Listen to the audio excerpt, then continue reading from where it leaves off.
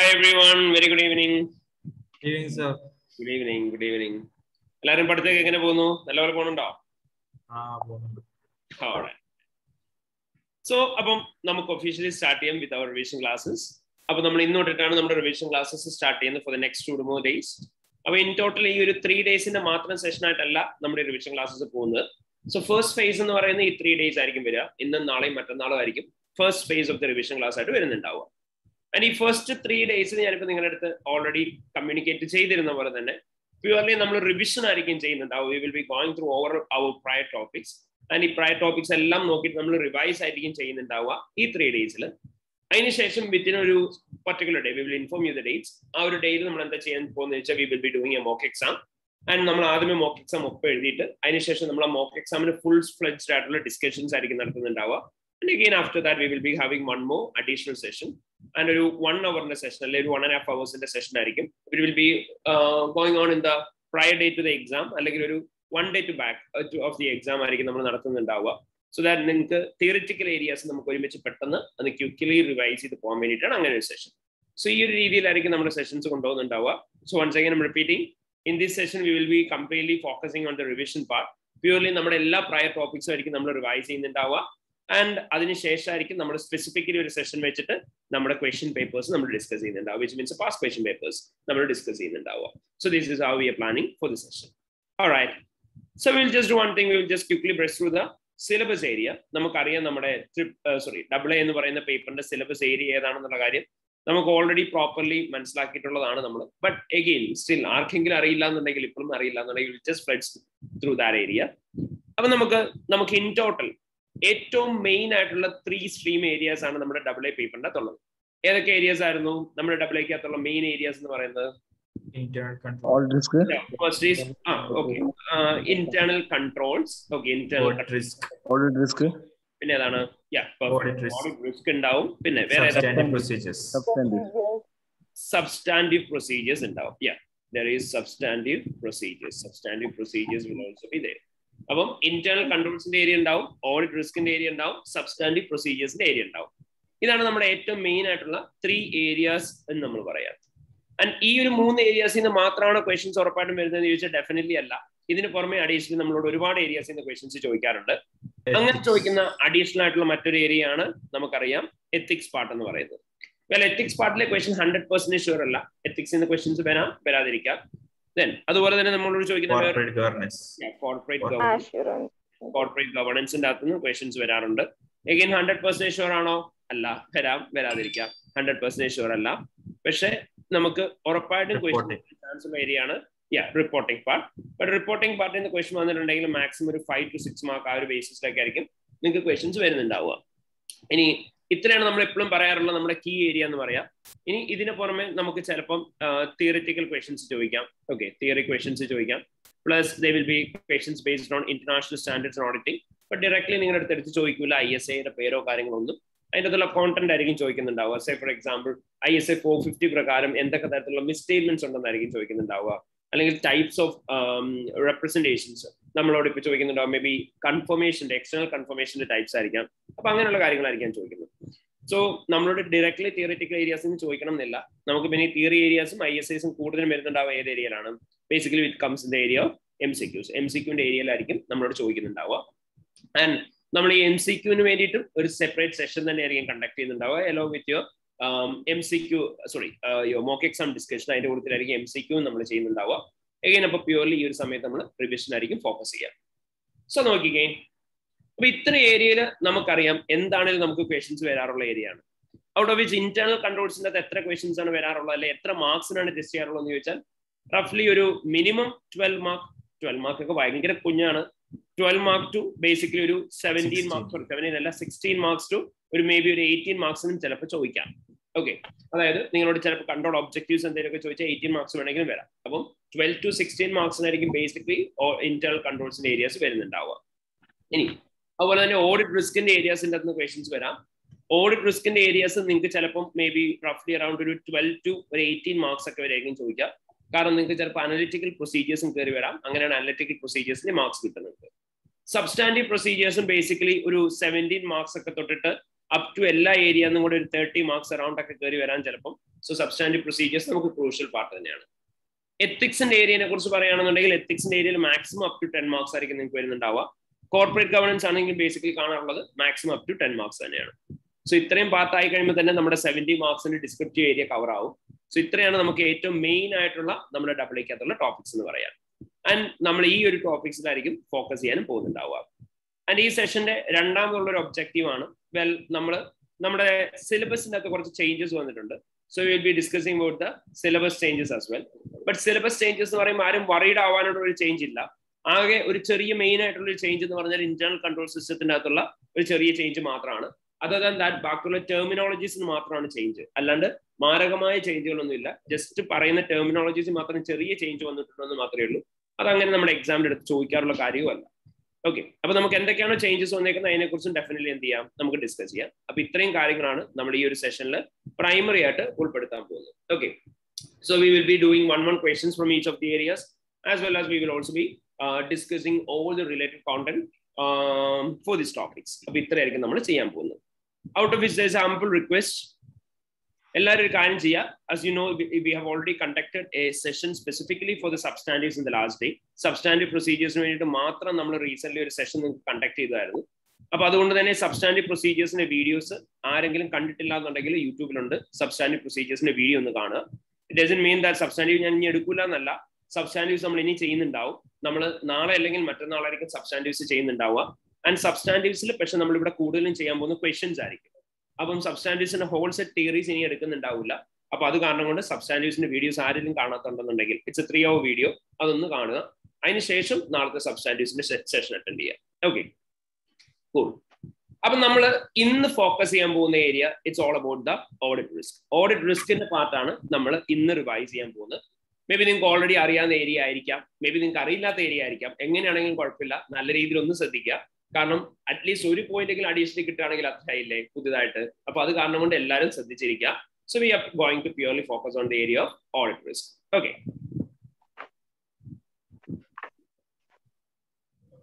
so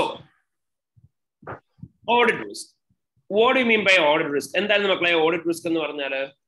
എന്തായിരുന്നു? Audit risk എന്ന് പറഞ്ഞാൽ an appropriate opinion due to misstatements in financial statements. Okay, it is a risk of giving an inappropriate opinion on the financial when the statements. Financial സ്റ്റേറ്റ്മെന്റ്സുമായിട്ട് base ചെയ്ത് നമ്മളൊരു inappropriate ആയിട്ടുള്ള opinion കൊടുക്കാനായിട്ടുള്ള ചാൻസിനെയാണ് a എന്തെന്ന് പറയാ audit risk എന്ന് പറയാം literally definition ആയിട്ട് നമ്മൾ എങ്ങനെയാണ് പറയാ it a risk of giving an inappropriate opinion on the financial statements when the financial statements are materially misstated financial statements materially misstated ആയിരിക്കുന്ന സമയത്ത് എഫ് എസിനെ കുറിച്ച് നമ്മൾ ഇൻഅപ്രോപ്രിയേറ്റ് ഒപ്പീനിയൻ കൊടുത്താൽ അതിനെയാണ് നമ്മൾ അത് വിളിക്കുക. ഓഡിറ്റ് വിളിക്കുക. പെർഫെക്റ്റ് ഇനി നമ്മൾ പഠിച്ചിട്ടുള്ള കാര്യമാണ്. നമ്മൾ എസ് എൻ ഓഡിറ്റർ എന്നുള്ള രീതിയിൽ നമ്മൾ തെറ്റായിട്ടുള്ള ഓഡിറ്റ് ഒപ്പീനിയൻ കൊടുക്കും എന്ന് പറഞ്ഞു. And basically there are three reasons for that അല്ലെങ്കിൽ ത്രീ കോമ്പണൻസ് ആണ് ഓഡിറ്റ് റിസ്കിനുള്ളത് എന്തൊക്കെയാണ് മക്കളെ ഈ ത്രീ കോമ്പണൻസ് എന്ന് പറയുന്നത് Inherent risk, ഇൻഹെറൻ റിസ്ക് ഉണ്ട് പിന്നെ control risk, control risk, control risk പിന്നെ detection risk, detection there will risk. also be detection risk. There will also be detection risk. So these are the basic three risks that will comes from the area of audit risk. അല്ലെങ്കിൽ ഇത് മൂന്ന് കാരണം കൊണ്ടാണ് audit risk ഉണ്ടാവുന്നത് then what do you mean by inherent risk എന്താണ് inherent risk എന്ന് പറഞ്ഞാൽ controls ചെയ്യുന്ന മുമ്പേ മുന്നേ വരുന്നു. റിലേറ്റഡ് കൺട്രോൾസ് എല്ലാം കൺസിഡർ ചെയ്യുന്നതിന് മുന്നേ തന്നെ ഫിനാൻഷ്യൽ സ്റ്റേറ്റ്മെന്റ്സിന്റെ മിസ്റ്റേക്ക് ഉണ്ടാവാനുള്ള പോസിബിലിറ്റി എത്രയുണ്ടോ അതിനെയാണ് തന്നെ വിളിക്കുക ഇൻഹെറന്റ് റിസ്ക്. ഒന്നുകൂടെ പറയാം.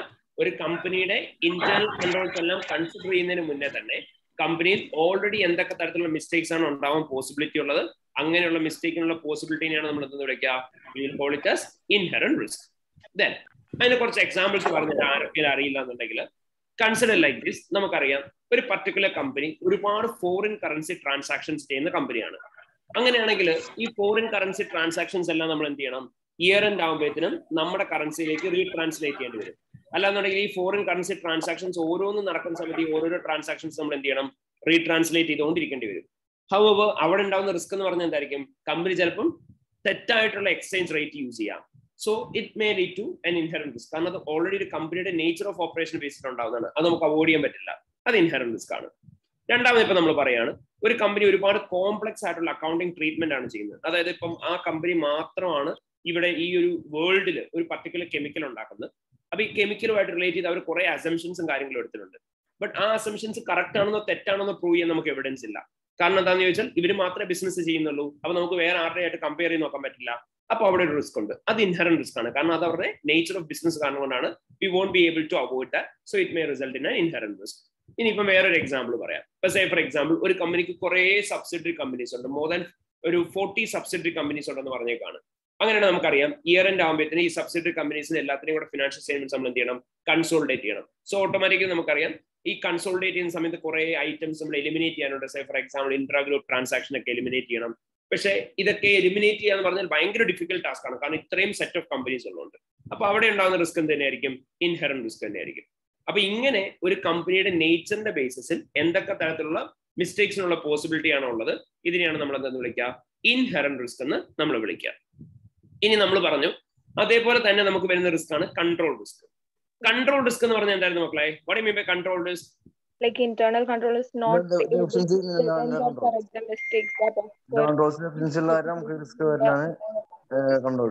alright ഒരു കമ്പനിയുടെ ഇന്റേണൽ കൺട്രോൾ സിസ്റ്റം എന്ത് ചെയ്യുന്നില്ല?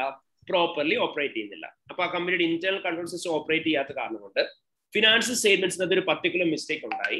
ആ ഫിനാൻഷ്യൽ സ്റ്റേറ്റ്മെന്റ്സിനായി ഉണ്ടായ മിസ്റ്റേക്കിന് ഓഡിറ്റർക്ക് എന്ത് ചെയ്യാൻ പറ്റുന്നില്ല? പ്രിവെന്റ് ചെയ്യാനോ ഡിറ്റക്ട് ചെയ്യാനോ കറക്റ്റ് ചെയ്യാനോ പറ്റുന്നില്ല. ഓക്കെ അതായത് ഓഡിറ്റർക്കല്ല സോറി മാനേജ്മെന്റിന് അതായത് ഒന്നുകൂടെ പറയാം ഒരു കമ്പനിയുടെ ഇന്റേണൽ കൺട്രോൾ സിസ്റ്റം വീക്ക് ആണ് അത് പ്രോപ്പർലി ഓപ്പറേറ്റ് ചെയ്യുന്നില്ല. അത് കാരണം കൊണ്ട് ഫിനാൻഷ്യൽ സ്റ്റേറ്റ്മെന്റ്സിനകത്ത് ഉണ്ടായിരിക്കുന്ന മിസ്റ്റേക്കിനെ ആ കമ്പനിയുടെ ഇന്റേണൽ കൺട്രോൾ എന്ത് ചെയ്യാൻ പറ്റുന്നില്ല? പ്രിവെന്റ് ചെയ്യാനോ ഡിറ്റക്ട് ചെയ്യാനോ കറക്റ്റ് ചെയ്യാനോ പറ്റുന്നില്ല. ഇതിനെയാണ് നമ്മൾ എന്തെന്ന് വിളിക്കുക? കൺട്രോൾ റിസ്ക് എന്ന് വിളിക്കുക. Then next when it comes to detection risk detection risk എന്ന് പറയുമ്പോൾ അവിടെ വരുന്ന ഓഡിറ്റർക്ക് ചെയ്യാൻ പറ്റാത്തത്. ഓഡിറ്റർക്ക് നമുക്ക് ചെക്ക് ചെയ്യാൻ പറ്റില്ല അതിന് അഡീഷണൽ റിസ്ക് അതായത് ഒരു ഓഡിറ്ററിന്റെ ഭാഗത്ത് നിന്ന് ഉണ്ടാവുന്ന റിസ്ക് ആണ് ഡിറ്റക്ഷൻ റിസ്ക് എന്ന് പറയാം. As an auditor auditor perform. ചെയ്യാൻ പറ്റുന്നില്ല. ഫിനാൻഷ്യൽ സ്റ്റേറ്റ്മെന്റ്സിനകത്തുള്ള മിസ്റ്റേക്ക് കണ്ടുപിടിക്കാൻ പറ്റുന്നില്ല. അതിനെയാണ് നമ്മൾ അതൊന്ന് വിളിക്കുക? Detection risk sorry sampling and non sampling risk ആണ് ഇതിന് കാരണം? അത് വരും അത് വരും. സാമ്പിളിംഗ് റിസ്ക്കും നോൺ സാമ്പിളിംഗ് റിസ്ക്കും വരും. ഓക്കെ നമ്മൾ ഇൻ ടോട്ടൽ ആണ് പറഞ്ഞത് ഡിറ്റക്ഷൻ റിസ്ക് എന്നുള്ളത്. ഓക്കെ സോ അപ്പം ഇത്രയും റിസ്ക് ആയിരിക്കും ബേസിക്കലി ഒരു ഓഡിറ്റ് റിസ്കിന്റെ കോമ്പണന്റ് ആയിട്ട് വരിക. ഇൻഹെറൻ റിസ്ക്കും കൺട്രോൾ റിസ്ക്കും ഡിറ്റക്ഷൻ റിസ്ക്കും ഒരിക്കലും പറയാം ഒരു കമ്പനിയുടെ നേച്ചർ ഓഫ് ഓപ്പറേഷൻസിന്റെ ബേസിസിൽ അല്ലെങ്കിൽ കമ്പനിയുടെ കൺട്രോൾസ് എല്ലാം കൺസിഡർ ചെയ്യുന്നതിന് മുന്നേ തന്നെ എന്തൊക്കെ മിസ്റ്റേക്സ് ഉള്ള പോസിബിലിറ്റി ആണോ ഉള്ളത് അതിനെയാണ് നമ്മൾ എന്തെന്ന് വിളിക്കുക? We'll call it as inherent risk then ഒരു പെർട്ടിക്കുലർ കമ്പനിയുടെ internal control system properly operate ചെയ്യുന്നില്ല. ആൻഡ് കമ്പനിയുടെ internal control system properly operate ചെയ്യാത്ത കാരണം കൊണ്ട് എന്ത് സംഭവിക്കും? കമ്പനിയുടെ ഫിനാൻഷ്യൽ സ്റ്റേബിൾസിൽ മിസ്റ്റേക്ക് ഉണ്ടായി കഴിഞ്ഞാൽ കമ്പനിയുടെ ഇന്റർണൽ കൺട്രോൾ അതിനെ പ്രിവെന്റ് ചെയ്യാനോ ഡിറ്റക്ട് ചെയ്യാനോ കറക്റ്റ് ചെയ്യാനോ പറ്റില്ല. അതിനെയാണ് നമ്മൾ കൺട്രോൾ റിസ്ക് എന്ന് വിളിക്കുക. നമ്മൾ പറഞ്ഞു basically there is also call detection risk as an auditor നമ്മൾ ചെയ്യുന്ന ഓഡിറ്റ് പ്രൊസീജിയേഴ്സ് വഴി ഫിനാൻഷ്യൽ സ്റ്റേറ്റ്മെന്റ്സിനകത്തുള്ള മിസ്റ്റേക്സിനെ കണ്ടുപിടിക്കാൻ പറ്റാത്തതിനെയാണ് എന്ന് വിളിക്കുക? We'll call it as detection risk so out of which മാനേജ്മെന്റിന്റെ കയ്യിൽ നിന്നുണ്ടാവുന്ന റിസ്കുകൾ എന്ന് പറഞ്ഞാൽ ഏതൊക്കെയാണ്? അല്ലെങ്കിൽ already Inherent and control. Financial appear ചെയ്യുന്ന റിസ്കുകൾ ഏതൊക്കെയാണ്? These are inherent risk and control risk അല്ലെ? അപ്പൊ ഇൻഹെറന്റ് റിസ്കിനെയും കൺട്രോൾ റിസ്കിനെയും കൂടെയാണ് നമ്മൾ എന്ത് വിളിക്കുക? We call it as Risk of material risk of material ആറ് misstatements. okay. We will call it as risk of material misstatements. And നമുക്കറിയാം നമ്മൾ audit risk എന്താണ് എന്ന് ചോദിച്ചാൽ we will state it as a combination of risk of material Risk of and നമ്മൾ പഠിച്ച ഒരു ഫോർമുലയായിരുന്നു ഈ സെയിം കാര്യം എന്ന് പറയുന്നത്. The audit risk is equal to എന്തൊക്കെയാണ്? Inherent risk multiplied by control risk multiplied by detection risk risk. ഞാൻ നമ്മൾ പറഞ്ഞു if the audit risk is high overall audit risk high ആണെന്നുണ്ടെങ്കിൽ അത് റെഡ്യൂസ് ചെയ്യാൻ വേണ്ടിയിട്ട് നമുക്ക് ഇൻഹെറൻ റിസ്കിന് കൺട്രോൾ റിസ്കിന് എന്തെങ്കിലും ചെയ്യാൻ പറ്റുമോ ഇല്ല. ഓവറോൾ ഓഡിറ്റ് റിസ്ക് ഹൈ ആണെങ്കിൽ how can we reduce that നമ്മൾ എന്താ ചെയ്യേണ്ടത് അതിന് വേണ്ടിയിട്ട്? ഡിറ്റക്ഷൻ റിസ്കിന്റെ എമൗണ്ട് കുറയ്ക്കണം. ഡിറ്റക്ഷൻ റിസ്കിന്റെ എമൗണ്ട് എങ്ങനെ നമുക്ക് കുറയ്ക്കാൻ പറ്റുക? എമൗണ്ട് ഓഫ് ഓഡിറ്റ് പ്രൊസീജിയേഴ്സ് നമ്മൾ എന്ത് ചെയ്താൽ മതി? കൂടുതൽ ഓഡിറ്റ് പ്രൊസീജിയേഴ്സ് പെർഫോം ചെയ്താൽ മതി. കൂടുതൽ ഓഡിറ്റ് പ്രൊസീജിയേഴ്സ് പെർഫോം ചെയ്യുമ്പോൾ നമുക്ക് എന്ത് ചെയ്യാം? We can reduce the amount of audit risk അപ്പൊ ഇങ്ങനെയായിരിക്കും നമ്മൾ ഇത്രയും കാര്യങ്ങളായിരിക്കും നമ്മൾ ഓഡിറ്റ് റിസ്കിന്റെ ബേസ് ആയിട്ട് പഠിക്കുന്നുണ്ടാവുക. സോ അപ്പൊ നമ്മൾ പറഞ്ഞു എന്താണ് ഓഡിറ്റ് റിസ്ക് എന്നുള്ളത്? ഇങ്ങനെ ആസ് എൻ ഓഡിറ്റർ എന്നുള്ള രീതിയിൽ നമ്മൾ ഓഡിറ്റ് ചെയ്യുന്ന സമയത്ത് ഇങ്ങനെയുള്ള പല കാരണങ്ങളും കൊണ്ട് ഫിനാൻഷ്യൽ സ്റ്റേറ്റ്മെന്റ്സിനെ കുറിച്ച് ഒരു ഇൻഅപ്രോപ്രിയേറ്റ് ആയിട്ടുള്ള ഒപ്പീനിയൻ കൊടുക്കാനായിട്ടുള്ള റീസണെയാണ് നമ്മൾ അതൊന്ന് വിളിക്കുക. We will call it as audit risk ഇനി നമുക്ക് ഇവിടുന്ന് ബേസിക്കലി എങ്ങനെ എക്സാമിന് ക്വസ്റ്റ്യൻസ് വരാറുള്ളത്? യു നോ ദാറ്റ് എങ്ങനെയാണ് എക്സാമിന് യൂഷ്വലി ക്വസ്റ്റ്യൻസ് വരാറുള്ളത് മക്കളെ? റിസ്ക്കും റെസ്പോൺസും ചോദിക്കും. നമ്മുടെ അടുത്ത് ചോദിക്കുന്ന എന്തായിരിക്കും? സിനാരിയോ തന്നിട്ട് നിങ്ങളോട് ഓഡിറ്റ് റിസ്ക് എഴുതാൻ പറയും. അതുപോലെ തന്നെ എന്ത് എഴുതാനും പറയുന്നുണ്ടാവും. ഓഡിറ്റേഴ്സ് റെസ്പോൺസും എഴുതാൻ പറയുന്നുണ്ടാവും. സോ ഇങ്ങനെ auditor's risk and auditor's response ആയിരിക്കും നിങ്ങൾക്ക് എക്സാമിന്റെ അകത്ത് ചോദിക്കുന്നുണ്ടാവുക. ആൻഡ് റിസ്ക് എഴുതുന്ന സമയത്ത് നമുക്ക് എപ്പോഴും കൺസിഡർ ചെയ്യാനായിട്ടുള്ള കുറെ കാര്യങ്ങളുണ്ട്. എന്തൊക്കെ കാര്യങ്ങളായിരുന്നു ഓഡിറ്റേഴ്സ് റിസ്ക് എഴുതുന്ന സമയത്ത് നമ്മൾ കൺസിഡർ ചെയ്യേണ്ടത്? ആദ്യമേ- സ്റ്റാൻഡേർഡ്സ് അക്കൗണ്ടിംഗ് സ്റ്റാൻഡേർഡ്സ് പിന്നെ Identify ആദ്യമേ അക്കൗണ്ടിംഗ് സ്റ്റാൻഡേർഡ്സ് ആണോ. ഐഡന്റിഫൈ ദ റിസ്ക് രണ്ടാമതായിട്ട് എന്ത് പറയാ? സ്റ്റാൻഡേർഡ് സ്റ്റാൻഡേർഡ്സ് പറയാ. ഇമ്പാക്ട് എന്ത് പറയണം. Risk plus impact on financial statements പറയണം. Risk plus impact on financial statements പറയണം. അപ്പൊ ഇത്രയും കാര്യങ്ങളായിരിക്കും നമ്മൾ ഇവിടെ പറയുന്നുണ്ടാവുക. So we'll be identifying the risk from the scenario we will be mentioning about the accounting treatment we will state the risk as well as the impact over the financial statements and corresponding ആയിട്ട് നമ്മൾ എന്ത് പറയും? ഈ ഒരു situation as an auditor നമ്മൾ ചെയ്യേണ്ട response എന്താണ് എന്നുള്ള കാര്യം പറയും. റെസ്പോൺസ് പറയുന്ന സമയത്ത് നമ്മൾ എപ്പോഴും എന്തായിരുന്നു അവിടെ പറഞ്ഞുകൊണ്ടിരുന്നത്? ഏതെങ്കിലും പ്രൊസീജിയേഴ്സ് നമ്മൾ പറയാറുണ്ടായിരുന്നു അല്ലേ? എന്തായിരുന്നു പ്രൊസീജിയർ എന്ന് പറയാ? Enquiry with the management discuss with the management review അല്ലെങ്കിൽ ഒപ്റ്റൈൻ ബ്രേക്ക് ഡൗൺ അല്ലെങ്കിൽ എൻഷുർ സംതിങ് അല്ലെങ്കിൽ മെയിന്റെയിൻ പ്രൊഫഷണൽ സ്കെപ്റ്റിസിസം ഇങ്ങനെ പലതരത്തിലുള്ള നമ്മൾ എന്ത് പറയും? ഡോക്യുമെന്റിന്റെ പേര് മെൻഷൻ ചെയ്യാറുണ്ട്. അല്ലെങ്കിൽ നമുക്ക് എന്ത് ഇൻഫർമേഷൻ ആണ് നമ്മൾ ഒപ്റ്റൈൻ ചെയ്യുന്നത്? ആ ഡോക്യുമെന്റിന്റെ പേര് അല്ലെങ്കിൽ ഇൻഫർമേഷൻ എന്താണെന്നുള്ള മെൻഷൻ ചെയ്യും. പ്ലസ് നമ്മൾ പറയാറുണ്ട് എപ്പോഴും നിങ്ങൾ എന്ത് മെൻഷൻ ചെയ്യണം? Purpose. പറയുന്നുണ്ടാവണം. ഓക്കെ ഇത്രയായിരുന്നു ഓഡിറ്റേഴ്സ് റെസ്പോൺസിന്റെ പാർട്ടായിട്ട് നമ്മൾ പറഞ്ഞുകൊണ്ടിരുന്നത്. അപ്പൊ നമ്മൾ റിസ്ക് പറയുമ്പോൾ എന്തൊക്കെയാന്ന് പറഞ്ഞുകൊണ്ടിരുന്നത്? ഐഡന്റിഫൈ ചെയ്യും നമ്മൾ റിസ്ക്. അക്കൗണ്ടിംഗ്. ഫിനാൻഷ്യൽ സ്റ്റേറ്റ്മെന്റ്സ് പറയും. റെസ്പോൺസ് പറയുമ്പോൾ എന്തൊക്കെയാ പറയേണ്ടത്? പ്രൊസീജിയർ പറയണം. ഡോക്യുമെന്റിന്റെ പേര് പറയണം. അതുപോലെ തന്നെ നമ്മുടെ പേർപ്പസ് എന്താണെന്നുള്ള കാര്യം നമ്മൾ mention ചെയ്യുന്നുണ്ടാവണം. Okay so I will tell you an example consider like this ഞാനിപ്പം ആസ് എൻ ഓഡിറ്റർ എന്നുള്ള രീതിയിൽ ഓഡിറ്റ് ചെയ്യാണ് എന്ന് പറയും. എന്നൊരു സിനാരിയോയിൽ പറഞ്ഞേക്കാണ് company has invested twenty million for research and development ഇത്രയാണ് നിങ്ങളോട് പറഞ്ഞേക്കുന്നത്. The company has invested twenty million for research and development അപ്പൊ നമ്മൾ എപ്പോഴും പറയാറുണ്ടായിരുന്നു ഒരു കമ്പനി ഒരു എമൗണ്ട് റിസർച്ച് ആൻഡ് ഡെവലപ്മെന്റിന് വേണ്ടിയിട്ട് സ്പെൻഡ് ചെയ്തിട്ടുണ്ട്. എന്ന് പറഞ്ഞു കഴിഞ്ഞാൽ ഓട്ടോമാറ്റിക്കലി അവിടെ വരുന്ന അക്കൗണ്ടിംഗ് സ്റ്റാൻഡേർഡ് ഏതാണ്? ഏത് standard intangible asset I S thirty eight intangible asset പ്രകാരം നമ്മൾ എന്താ ചെയ്യേണ്ടത്? ഒരു കമ്പനി റിസർച്ച് ആൻഡ് ഡെവലപ്മെന്റ് വേണ്ടി എമൗണ്ട് സ്പെൻഡ് ചെയ്ത് കഴിഞ്ഞാൽ റിസർച്ച് ക്യാപിറ്റലൈസ് ചെയ്യുക റിസർച്ച് എക്സ്പെൻസസിനെ നമ്മൾ എന്ത്. ചെയ്യുന്നുണ്ടാവും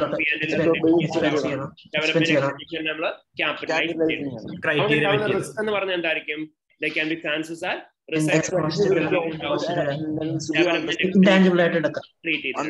അതാണ് നമ്മൾ റിസ്ക് എന്ന് പറയാം. And this is how you will be presenting our answer അപ്പൊ നിങ്ങൾ ആൻസർ ആയിട്ട് പ്രസന്റ് ചെയ്യുന്ന സമയത്ത് എന്ത് പറഞ്ഞാൽ മതി? നിങ്ങൾ ആദ്യം ഐഡന്റിഫിക്കേഷൻ പാർട്ട് പറയാം. നിങ്ങളുടെ സിനാരിയിൽ പറഞ്ഞ എന്താണോ അത് തന്നെ ആയിരിക്കും ഐഡന്റിഫിക്കേഷൻ പാർട്ട് പറയുന്നുണ്ടാവുക.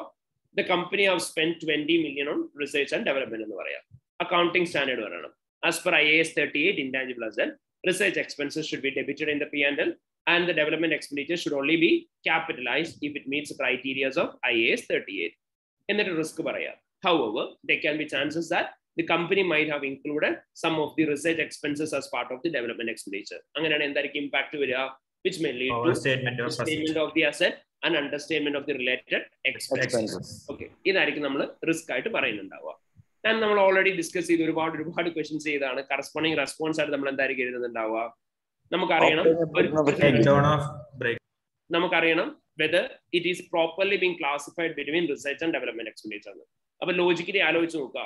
അതായത് ഒരു റിസർച്ച് ആൻഡ് ഡെവലപ്മെന്റ് എക്സ്പെൻഡിച്ചർ നമ്മളോട് സ്പ്ലിറ്റിൽ ഇഷ്യൂ ഉണ്ടെന്നാണ് നമുക്ക് തോന്നുന്നത്. So how can we ensure that whether there is any issue with the split of development and capital expenditure sorry research and development expenditure അപ്പൊ നമ്മൾ എന്ത് ചെയ്താൽ മതി അവിടെ? We need to obtain something എന്തായാലും നമുക്ക് ഒപ്റ്റൈൻ ചെയ്യേണ്ട അവിടെ? Break down of research and Expenditure. Development expenditure development expenditure. അത്ര മാത്രം പറഞ്ഞാൽ മതിയോ? എന്തിനു വേണ്ടിയിട്ടാണ് Ah, in order to ensure that these has been included or appropriately classified within correct accounting head. അപ്പൊ എന്താണോ sorry discuss the account treatment with finance director അങ്ങനെ പറയാൻ പറ്റോ ഈ ട്രീറ്റ്മെന്റ് കറക്റ്റ് ചെക്ക് ചെയ്യാൻ വേണ്ടിട്ട് discuss the accounting treatment with finance director അങ്ങനെ പറയാൻ പറ്റോ ലാസ്റ്റ് പറ്റത്തില്ല പറ്റത്തില്ല. കാരണം ഇവിടെ സ്പ്ലിറ്റ് ഓഫ് എക്സ്പെൻസിനല്ലേ പ്രശ്നമുള്ളൂ. അപ്പൊ എപ്പോഴും ഏറ്റവും റിലയബിൾ എവിഡൻസ് എന്ന് പറഞ്ഞാൽ എന്തായിരിക്കും? അതർ എവിഡൻസ് ആയിരിക്കും. അതാണ് obtaining directly confirmation from the management എപ്പോഴും നമ്മൾ ഇമ്പോർട്ടൻസ് കൊടുക്കുന്നുണ്ടാവുക ഓഡിറ്റർ ഡയറക്ട്ലി ഒപ്റ്റൈൻ ചെയ്യുന്ന എവിഡൻസിനായിരിക്കും അപ്പൊ അതുകൊണ്ട് തന്നെ എന്ത് ചെയ്താൽ മതി? ബ്രേക്ക് ഡൗൺ വാങ്ങിച്ചു നോക്കിയാൽ മതി. Okay then so this is a way in which we will be mentioning the auditors responses അപ്പൊ ഇങ്ങനെയായിരിക്കും ഓഡിറ്റേഴ്സ് റിസ്ക്കും ഓഡിറ്റേഴ്സ് റെസ്പോൺസസും നമ്മൾ മെൻഷൻ ചെയ്യുന്നുണ്ടാവുക.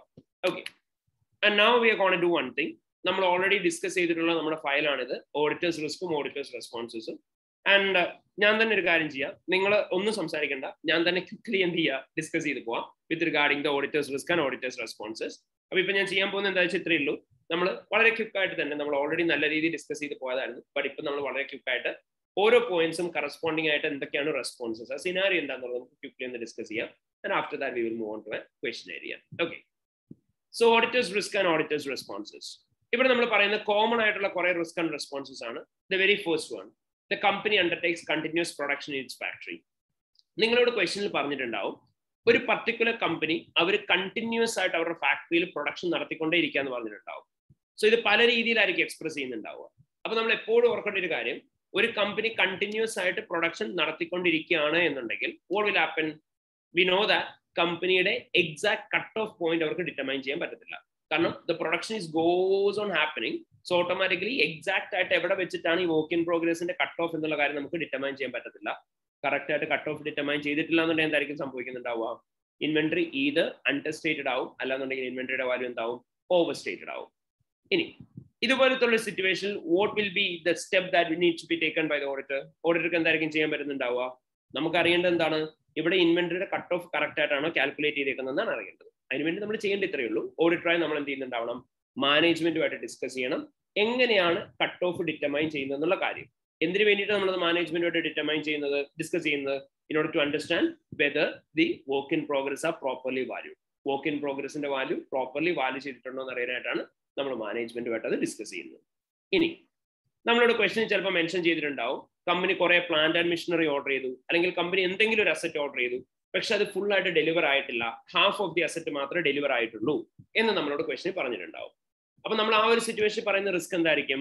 അതായത് നമ്മുടെ പ്ലാന്റ് ആൻഡ് മെഷീനറിയുടെ ഹാഫ് മാത്രമേ ഡെലിവർ ആയിട്ടുള്ളൂ എന്നുണ്ടെങ്കിൽ നമുക്കറിയാം എത്ര അസറ്റ് ആണോ നമ്മുടെ കയ്യിൽ എക്സിസ്റ്റിംഗ് ആയിട്ടുള്ളത് അത് മാത്രമേ നമുക്ക് റെക്കോർഡ് ചെയ്യാനായിട്ട് പറ്റത്തുള്ളൂ. ഇവിടെ ഉണ്ടാവാൻ ചാൻസ് ഉള്ള റിസ്ക് എന്ന് പറഞ്ഞാൽ എന്തായിരിക്കും? ഇവർ ഓൾറെഡി കിട്ടിയ അസറ്റിന് പുറമെ കിട്ടാനുള്ള അസറ്റ് എന്ത് ചെയ്തിട്ടുണ്ടാവും? റെക്കോർഡ് ചെയ്തിട്ടുണ്ടാവും. അങ്ങനെ റെക്കോർഡ് ചെയ്തിട്ടുണ്ടെന്നുണ്ടെങ്കിൽ നമ്മുടെ പി പി ഓവർ സ്റ്റേറ്റഡ് ആയിരിക്കും. ഇനി അതേപോലെ തന്നെ നമുക്ക് ഏതൊക്കെ അസറ്റ്സ് ആണ് കിട്ടിയത്? കിട്ടിയ അസറ്റ്സിന് മേലെ നമ്മൾ എന്ത് ചെയ്യുന്നുണ്ടാവണം? Depreciation charge ചെയ്യുന്നുണ്ടാവണം. അവിടെ ഉണ്ടാവുന്ന വേറൊരു റിസ്ക് എന്ന് പറഞ്ഞാൽ എന്തായിരിക്കും? ഇവർ കറക്റ്റ് ആയിട്ട് ഡിപ്രിസിയേഷൻ ചാർജ് ചെയ്തിട്ടുണ്ടാവില്ല. അപ്പൊ ഇവർ ഡിപ്രിസിയേഷൻ ചാർജ് ചെയ്തിട്ടില്ല എന്നുണ്ടെങ്കിൽ എന്ത് സംഭവിക്കും? ഡിപ്രിസിയേഷൻ എന്ന് പറയുന്ന എക്സ്പെൻസ് അണ്ടർസ്റ്റേറ്റഡ് ആവും. നമ്മുടെ പി പിയുടെ വാല്യൂ എന്താവും? ഓവർ സ്റ്റേറ്റഡ് ആവും. ഇതായിരിക്കും ഒരു പ്ലാന്റ് ആൻഡ് മെഷീനറി ഓർഡർ ചെയ്തിട്ട് ഹാഫ് മാത്രം ഡെലിവർ ആയിട്ടുള്ളെങ്കിൽ സംഭവിക്കുന്നുണ്ടാവുക. ആൻഡ് അതിന് വേണ്ടിയിട്ട് ആസ് എൻ ഓഡിറ്റർ നമുക്ക് എന്താ റെസ്പോൺസ് ആയിട്ട് എടുക്കാൻ പറ്റുക? നമുക്ക് ആദ്യമേ മാനേജ്മെന്റുമായിട്ട് ഡിസ്കസ് ചെയ്യാം. ഇവർ ഓർഡർ ചെയ്ത ഗുഡ്സ് ബാക്കിയുള്ളത് കൂടി ഡെലിവർ ആയിട്ടുണ്ടോ എന്നുള്ള കാര്യം. അതുപോലെ തന്നെ ഡെലിവർ ആയി എന്നാണ് ഇവർ പറയുന്നുണ്ടെങ്കിൽ what we can do in that case നമുക്കത് പോയിട്ട് ഫിസിക്കലി വെരിഫൈ ചെയ്യാം.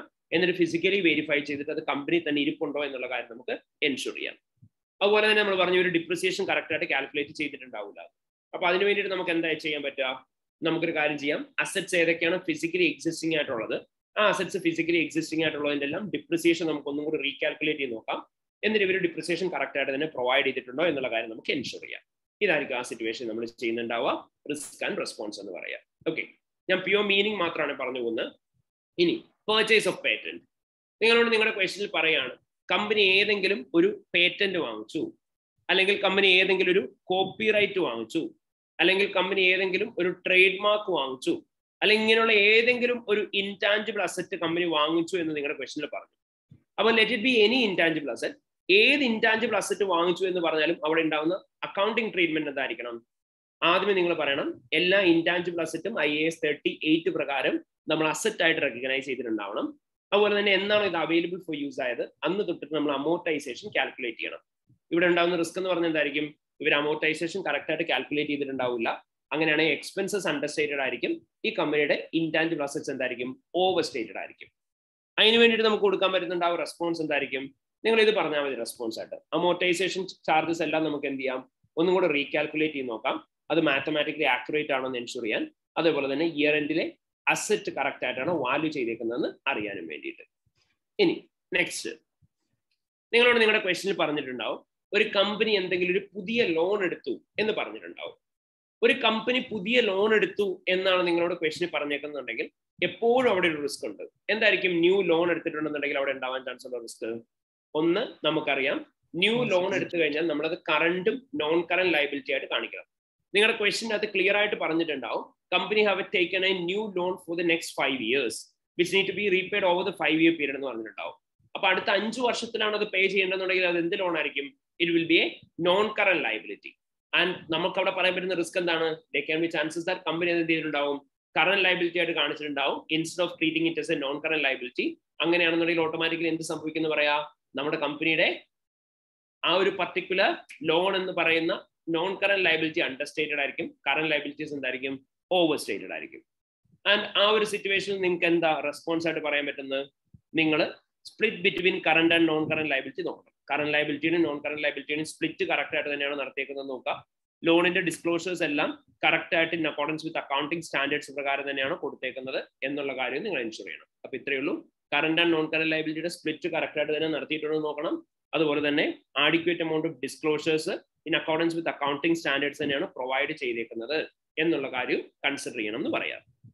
ഇനി ഈ സെയിം കേസ് തന്നെ ഷെയർ ക്യാപിറ്റലിന്റെ കേസിലും വരാം. ഷെയർ ക്യാപിറ്റൽ അതായത് നിങ്ങളോട് ക്വസ്റ്റ്യൻ പറഞ്ഞിട്ടുണ്ടാവും കമ്പനി പുതിയതായിട്ട് ഷെയർ ക്യാപിറ്റൽ ഇഷ്യൂ ചെയ്തു നമുക്കറിയാം ഒരു കമ്പനി എന്തെങ്കിലും ഷെയർസ് ഇഷ്യൂ ചെയ്തിട്ടുണ്ട് എന്നുണ്ടെങ്കിൽ ബേസിക്കലി എല്ലാ കമ്പനീസും ഷെയർസ് ഇഷ്യൂ ചെയ്യുന്നത് പ്രീമിയത്തിൽ തന്നെയായിരിക്കും. നമുക്കറിയാവുന്ന കാര്യമാണ്. ഷെയർസ് പ്രീമിയത്തിൽ ഇഷ്യൂ ചെയ്യുന്ന സമയത്ത് ഷെയർ ക്യാപിറ്റൽ അക്കൗണ്ടിൽ ഏത് എമൗണ്ട് മാത്രമേ കാണിക്കാൻ പറ്റത്തുള്ളൂ? നോമിനൽ വാല്യൂ ഓഫ് ഷെയർസ് മാത്രമേ ഷെയർ ക്യാപിറ്റൽ അക്കൗണ്ടിൽ കാണിക്കാൻ പറ്റത്തുള്ളൂ. ബാക്കി എത്രയാണോ എമൗണ്ട് വന്നേക്കുന്നത് അത് മൊത്തം നമ്മൾ ഷെയർ പ്രീമിയം അക്കൗണ്ടിലാണ് കാണിക്കേണ്ടത്. ഇവിടെ ഉണ്ടാകുന്ന റിസ്ക് എന്ന് പറഞ്ഞാൽ എന്തായിരിക്കും? അവർ ടോട്ടൽ എമൗണ്ട് ഷെയർ ക്യാപിറ്റൽ അക്കൗണ്ടിൽ കാണിച്ചിട്ടുണ്ടാവും.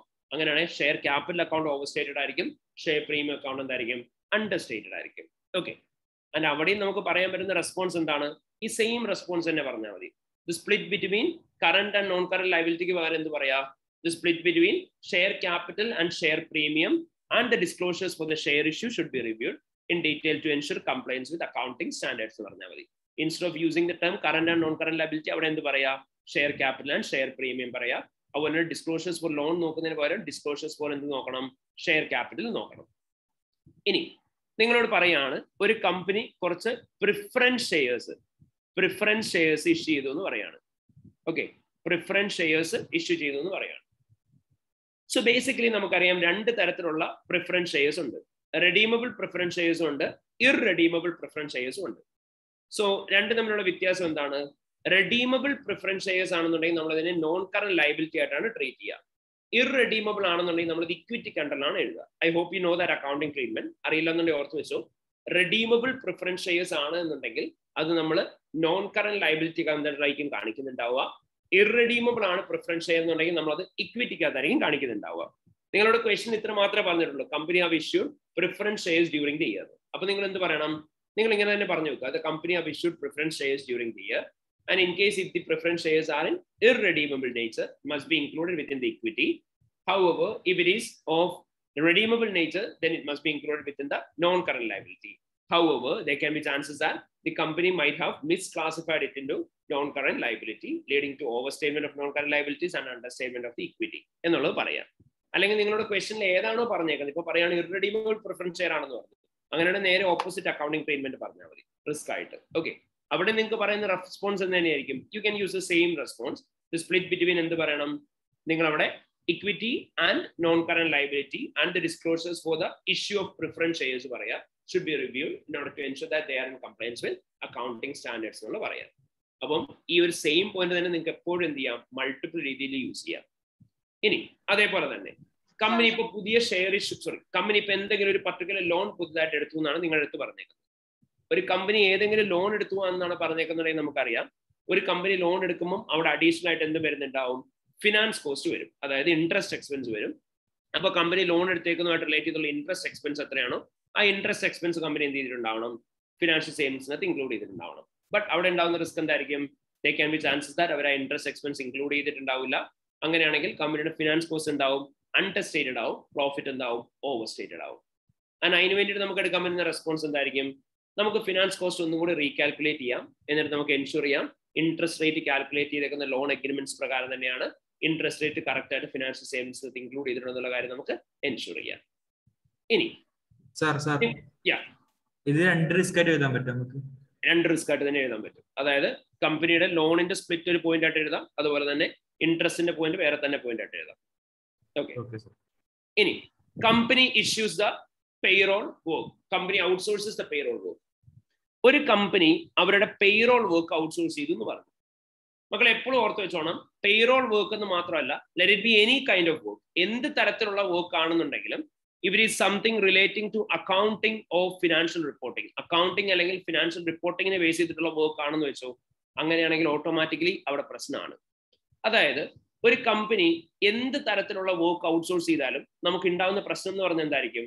നമ്മൾ അസ് എൻ ഓഡിറ്റർ എന്നുള്ള രീതിയിൽ ഓഡിറ്റ് ചെയ്യാൻ ചെല്ലുന്ന സമയത്ത് അവിടെ ആഡിക്വേറ്റ് എമൗണ്ട് ഓഫ് എവിഡൻസ് ഉണ്ടാവില്ല. അതായത് നിങ്ങൾക്കറിയാം ഒരു കമ്പനി അവരുടെ തന്നെ ബുക്സ് സ്വന്തമായിട്ട് ഉണ്ടാക്കിയാൽ മാത്രമേ അവിടെ അവരുടെ കയ്യിൽ തന്നെ അതിന്റെ അക്കൗണ്ടിങ് റെക്കോർഡ്സ് ഉണ്ടാവുള്ളൂ. ഞാനിപ്പോൾ എന്റെ കമ്പനിയുടെ വർക്ക് ഒരു തേർഡ് പാർട്ടി ഓർഗനൈസേഷനിലേക്ക് ഔട്ട്സോഴ്സ് ചെയ്തേക്കാണെങ്കിൽ എന്റെ ബുക്സ് എല്ലാം എവിടെ ആയിരിക്കും? ഔട്ട്സോഴ്സ് ചെയ്തേക്കുന്ന എന്റിറ്റിയിലായിരിക്കും സോ ഓഡിറ്ററായി നിങ്ങൾ ഇവിടെ ഓഡിറ്റ് ചെയ്യാൻ വരുമ്പോൾ ബുക്സ് ഇല്ലാന്നുണ്ടെങ്കിൽ നിങ്ങൾക്ക് എന്ത് ചെയ്യാൻ പറ്റില്ല? സഫീഷ്യന്റ് അപ്രോപ്രിയേറ്റ് എവിഡൻസ് ഒപ്റ്റൈൻ ചെയ്യാൻ പറ്റില്ല. അപ്പൊ അവിടെ എന്ത് റിസ്ക് ആയിരിക്കും ഉണ്ടാവുക? ഡിറ്റക്ഷൻ റിസ്ക് ആയിരിക്കും അവിടെ വരുന്നുണ്ടാവുക.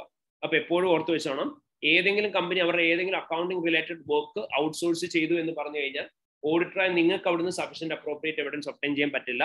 അപ്പൊ അവിടെ എന്ത് റിസ്ക് ഉണ്ടാവും? ഡിറ്റക്ഷൻ റിസ്ക് ഉണ്ടാവും. ഇനി ഇതുപോലത്തെ ഒരു സിറ്റുവേഷൻ നിങ്ങൾക്ക് എന്താ അവിടെ റെസ്പോൺസിബിലിറ്റി ചെയ്യാൻ പറ്റുന്നത്? ഫസ്റ്റ് ഓഫ് ഓൾ നിങ്ങൾക്ക് മാനേജ്മെന്റിനോട് ഡിസ്കസ് ചെയ്യാം. അവർ എന്തൊക്കെ വർക്കാണ് ഔട്ട്സോഴ്സ് ചെയ്തേക്കുന്നത്? എത്രത്തോളം വർക്ക് ഔട്ട്സോഴ്സ് ചെയ്തിട്ടുണ്ട്?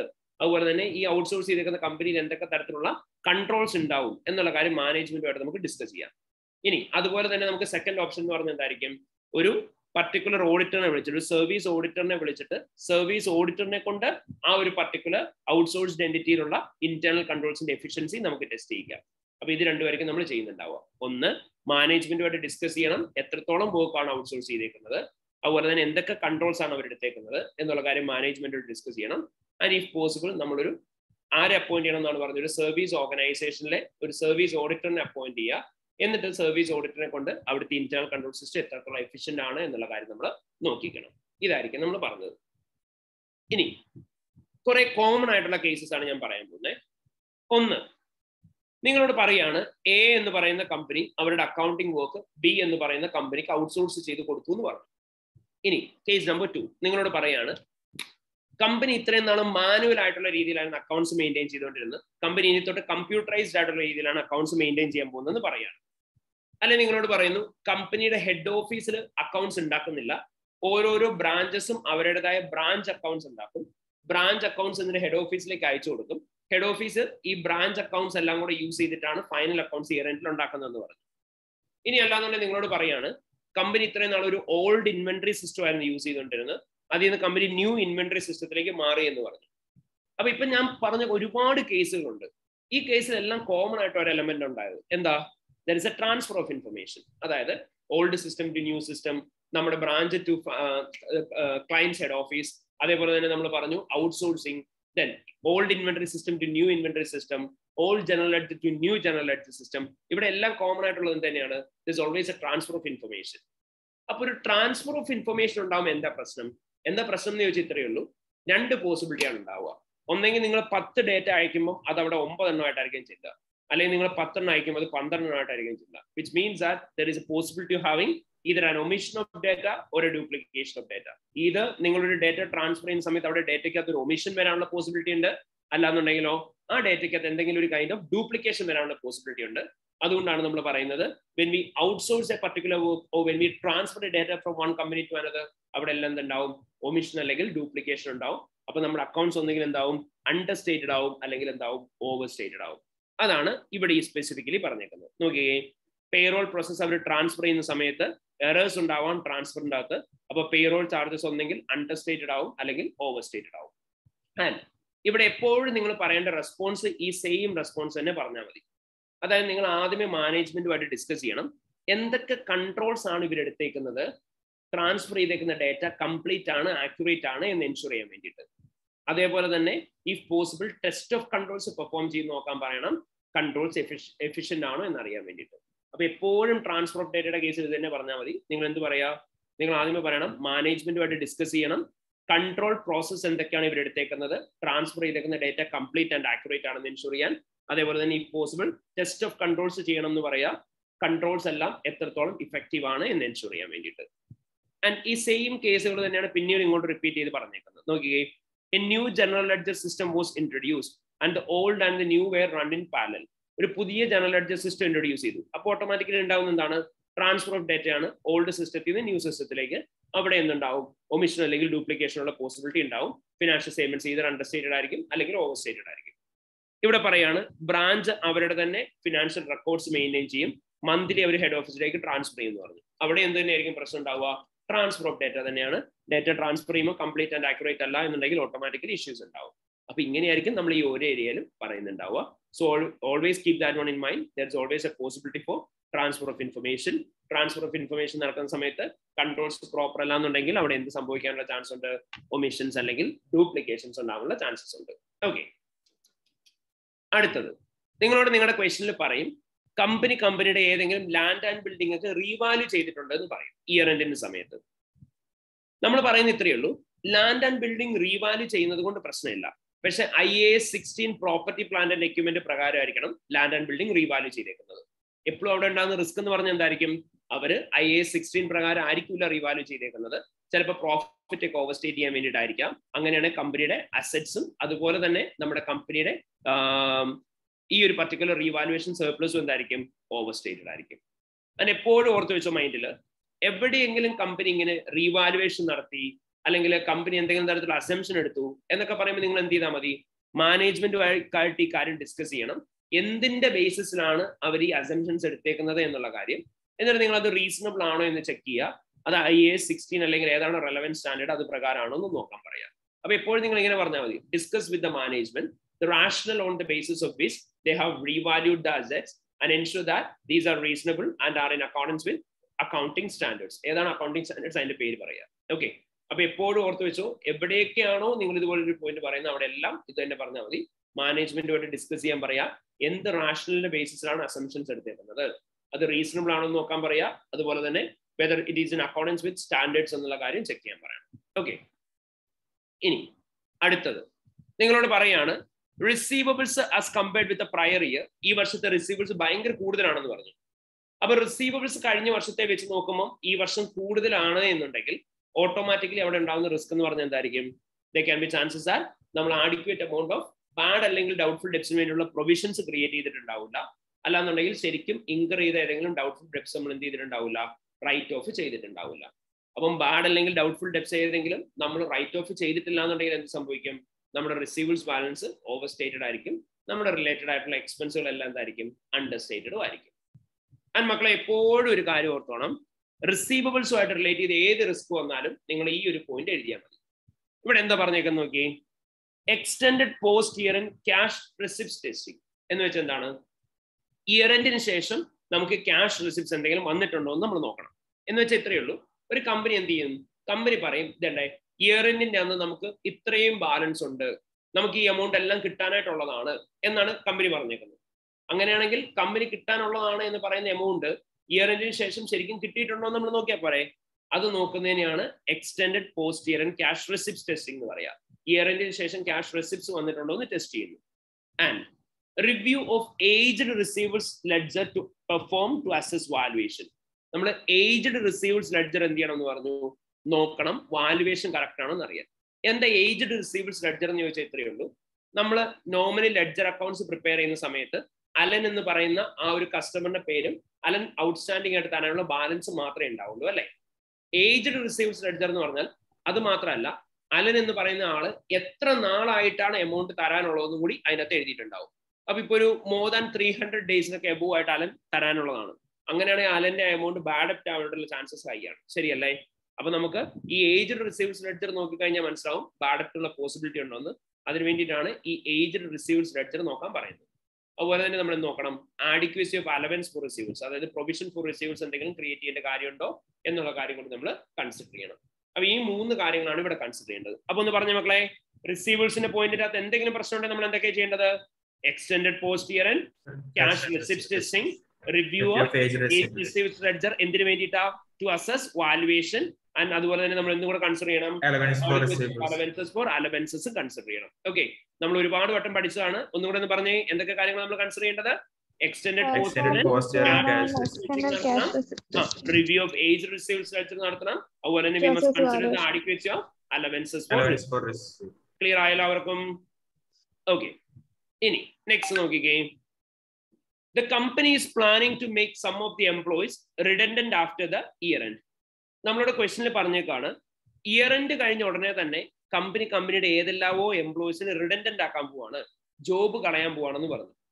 നമുക്കറിയാം ഒരു കമ്പനി ഒരു എംപ്ലോയിനെ റിഡൻഡന്റ് ആക്കുന്ന സമയത്ത് അതിന് വേണ്ടിയിട്ട് കോമ്പൻസേഷൻ കൊടുക്കേണ്ടതായിട്ട് വരും അല്ലേ? അപ്പം ഒരു കോമ്പൻസേഷൻ കൊടുക്കുന്ന പ്രോബബിൾ ആണ് എന്നുണ്ടെങ്കിൽ നമ്മൾ എന്ത് ചെയ്യണം? I A S thirty seven provision contingent liabilities and contingent asset പ്രകാരം എന്ത് create ചെയ്തിട്ടുണ്ടാവണം? Adequate amount of provisions create ചെയ്തിട്ടുണ്ടാവണം. അവിടെ ഉണ്ടാവുന്ന റിസ്ക് എന്ന് പറഞ്ഞാൽ എന്തായിരിക്കും? Company adequate amount of provision create ചെയ്തിട്ടുണ്ടാവില്ല okay അപ്പൊ ഇതായിരിക്കും ഇവിടെ വരുന്ന റിസ്ക് എന്ന് പറയാം. ഇനി ഇത് ഈ കേസിൽ മാത്രമല്ല നിങ്ങളുടെ ക്വസ്റ്റിന്റെ അകത്ത് എന്ത് പറഞ്ഞാലും അതായത് ഇപ്പൊ നിങ്ങളുടെ ക്വസ്റ്റിന്റെ അകത്ത് നിങ്ങളോട് പറയാണ് കമ്പനിക്ക് എഗനിസ്റ്റ് ആയിട്ട് ഒരു കേസ് ഉണ്ട് എന്ന് പറയാണ്. അല്ലെങ്കിൽ കമ്പനിക്ക് എഗനിസ്റ്റ് ആയിട്ട് കസ്റ്റമേഴ്സ് കുറെ ക്ലെയിംസ് റേസ് ചെയ്തിട്ടുണ്ടെന്ന് പറയാണ്. കമ്പനിക്ക് എഗനിസ്റ്റ് ആയിട്ട് ആരെങ്കിലും എന്തെങ്കിലും ചെയ്യുന്നുണ്ടെന്ന് പറയാണ്. അപ്പൊ അങ്ങനെ എന്ത് പറഞ്ഞാലും നിങ്ങൾക്ക് എന്ത് പറയാം? ഇവർ is a probable cash outflow അതിന് വേണ്ടിയിട്ട് കമ്പനി എന്ത് ചെയ്യുന്നുണ്ടാവണം? Provision create ചെയ്യുന്നുണ്ടാവണം as per I S thirty seven അവിടെ എപ്പോഴും ഉണ്ടാകുന്ന റിസ്ക് എന്ന് പറഞ്ഞാൽ എന്ത് തന്നെയായിരിക്കും? The can be chances and company എന്ത് ചെയ്തിട്ടുണ്ടാവില്ല? Adequate amount of provisions create ചെയ്തിട്ടുണ്ടാവില്ല എന്നുള്ളതായിരിക്കും നമ്മുടെ അവിടുത്തെ റിസ്ക് എന്ന് പറയാം. ഓക്കെ അതിന് എപ്പോഴും ഇവിടെ റെസ്പോൺസ് എടുക്കുന്നതും ഒരുവിധം സെയിം ആയിരിക്കും. നിങ്ങൾ എപ്പോഴും എടുക്കേണ്ട റെസ്പോൺസ് എന്താണെന്നറിയോ? രണ്ട് റെസ്പോൺസ് ആണ് നിങ്ങൾ പ്രൊവിഷന്റെ കേസിൽ കൊടുക്കേണ്ടത്. റെസ്പോൺസ് നമ്പർ വൺ നിങ്ങൾ പറയാ ഡിസ്കസ് വിത്ത് ദ മാനേജ്മെന്റ് എന്താ ഡിസ്കസ് ചെയ്യേണ്ടത്? Whether they have maintained adequate amount of provision in relation to dash. Consider whether it is reasonable and are in accordance with accounting standards. എന്നുള്ള പറയാം. അതായത് ഞാനിപ്പോൾ പറഞ്ഞെന്തായിരുന്നു മാനേജ്മെന്റുമായിട്ട് ഡിസ്കസ് ചെയ്യണം. Adequate amount of provisions create ചെയ്തിട്ടുണ്ടോ എന്നുള്ള കാര്യം. എന്നിട്ട് അത് ആഡിക്വേറ്റ് ആണോ എന്ന് നോക്കുക. അതുപോലെ തന്നെ ഇൻ അക്കോർഡൻസ് വിത്ത് സ്റ്റാൻഡേർഡ്സ് ആണോ എന്ന് നോക്കുക. ഈ കാര്യം പറയാം. ഒന്ന് നോട്ട് ചെയ്ത് വെച്ചാൽ എല്ലാവരും discuss with the management discuss with the management whether they have created whether they have created adequate amount of provision whether they have created adequate amount of provision whether they have created adequate amount of provision. In relation to dash in relation to dash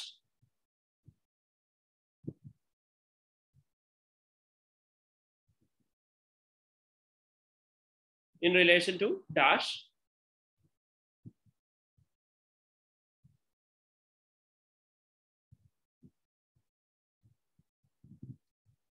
and consider whether it is reasonable. And consider whether it is reasonable. And consider whether it is reasonable.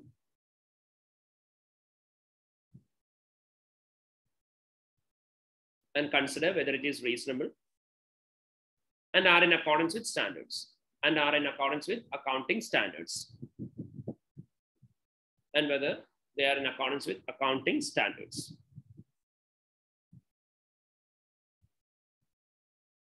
Okay. Any next one, go. Discuss with the management.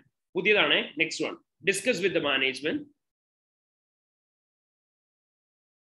The rationale, the rationale R-I-T-I-U-N-A-L, rationale, on the basis of which, the rationale on the basis of which,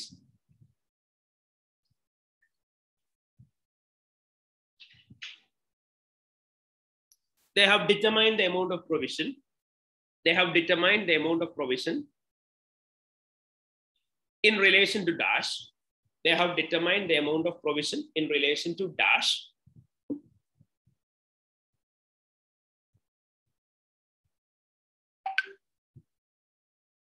And consider whether it is reasonable. And consider whether it is reasonable.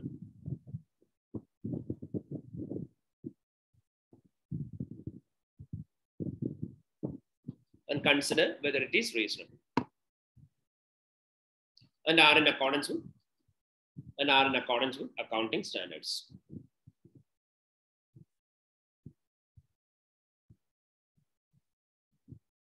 ഈ രണ്ട് റെസ്പോൺസും തമ്മിലുള്ള difference എന്താണെന്ന് ചോദിച്ചിത്രേ ഉള്ളൂ. നിങ്ങളോട് ചില ക്വസ്റ്റനിൽ company provision create ചെയ്തേക്കുന്നതിനെ കുറിച്ച് പറഞ്ഞിട്ടുണ്ടാവില്ല. നിങ്ങളോട് പറയാണ് കമ്പനിക്ക് എഗനസ്റ്റ് ആയിട്ട് ഒരു വാറണ്ടി ക്ലെയിം ഉണ്ട് എന്ന് പറഞ്ഞു. അപ്പം നിങ്ങളോട് വാറണ്ടി ക്ലെയിം ഉണ്ടെന്ന് മാത്രമേ പറഞ്ഞുള്ളൂ. അവർ പ്രൊവിഷൻ ക്രിയേറ്റ് ചെയ്തതിനെ കുറിച്ച് പറഞ്ഞില്ല. അപ്പൊ നിങ്ങൾ റിസ്ക് ആയിട്ട് എന്ന് പറയും? വാറണ്ടി ക്ലെയിം ഉണ്ടെന്നുണ്ടെങ്കിൽ അവിടെ ഒരു പ്രോബബിൾ ഫ്യൂച്ചർ ക്യാഷ് ഔട്ട്ഫ്ലോ ഉണ്ടാവും. അതിന് വേണ്ടിയിട്ട് കമ്പനി പ്രൊവിഷൻസ് ക്രിയേറ്റ് ചെയ്യണം. ഹൗ കമ്പനി പ്രൊവിഷൻ ക്രിയേറ്റ് ചെയ്തിട്ടുണ്ടാവില്ല എന്നുള്ളതായിരിക്കും നിങ്ങൾ റിസ്ക് ആയിട്ട് പറയുന്നുണ്ടാവുക. അവിടെ നിങ്ങൾ കൊടുക്കേണ്ട റെസ്പോൺസ് എന്താ? നിങ്ങൾ മാനേജ്മെന്റിനോട് ഡിസ്കസ് ചെയ്യണം. അവർ ഒരു പ്രൊവിഷൻ ക്രിയേറ്റ് ചെയ്തിട്ടുണ്ടോ എന്നുള്ള കാര്യം. എന്നിട്ട് അത് റീസണബിൾ ആണോ നോക്കാൻ പറയാം. ഇനി നിങ്ങളൊരു ക്വസ്റ്റ്യൻ പറയാണ് ഒരു കമ്പനി പ്രൊവിഷൻ റെക്കഗ്നൈസ് ചെയ്തിട്ടുണ്ട് ടെൻ തൗസൻഡ് ലാസ്റ്റ് ഇയറിൽ അത് ട്വൽവ് തൗസൻഡ് ആയിരുന്നു. ഈ പ്രാവശ്യം ഒരു ടെൻ തൗസൻഡ് മതി എന്ന് തീരുമാനിച്ചു എന്ന് പറഞ്ഞു. അപ്പൊ ആ ഒരു സിറ്റുവേഷൻ നമുക്ക് എന്തറിയാം? അവർ പ്രൊവിഷൻ ഓൾറെഡി കീപ്പ് ചെയ്തിട്ടുണ്ടെന്ന് അറിയാം. പക്ഷെ നമ്മൾ റിസ്ക് ആയിട്ട് എന്ത് പറയും?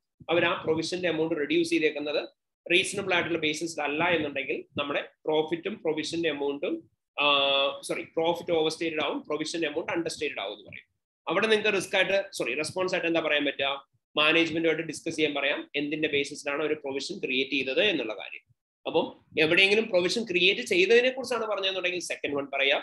പ്രൊവിഷൻ ക്രിയേറ്റ് ചെയ്തിട്ടുണ്ട് എന്നുള്ള കാര്യം നിങ്ങൾക്ക് ഉറപ്പില്ല എന്നുണ്ടെങ്കിൽ ഫസ്റ്റ് വൺ പറയാം that's difference okay next one നോക്കിക്കേ. ഗുഡ്സ് ഇൻ ട്രാൻസിറ്റ് നമ്മൾ പറഞ്ഞ കാര്യമാണ്. അതായത് ഗുഡ്സ് ഇൻ ട്രാൻസിറ്റ് നമ്മളൊരു ഗുഡ്സ് ഓർഡർ ചെയ്തു. പക്ഷെ ആ ഗുഡ്സ് ഇതുവരെ കമ്പനിക്ക് കിട്ടിയിട്ടില്ല. That one is already in transit അത് അവിടെ ഇങ്ങോട്ട് വന്നുകൊണ്ടിരിക്കുന്നേ ഉള്ളൂ. അപ്പം ഗുഡ്സ് ട്രാൻസിറ്റിലാണ് എന്നുണ്ടെങ്കിൽ അവിടെ ഓട്ടോമാറ്റിക്കലി ഉണ്ടാവാൻ ചാൻസ് ഉള്ള റിസ്ക് എന്തായിരിക്കും? ഇവർ ഈ ഗുഡ്സ് കിട്ടുന്നതിന് മുന്നേ പ്രോപ്പർ അല്ലാത്ത രീതിയിൽ അക്കൗണ്ട് ചെയ്തിട്ടുണ്ടാവും. അങ്ങനെയാണെങ്കിൽ ഒരു ഗുഡ്സ് വരുന്ന സമയത്ത് ഏതൊക്കെയാണ് റിലേറ്റഡ് അക്കൗണ്ടിങ് ഏരിയാസ് എന്ന് പറയാം? പർച്ചേസ് ഉണ്ടാവും പേബിൾസ് ഉണ്ടാവും ഇൻവെന്ററി ഉണ്ടാവും. ഇതൊക്കെ അണ്ടർ അല്ലെങ്കിൽ ഓവർ സ്റ്റേറ്റഡ് ആവും. അതിന് വേണ്ടിയിട്ട് നമുക്ക് എന്തായിരിക്കും റെസ്പോൺസ് ആയിട്ട് എടുക്കാൻ പറ്റുന്നുണ്ടാവുക? നമുക്ക് ഓഡിറ്റ് ടീമിന് എന്ത് ചെയ്താൽ മതി? കട്ട് ഓഫ് ടെസ്റ്റിംഗ് നടത്തിയാൽ മതി. അതായത് ഇയർ എൻഡിന് ശേഷം ഗുഡ്സ് റിസീവ്ഡ് നോട്ട് വന്നേക്കുന്നത് എല്ലാം എടുത്ത് നോക്കുക. അതുപോലെ തന്നെ ഇയർ എൻഡിന് മുന്നേ വന്നേക്കുന്ന ജി ആർ എൻസ് എടുത്ത് നോക്കുക. എന്നിട്ട് കറക്റ്റ് ആയിട്ട് തന്നെയാണ് കട്ട് ഓഫ് ഡിറ്റർമൈൻ ചെയ്തേക്കുന്നത്. കട്ട് ഓഫ് എല്ലാത്തിന്റെയും കംപ്ലീറ്റ് ആണോ ആക്യുറേറ്റ് ആണോ എന്ന് എൻഷുർ ചെയ്യണം. സോ ഇതായിരിക്കും നമ്മൾ ഗുഡ്സ് ഇൻ ട്രാൻസിറ്റ് ആയിട്ടുള്ള സിറ്റുവേഷൻ ചെയ്യുന്നുണ്ടാവുക. ഓക്കെ ഇനി നെക്സ്റ്റ് നിങ്ങളോട് നിങ്ങളുടെ ക്വസ്റ്റ്യൻ അത് ക്ലിയർ കട്ട് ആയിട്ട് നമ്മൾ ഓൾറെഡി പറഞ്ഞ പോലെ തന്നെ മെൻഷൻ ചെയ്യും. കമ്പനിക്ക് എന്തെങ്കിലും തരത്തിലുള്ള ഒരു എക്സ്പെൻഡിച്ചർ ഉണ്ടായി റിസർച്ച് ആൻഡ് ഡെവലപ്മെന്റിന് വേണ്ടിയിട്ടെന്ന് പറഞ്ഞു പറയും. അപ്പൊ നമ്മൾ എന്ത് പറയണം? I S thirty eight intangible asset പ്രകാരമാണ് നമ്മൾ റിസർച്ച് ആൻഡ് ഡെവലപ്മെന്റ് എക്സ്പെൻഡിച്ചേഴ്സ് കാണിക്കേണ്ടത്. അവിടെ ഉണ്ടാവുന്ന റിസ്ക് എന്ന് പറഞ്ഞാൽ എന്തായിരിക്കും? ദേ ക്യാൻ ബി ചാൻസസ് ആ റിസർച്ച് എക്സ്പെൻസസിനെ അവരെടുത്ത് ഡെവലപ്മെന്റ് ആയിട്ട് ക്യാപിറ്റലൈസ് ചെയ്തിട്ടുണ്ടാവും. അതുപോലെ തന്നെ ആ ഒരു സിറ്റുവേഷൻ എന്ത് സംഭവിക്കും? ഇൻടാഞ്ചിബിൾ അസറ്റ്സ് അപ്പോൾ ഓവർ സ്റ്റേറ്റഡ് ആവും റിലേറ്റഡ് ആയിട്ടുള്ള എക്സ്പെൻസസ് ഉണ്ടാവും അൺടെസ്റ്റേറ്റഡ് ആവും. അതിന് ഇതുമായിട്ട് സിമിലർ ആയിട്ട് നിങ്ങൾക്ക് എപ്പോഴും നിങ്ങളുടെ എക്സാംസിന് വരാറുള്ള ഒരു ക്വസ്റ്റൻ ആണ് ഇതെന്ന് പറയാം. നിങ്ങളോട് പറയും നിങ്ങളുടെ കമ്പനി കുറെ എമൗണ്ട് സ്പെൻഡ് ചെയ്തു. നിങ്ങളുടെ കമ്പനിയുടെ അസറ്റ്സ് ഒക്കെ എന്തെങ്കിലും തരത്തിലുള്ള റെനോവേഷൻ ചെയ്യാൻ വേണ്ടിയിട്ട് അല്ലെ റിപ്പയർ ചെയ്യാൻ അല്ലെ റീപ്ലേസ് ചെയ്യാനൊക്കെ വേണ്ടിയിട്ട് കുറച്ച് എമൗണ്ട് സ്പെൻഡ് ചെയ്തു എന്ന് പറയും. അപ്പോൾ ഒരു കമ്പനി റിപ്പയർ ആൻഡ് റീപ്ലേസ്മെന്റിനൊക്കെ വേണ്ടിയിട്ട് എമൗണ്ട് സ്പെൻഡ് ചെയ്ത് കഴിഞ്ഞാൽ നമ്മൾ പഠിച്ചിട്ടുണ്ട് ഐ എ സിക്സ്റ്റീൻ പ്രകാരമാണ് നമ്മളത് ട്രീറ്റ് ചെയ്യേണ്ടത്. And we have already learned it I A sixteen പ്രകാരം ഒരു കമ്പനി റിപ്പയർ മെയിന്റനൻസ് ആൻഡ് ബാക്കിയുള്ള കാര്യങ്ങൾക്ക് വേണ്ടിയിട്ട് എമൗണ്ട് സ്പെൻഡ് ചെയ്ത് കഴിഞ്ഞാൽ എ സിക്സ്റ്റീൻ ക്രൈറ്റീരിയ മീറ്റ് ചെയ്ത എക്സ്പെൻസ് മാത്രമേ നമുക്ക് എന്ത് ചെയ്യാൻ പറ്റത്തുള്ളൂ? ക്യാപിറ്റലൈസ് ചെയ്യാൻ പറ്റത്തുള്ളൂ. ബാക്കി other repair and maintenance expenses എല്ലാം നമ്മൾ എന്ത് ചെയ്യണം? നമ്മൾ ഡെബിറ്റ് ചെയ്യണം പി ആൻഡ് അല്ലാത്ത ഒരു എക്സ്പെൻസ് ആയിട്ട് കാണിക്കാൻ പാടുള്ളൂ. റവന്യൂ എക്സ്പെൻഡിച്ചർ ആയിട്ട് വേണം ട്രീറ്റ് ചെയ്യാൻ. ഇവിടെ ഉണ്ടാവുന്ന റിസ്ക് എന്ന് പറഞ്ഞാൽ എന്തായിരിക്കും? കമ്പനി ടോട്ടൽ എക്സ്പെൻസിനെയും ക്യാപിറ്റലൈസ് ചെയ്തിട്ടുണ്ടാവും. അങ്ങനെയാണെങ്കിൽ അസറ്റ്സിന്റെ വാല്യൂ ഓവർ സ്റ്റേറ്റഡ് ആയിരിക്കും. റിലേറ്റഡ് ആയിട്ട് എന്തൊക്കെയാണ് എക്സ്പെൻസസ് വരാൻ ചാൻസ് ഉള്ളത്? ആ എക്സ്പെൻസുകളെല്ലാം എന്താവും? അണ്ടർസ്റ്റേറ്റഡ് ആയി പോകും. ആൻഡ് ബേസിക്കലി അതിന് വേണ്ടി നമുക്ക് എന്തായിരിക്കും റെസ്പോൺസ് ആയിട്ട് കൊടുക്കാൻ പറ്റുന്നുണ്ടാവുക? നമ്മൾ ഓൾറെഡി പറഞ്ഞു തന്നെ. അതായത് ഓഡിറ്റർ എന്ത് ചെയ്യുന്നുണ്ടാവണം? ബ്രേക്ക് ഡൗൺ ഓഫ് കോസ്റ്റ് വാങ്ങിക്കുക. ടോട്ടൽ കോസ്റ്റ് അതായത് കമ്പനി എന്തൊക്കെയാണോ സ്പെൻഡ് ചെയ്ത ടോട്ടൽ എമൗണ്ട് അതിന്റെ ബ്രേക്ക് ഡൗൺ വാങ്ങിക്കുക. എന്നിട്ട് നമ്മൾ അതിന്റെ സ്പ്ലിറ്റ് എടുത്തിട്ട് നോക്കണം. ഏതൊക്കെയാണ് ക്യാപിറ്റലിൽ പോകേണ്ടത്? ഏതൊക്കെയാണ് റവന്യൂവിൽ പോകേണ്ടത്? എന്നിട്ട് നമ്മൾ എന്ത് എൻഷുർ ചെയ്യാം അത് കറക്റ്റ് ആയിട്ട് തന്നെയാണ് ഫിനാൻഷ്യൽ സ്റ്റേറ്റ്മെന്റ്സ് ഇത് കാണിച്ചേക്കുന്നത് നോക്കുക. സിമ്പിൾ ആസ് ദാറ്റ് ഇത്രയേ ഉള്ളൂ. നമ്മൾ ടോട്ടൽ വൺ ലാക്ക് ആണ് സ്പെൻഡ് ചെയ്ത് റിപ്പയർ മെയിന്റെനൻസും എല്ലാത്തിനും കൂടി വേണ്ടിയിട്ട്. അപ്പൊ നമ്മൾ എന്ത് ചെയ്യണം? ആ വൺ ലാക്കിന്റെയും ബ്രേക്ക് ഡൗൺ എടുക്കണം. എന്നിട്ട് അതിന്റെ ഏതൊക്കെയാണ് റിസർച്ചിലേക്ക് പോകേണ്ടത് മാറ്റുക ഏതൊക്കെയാണ് ഡെവലപ്മെന്റിലേക്ക് പോകേണ്ടത് മാറ്റുക എന്നിട്ട് അതെല്ലാം കറക്റ്റ് ആയിട്ട് തന്നെ ഇൻക്ലൂഡ് ചെയ്തിട്ടുണ്ടോ എന്ന് നമ്മൾ നോക്കുന്നുണ്ടാവണം. ഇതാണ് നമ്മൾ ചെയ്യേണ്ടത്. ഓക്കെ ഇനി ഇത് ഇതിന് മാത്രമല്ല ആപ്ലിക്കബിൾ ആയിട്ടുള്ളത്. എവിടെയൊക്കെയാണോ നിങ്ങൾക്ക് മിസ്ക്ലാസിഫിക്കേഷൻ ഓഫ് എക്സ്പെൻസ് വരുന്നത് ആ മിസ്ക്ലാസിഫിക്കേഷൻ ഓഫ് എക്സ്പെൻസ് വരുന്ന എല്ലാ സിറ്റുവേഷൻസിലും നിങ്ങൾക്ക് ഈ പോയിന്റ് യൂസ് ചെയ്യാൻ പറ്റും. എവിടെയൊക്കെയാണോ മിസ്ക്ലാസിഫിക്കേഷൻ വരുന്നത് മിസ്ക്ലാസിഫിക്കേഷൻ വരുന്ന എല്ലാ സ്ഥലങ്ങളിലും നിങ്ങൾക്ക് സെയിം പോയിന്റ് യൂസ് ചെയ്യാം. എന്ന് വെച്ചാൽ ഇത്രയേ ഉള്ളൂ. ഇപ്പൊ സേ ഫോർ എക്സാമ്പിൾ നമ്മൾ നേരത്തെ പറഞ്ഞ റിസർച്ച് ആൻഡ് ഡെവലപ്മെന്റ് എക്സ്പെൻഡിച്ചറിന്റെ കേസ് റിസർച്ച് ആൻഡ് ഡെവലപ്മെന്റ് എക്സ്പെൻഡിച്ചറിന്റെയും സ്പ്ലിറ്റിന്റെ ഇഷ്യൂ വരുന്ന സമയത്ത് നിങ്ങൾ എന്ത് ചെയ്താൽ മതി? ഇത് തന്നെ പറയാം. The auditor should review a break down of cost to assure time split between എന്ത് പറഞ്ഞാൽ മതി? റിസർച്ച് ആൻഡ് ഡെവലപ്മെന്റ് എക്സ്പെൻഡിച്ചർ പറഞ്ഞാൽ മതി. എന്നിട്ട് നമ്മൾ ഫെർദർ ടെസ്റ്റിംഗ് ചെയ്തിട്ട് എന്ത് എൻഷുർ ചെയ്യണം? ഫിനാൻഷ്യൽ സ്റ്റേറ്റ്മെന്റ്സിനകത്ത് ക്ലാസിഫൈ ചെയ്തേക്കുന്നത് കറക്റ്റ് ആയിട്ട് തന്നെയാണോ എന്നുള്ള കാര്യം എൻഷുർ ചെയ്യണം. അപ്പോൾ എപ്പോഴും ഓർത്ത് വെക്കുക എവിടെയൊക്കെയാണോ മിസ്ക്ലാസിഫിക്കേഷൻ ഓഫ് എക്സ്പെൻസ് ഉണ്ടാവുന്നത് രണ്ട് അക്കൗണ്ട് തമ്മിൽ അങ്ങോട്ടും ഇങ്ങോട്ടും മാറി പോകാനുള്ള പോസിബിലിറ്റി ഉള്ളത്. അവിടെ എല്ലാം നിങ്ങൾ എന്ത് ചെയ്യാം? സ്പ്ലിറ്റ് ഓഫ് എക്സ്പെൻസ് വാങ്ങിച്ചാൽ മതി. ക്ലിയർ ആയ മക്കളെ? ഓക്കെ ഇനി നെക്സ്റ്റ് വൺ നോക്കിക്കേ. നിങ്ങളോട് നിങ്ങളുടെ ക്വസ്റ്റ്യൻ പറഞ്ഞിട്ടുണ്ടാവും. കമ്പനി എന്തെങ്കിലും തരത്തിലുള്ള ഒരു പുതിയ ബോണസ് സ്കീം ഇൻട്രൊഡ്യൂസ് ചെയ്തു എന്നുള്ള കാര്യം. ആൻഡ് നിങ്ങളുടെ അടുത്ത് പറഞ്ഞേക്കുന്നത് ഈ ബോണസ് സ്കീം ഇൻട്രൊഡ്യൂസ് ചെയ്തേക്കുന്നത് കമ്പനിയുടെ value of year and total അസറ്റിന്റെ ബേസിസിലാണെന്നും പറഞ്ഞിട്ടുണ്ടാവും. അപ്പൊ ഇയർ ഇൻ ടോട്ടൽ അസറ്റിന്റെ ബേസിസിലാണ് കമ്പനി ബോണസ് സ്കീം ഇൻട്രൊഡ്യൂസ് ചെയ്തേക്കുന്നുണ്ടെങ്കിൽ ഓട്ടോമാറ്റിക്കലി ഉണ്ടാവുന്ന കാര്യം എന്തായിരിക്കും? ഈ എംപ്ലോയീസ് ഈ ബോണസിന്റെ എമൗണ്ട് കൂടുതൽ കിട്ടാൻ വേണ്ടിയിട്ട് അസറ്റിന്റെ വാല്യൂ എന്ത് ചെയ്യും? ഓവർ സ്റ്റേറ്റ് ചെയ്ത് കാണിക്കും. ഇനി അസറ്റിന്റെ കേസ് എന്ന് മാത്രമല്ല ഏതൊക്കെ സിറ്റുവേഷനിലാണെങ്കിലും നിങ്ങളോട് പറയാണ് എന്തെങ്കിലും ഒരു പർട്ടിക്കുലർ കാര്യത്തിന്റെ ബേസിസിലാണോ എന്തെങ്കിലും ഒരു പർട്ടിക്കുലർ കാര്യത്തിന്റെ ബേസിസിലാണോ നിങ്ങൾക്ക് ഈ ഒരു പർട്ടിക്കുലർ ഇത് തരുന്നു എന്ന് പറയുന്നത് അത് അവർ ഓവർ സ്റ്റേറ്റ് ചെയ്യും. റവന്യൂവിന്റെ ബേസിസിലാണെന്നാണ് പറയാ? നിങ്ങൾ എന്ത് പറയാ a possibility that the company might be invest to over state the amount of revenue പ്രോഫിറ്റിന്റെ ബേസിസിലാണെങ്കിൽ പ്രോഫിറ്റിന്റെ കാര്യം പറയാം. ടോട്ടൽ അസറ്റിനെയാണ് ടോട്ടൽ അസറ്റിനെ പറയാം. ഏതിന്റെ ബേസിസിലാണോ നിങ്ങൾക്ക് തരുന്നത്? അത് അവർ ഇപ്പോഴും എന്ത് ചെയ്യാൻ ചാൻസ് ഉണ്ട്? ഓവർ സ്റ്റേറ്റ് ചെയ്യാൻ ചാൻസ് ഉണ്ടെന്ന് പറയാം. ഇനി അത് മാത്രമല്ല നിങ്ങളോട് പറയും കമ്പനി ഒരു ലോൺ എടുത്തിട്ടുണ്ട്. ലോണിന് മിനിമം പ്രോഫിറ്റ് കോവിനൻസ് ഉണ്ടെന്ന് പറയും. ഓക്കെ പ്രോഫിറ്റ് കോവിനൻസ് ഉണ്ട്. അല്ലെങ്കിൽ അസറ്റ് കോവിനൻസ് ഉണ്ടെന്ന് പറയും. അസറ്റ് കോവിനൻസ് എന്ന് പറഞ്ഞാൽ എന്താണ്? കോവിനൻസ് എന്ന് വെച്ചാൽ these are the conditions attach to the loan അപ്പം നമ്മൾ മിനിമം ഇത്ര അസറ്റിന്റെ വാല്യൂ മെയിന്റെയിൻ ചെയ്തോളാം എന്ന് ബാങ്കുമായിട്ട് എഗ്രി ചെയ്തിട്ടുണ്ടാവും. അപ്പൊ അവിടെ ഉണ്ടാവുന്ന റിസ്ക് എന്ന് പറഞ്ഞാൽ എന്തായിരിക്കും? ഇവർ ഈ ബാങ്കുമായിട്ട് എഗ്രി ചെയ്തേക്കുന്ന ഈ ഒരു പർട്ടിക്കുലർ കാര്യം അത് ഫുൾഫിൽ ചെയ്യാൻ വേണ്ടിയിട്ട് ഇവർ ഇന്റൻഷ്യലി ഓവർ സ്റ്റേറ്റ് ചെയ്യാൻ ചാൻസ് ഉണ്ട്. അപ്പം എവിടേക്കാണ് അങ്ങനെ ബയാസ്ഡ് ആവാൻ ചാൻസ് ഉള്ളത്? അവിടെ എല്ലാം നിങ്ങൾക്ക് ഈ പോയിന്റ് പറയാം. ഓക്കെ ഇനി അങ്ങനെ ഏതെങ്കിലും ഒരു സിറ്റുവേഷനിൽ ഇന്റൻഷണൽ ഓവർ സ്റ്റേറ്റ്മെന്റ് ഉണ്ടാവാനുള്ള ചാൻസസ് ഉണ്ടെന്നുണ്ടെങ്കിൽ നമുക്ക് ഓട്ടോമാറ്റിക്കലി എന്തായിരിക്കും അതിന് വേണ്ടി എടുക്കാൻ പറ്റുന്ന റെസ്പോൺസ് എന്ന് പറയാം. നിങ്ങൾ എപ്പോഴും തന്നെ പറഞ്ഞാൽ മതി. ത്രൂ ഔട്ട് ദ ഓഡിറ്റ് നിങ്ങൾ എന്ത് ചെയ്യുന്നുണ്ടാവണം? പ്രൊഫഷണൽ സ്കെപ്റ്റിസിസം മെയിന്റെയിൻ ചെയ്യുന്നുണ്ടാവണം. അതുപോലെ തന്നെ ഇവർ ഈ ജഡ്ജ്മെന്റൽ ആയിട്ടുള്ള ഏരിയാസ് ഒക്കെ മാനേജ്മെന്റ് പെർഫോം ചെയ്തേക്കുന്ന എന്തൊക്കെ കാര്യങ്ങളാണോ ഈ ജഡ്ജ്മെന്റൽ ഏരിയാസ് ഒക്കെ നമ്മൾ പ്രോപ്പർലി റിവ്യൂ ചെയ്യണം. എന്നിട്ട് ജഡ്ജ്മെന്റൽ ഏരിയാസിനകത്ത് എന്തെങ്കിലും അഡ്ജസ്റ്റ്മെന്റ് എൻട്രീസ് ഒക്കെ ഇവർ പാസ് ചെയ്തിട്ടുണ്ടോ എന്ന് നോക്കണം. അല്ലെങ്കിൽ നിങ്ങൾ എപ്പോഴും എന്ത് പറഞ്ഞാൽ മതി? ജഡ്ജ്മെന്റൽ ഏരിയാസ് റിവ്യൂ ചെയ്യണം. എവിടെയെങ്കിലും റിസ്ക് ഓഫ് മെറ്റീരിയൽ മിസ്റ്റേക്മെന്റ്സ് ഉണ്ടോ പോസിബിലിറ്റി ഉണ്ടോ എന്നുള്ള കാര്യം ഇൻഡെപ്ത് ആയിട്ട് നോക്കണം എന്ന് പറയാം. ഓക്കെ ഇനി ഈ കമ്പനി കുറെ ബാങ്ക് റീകൺസിലേഷൻസ് പെർഫോം ചെയ്യാനുണ്ട്. അല്ലെങ്കിൽ വേറെ എന്തെങ്കിലുമൊക്കെ റീകൺസിലേഷൻ പെർഫോം ചെയ്യാനുണ്ട്. ആ റീകൺസിലേഷൻസ് ഒന്നും പെർഫോം ചെയ്തിട്ടില്ല എന്ന് നിങ്ങളോട് പറയാണ്. അപ്പോൾ ഒരു കമ്പനി റീകൺസിലേഷൻ പെർഫോം ചെയ്തിട്ടില്ല എന്നുണ്ടെങ്കിൽ എന്തായിരിക്കും സംഭവിക്കുക? നമുക്കറിയാം റീകൺസിലേഷന്റെ പർപ്പസ് എന്ന് പറഞ്ഞാൽ എന്താ? ഏതെങ്കിലും ഒരു പർട്ടിക്കുലർ ടു ബാലൻസസ് തമ്മിൽ ഡിഫറൻസ് ഉണ്ടായിരുന്നുണ്ടെങ്കിൽ ആ രണ്ട് ബാലൻസ് നമ്മൾ അതിനുള്ള ഡിഫറൻസുകൾ എന്തൊക്കെയാണ് അത് അഡ്ജസ്റ്റ് ചെയ്യാൻ വേണ്ടിയിട്ടാണ് നമ്മൾ റീകൺസിലേഷൻ ചെയ്യുന്നത്. അപ്പൊ ഇൻ കേസ് എങ്ങനെ ഒരു കമ്പനി റീകൺസിലേഷൻ ചെയ്തിട്ടില്ല എന്നാണ് പറയുന്നുണ്ടെങ്കിൽ ഓട്ടോമാറ്റിക്കലി അവിടെ എന്തെങ്കിലും പോസിബിലിറ്റി ഉണ്ടാവും. ഫിനാൻഷ്യൽ സ്റ്റേറ്റ്മെന്റ്സിനകത്ത് മെറ്റീരിയൽ ആയിട്ടുള്ള മിസ്റ്റേറ്റ്മെന്റ്സ് ഉണ്ടാവാനുള്ള പോസിബിലിറ്റി എന്തായിരിക്കും? ഹൈ ആയിരിക്കും. അപ്പൊ നമ്മൾ അതിനെക്കുറിച്ചിട്ടായിരിക്കും പറയുക. അപ്പൊ ഏതെങ്കിലും ഒരു company number of reconciliation perform ചെയ്തിട്ടില്ല എന്നുണ്ടെങ്കിൽ ഓട്ടോമാറ്റിക്കലി അവിടെ എന്തിനുള്ള പോസിബിലിറ്റി ഉണ്ടാവും. ഫിനാൻഷ്യൽ സ്റ്റേറ്റ്മെന്റ്സും മെറ്റീരിയലും മിസ്റ്റേറ്റഡ് ആവാനുള്ള പോസിബിലിറ്റി ഉണ്ടാവും. റെസ്പോൺസ് നമുക്ക് എന്തായിരിക്കും ചെയ്യാൻ പറ്റുക? നമ്മൾ ഫിനാൻസ് ഡയറക്ടറുമായിട്ട് ഡിസ്കസ് ചെയ്യാൻ പറയാ എന്തുകൊണ്ടാണ് റീകൺസിലേഷൻ ചെയ്യാത്തതെന്നുള്ള കാര്യം അതുപോലെ തന്നെ റീകൺസിലേഷൻ പെർഫോം ചെയ്യാൻ പറയാ. വൺസ് ഇറ്റ്സ് ഡൺ അത് നമുക്ക് സപ്പോർട്ടിംഗ് ഡോക്യുമെന്റ്സ് ആയിട്ട് മാച്ച് ചെയ്ത് നോക്കാനും പറയാം. മനസ്സിലായോ? ഡൗട്ട് ചോദിച്ചോ? Difference between cash book and passbook അത് ചെയ്യാൻ പറ്റൂല. Sorry difference between the passbook and cash book cannot be adjusted sir തന്നതിൽ അങ്ങനെ ഉണ്ടായിരുന്നു. ബാങ്ക് റെക്കൺസിലേഷന്റെ അത് സബ്സ്റ്റാൻഡി പ്രൊസീജിയർ അല്ലേ?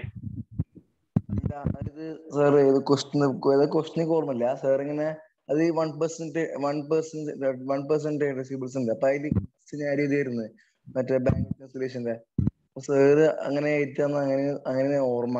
അങ്ങനെ അത് ക്വസ്റ്റ്യൻ സ്പെസിഫിക് ആയിട്ട് പറഞ്ഞതായിരിക്കും കേട്ടോ ക്വസ്റ്റ്യൻ സ്പെസിഫിക് ആയിട്ട് പറഞ്ഞതായിരിക്കും. ഓക്കെ നെക്സ്റ്റ് വൺ നോക്കിക്കേ the company's previous finance director left after it was discovered that he had been committing fraud with regard to the expenses claim നമ്മൾ പറയാണ് ഒരു കമ്പനിയുടെ പ്രീവിയസ് ഫിനാൻസ് ഡയറക്ടർ നമ്മുടെ കമ്പനിയിൽ നിന്ന് ലെഫ്റ്റ് ആയി. Not just a previous finance director നമ്മുടെ കമ്പനിയിലുള്ള ആരാണെങ്കിലും നമ്മുടെ കമ്പനിയിൽ നിന്ന് ലെഫ്റ്റ് ആയി ആഫ്റ്റർ ഒരു പർട്ടിക്കുലർ ഫ്രോഡ് കമ്മിറ്റ് ചെയ്തിട്ട് എന്ന് നമ്മളടുത്ത് പറയാണ്. സോ ആരെങ്കിലും നമ്മുടെ കമ്പനിയിൽ നിന്ന് ലെഫ്റ്റ് ആയിട്ടുണ്ടെന്ന് വെച്ചോ ഒരു ഫ്രോഡ് പെർഫോം ചെയ്തിട്ട് അങ്ങനെയാണ് അവിടെ എപ്പോഴും ഉണ്ടാവാൻ ചാൻസ് ഉള്ള റിസ്ക് എന്ന് പറഞ്ഞാൽ എന്തായിരിക്കും? ഇയാൾ എന്ത് ഫ്രോഡാണോ പെർഫോം ചെയ്തത് ആ ഫ്രോഡ് നമുക്കറിയാതെ ഫിനാൻഷ്യൽ സ്റ്റേറ്റ്മെന്റ്സ് അത് അപ്രോപ്രിയറ്റ്ലി ട്രീറ്റ് ചെയ്തിട്ടുണ്ടാവണം. അതേപോലെ തന്നെ ഈ ഫ്രോഡ് വൺസ് അൺകവർ ചെയ്തിട്ടുണ്ട് എന്നുണ്ടെങ്കിൽ പ്രശ്നമില്ല. ബട്ട് സ്റ്റിൽ അവിടെ അൺകവർ ചെയ്യാത്ത അല്ലെങ്കിൽ കണ്ടുപിടിക്കാത്ത ഫ്രോഡുകൾ ഉണ്ടാവും. അപ്പം ഓൾറെഡി ഉള്ള ഫിനാൻഷ്യൽ സ്റ്റേറ്റ്മെന്റ്സിനകത്തുള്ള മിസ്റ്റേക്ക് അഡ്ജസ്റ്റ് ചെയ്തിട്ടില്ല എന്നുണ്ടെങ്കിലോ അല്ലെങ്കിൽ ഫർദർ ഫ്രോഡ് അവിടെ ഉണ്ട് എന്നുണ്ടെങ്കിലോ ഫിനാൻഷ്യൽ സ്റ്റേറ്റ്മെന്റ്സ് എന്താവും? മെറ്റീരിയലി മിസ്റ്റേറ്റഡ് ആവും. അതിന് വേണ്ടിയിട്ട് നമുക്ക് എടുക്കാൻ പറ്റുന്ന റെസ്പോൺസ് പറഞ്ഞ എന്തായിരിക്കും? നമ്മൾ ഫിനാൻസ് ഡയറക്ടറുമായിട്ട് ഡിസ്കസ് ചെയ്യുന്നുണ്ടാവണം. എന്തൊക്കെ പ്രൊസീജിയേഴ്സ് ആണ് അവർ അഡോപ്റ്റ് ചെയ്തേക്കുന്നത്? ഈ ഒരു പർട്ടിക്കുലർ ഫ്രോഡ് അപ്രോപ്രിയേറ്റ് ആയിട്ട് തന്നെ ഫിനാൻഷ്യൽ സ്റ്റേറ്റ്മെന്റ്സ് ട്രീറ്റ് ചെയ്തിട്ടുണ്ടെന്ന് എൻഷുർ ചെയ്യാൻ വേണ്ടിയിട്ട്. എന്നുള്ള കാര്യം നിങ്ങൾ ഫിനാൻസ് ഡയറക്ടറായിട്ട് ഡിസ്കസ് ചെയ്യുക. അതുപോലെ തന്നെ പ്രൊഫഷണൽ സ്കെപ്റ്റിസിസം നിങ്ങൾ മെയിന്റെയിൻ ചെയ്യണം ത്രൂ ഔട്ട് ദ ഓഡിറ്റ് അതുപോലെ തന്നെ നമ്മൾ അലേർട്ട് ആയിരിക്കണം ഫേർദർ ഫ്രോഡ് അല്ലെങ്കിൽ എറേഴ്സ് ഉണ്ടായിട്ടുണ്ടോ എന്ന് മനസ്സിലാക്കാൻ വേണ്ടിയിട്ട്. സോ ഈ ഒരു കാര്യമായിരിക്കും നമ്മൾ റെസ്പോൺസ് ആയിട്ട് ചെയ്യുന്നുണ്ടാവുക. Next there have been a significant number of sales returns subsequent to. Year end കഴിഞ്ഞ ഉടനെ തന്നെ നിങ്ങൾക്ക് കുറെ സെയിൽസ് റിട്ടേൺസ് വന്നു എന്ന് പറയാണ് അപ്പൊ നമുക്കറിയാം ഒരു സെയിൽസ് റിട്ടേൺ വരുമ്പോൾ നമ്മൾ എന്താ അക്കൗണ്ടിങ് ട്രീറ്റ്മെന്റ് എടുക്കേണ്ടത്? നമ്മൾ ആ സെയിൽസ് കറക്റ്റ് ആയിട്ട് ഫിനാൻഷ്യൽ സ്റ്റേറ്റ്മെന്റ്സിന്റെ അകത്ത് നിന്ന് റിമൂവ് ചെയ്യണം.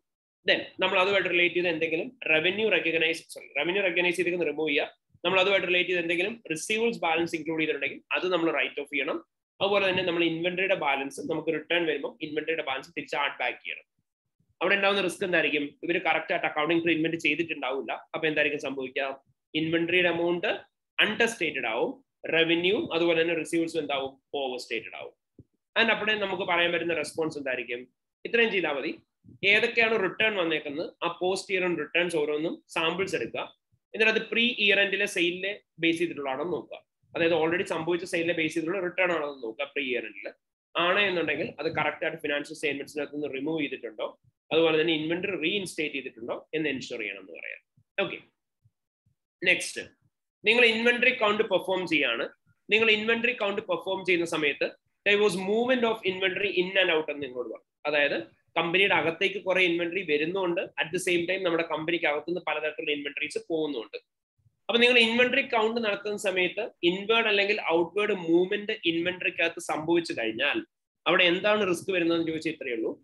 നിങ്ങളുടെ ഇൻവെന്ററി കൗണ്ട് ഈതർ അണ്ടർസ്റ്റേറ്റഡ് ആവാം. അല്ലാന്നുണ്ടെങ്കിൽ എന്താവും? ഓവർ സ്റ്റേറ്റഡ് ആവും. അതായിരിക്കും നമ്മൾ പറയുന്ന റിസ്ക് എന്ന് പറയാം. ആൻഡ് നമുക്ക് അവിടെ എടുക്കാൻ വരുന്ന റെസ്പോൺസ് എന്ന് പറഞ്ഞാൽ എന്തായിരിക്കും? റെസ്പോൺസ് ഇസ് വെരി സിമ്പിൾ നമ്മൾ ഇത്രയും ചെയ്താൽ മതി. നമ്മൾ ഇൻവെന്ററി കൗണ്ട് ചെയ്തുകൊണ്ടിരുന്ന സമയത്ത് മൂവ്മെന്റ് ഇൻ ഇൻവെന്ററി എവിടെയൊക്കെയാണ് ഉണ്ടായതേക്കുന്നത് അത് മനസ്സിലാക്കാൻ വേണ്ടി നമ്മൾ എന്ത് ചെയ്യണം? ഗുഡ്സ് റിസീവ് നോട്ടും ഗുഡ്സ് ഡിസ്പാച്ച് നോട്ടും എടുക്കുക. ആ ഒരു പീരീഡിലെ എന്നിട്ട് അത് കറക്റ്റ് ആയിട്ട് തന്നെ ഫിനാൻഷ്യൽ സോറി അത് കറക്റ്റ് ആയിട്ട് തന്നെ അഡ്ജസ്റ്റ് ചെയ്തിട്ടുണ്ടോ എന്നുള്ള കാര്യം നമ്മൾ എൻഷുർ ചെയ്യുക. അപ്പൊ ഇത്രയേ ഉള്ളൂ. ഫൈനൽ ഇൻവെന്ററി കൗണ്ട് നടക്കുന്ന സമയത്ത് നമ്മൾ ഇൻവെന്ററി കൗണ്ട് ചെയ്തുകൊണ്ടിരുന്ന സമയത്ത് മൂവ്മെന്റ് വന്ന ഇൻവെന്ററീസ് ഏതൊക്കെയാണോ? അതിന്റെ ഡീറ്റെയിൽസ് നമ്മൾ വാങ്ങിക്കണം. അതിന് വേണ്ടിയുള്ള ഗുഡ്സ് ഡിസ്പാച്ച് നോട്ടും ഗുഡ്സ് റിസീവ് നോട്ടും വാങ്ങിക്കുക.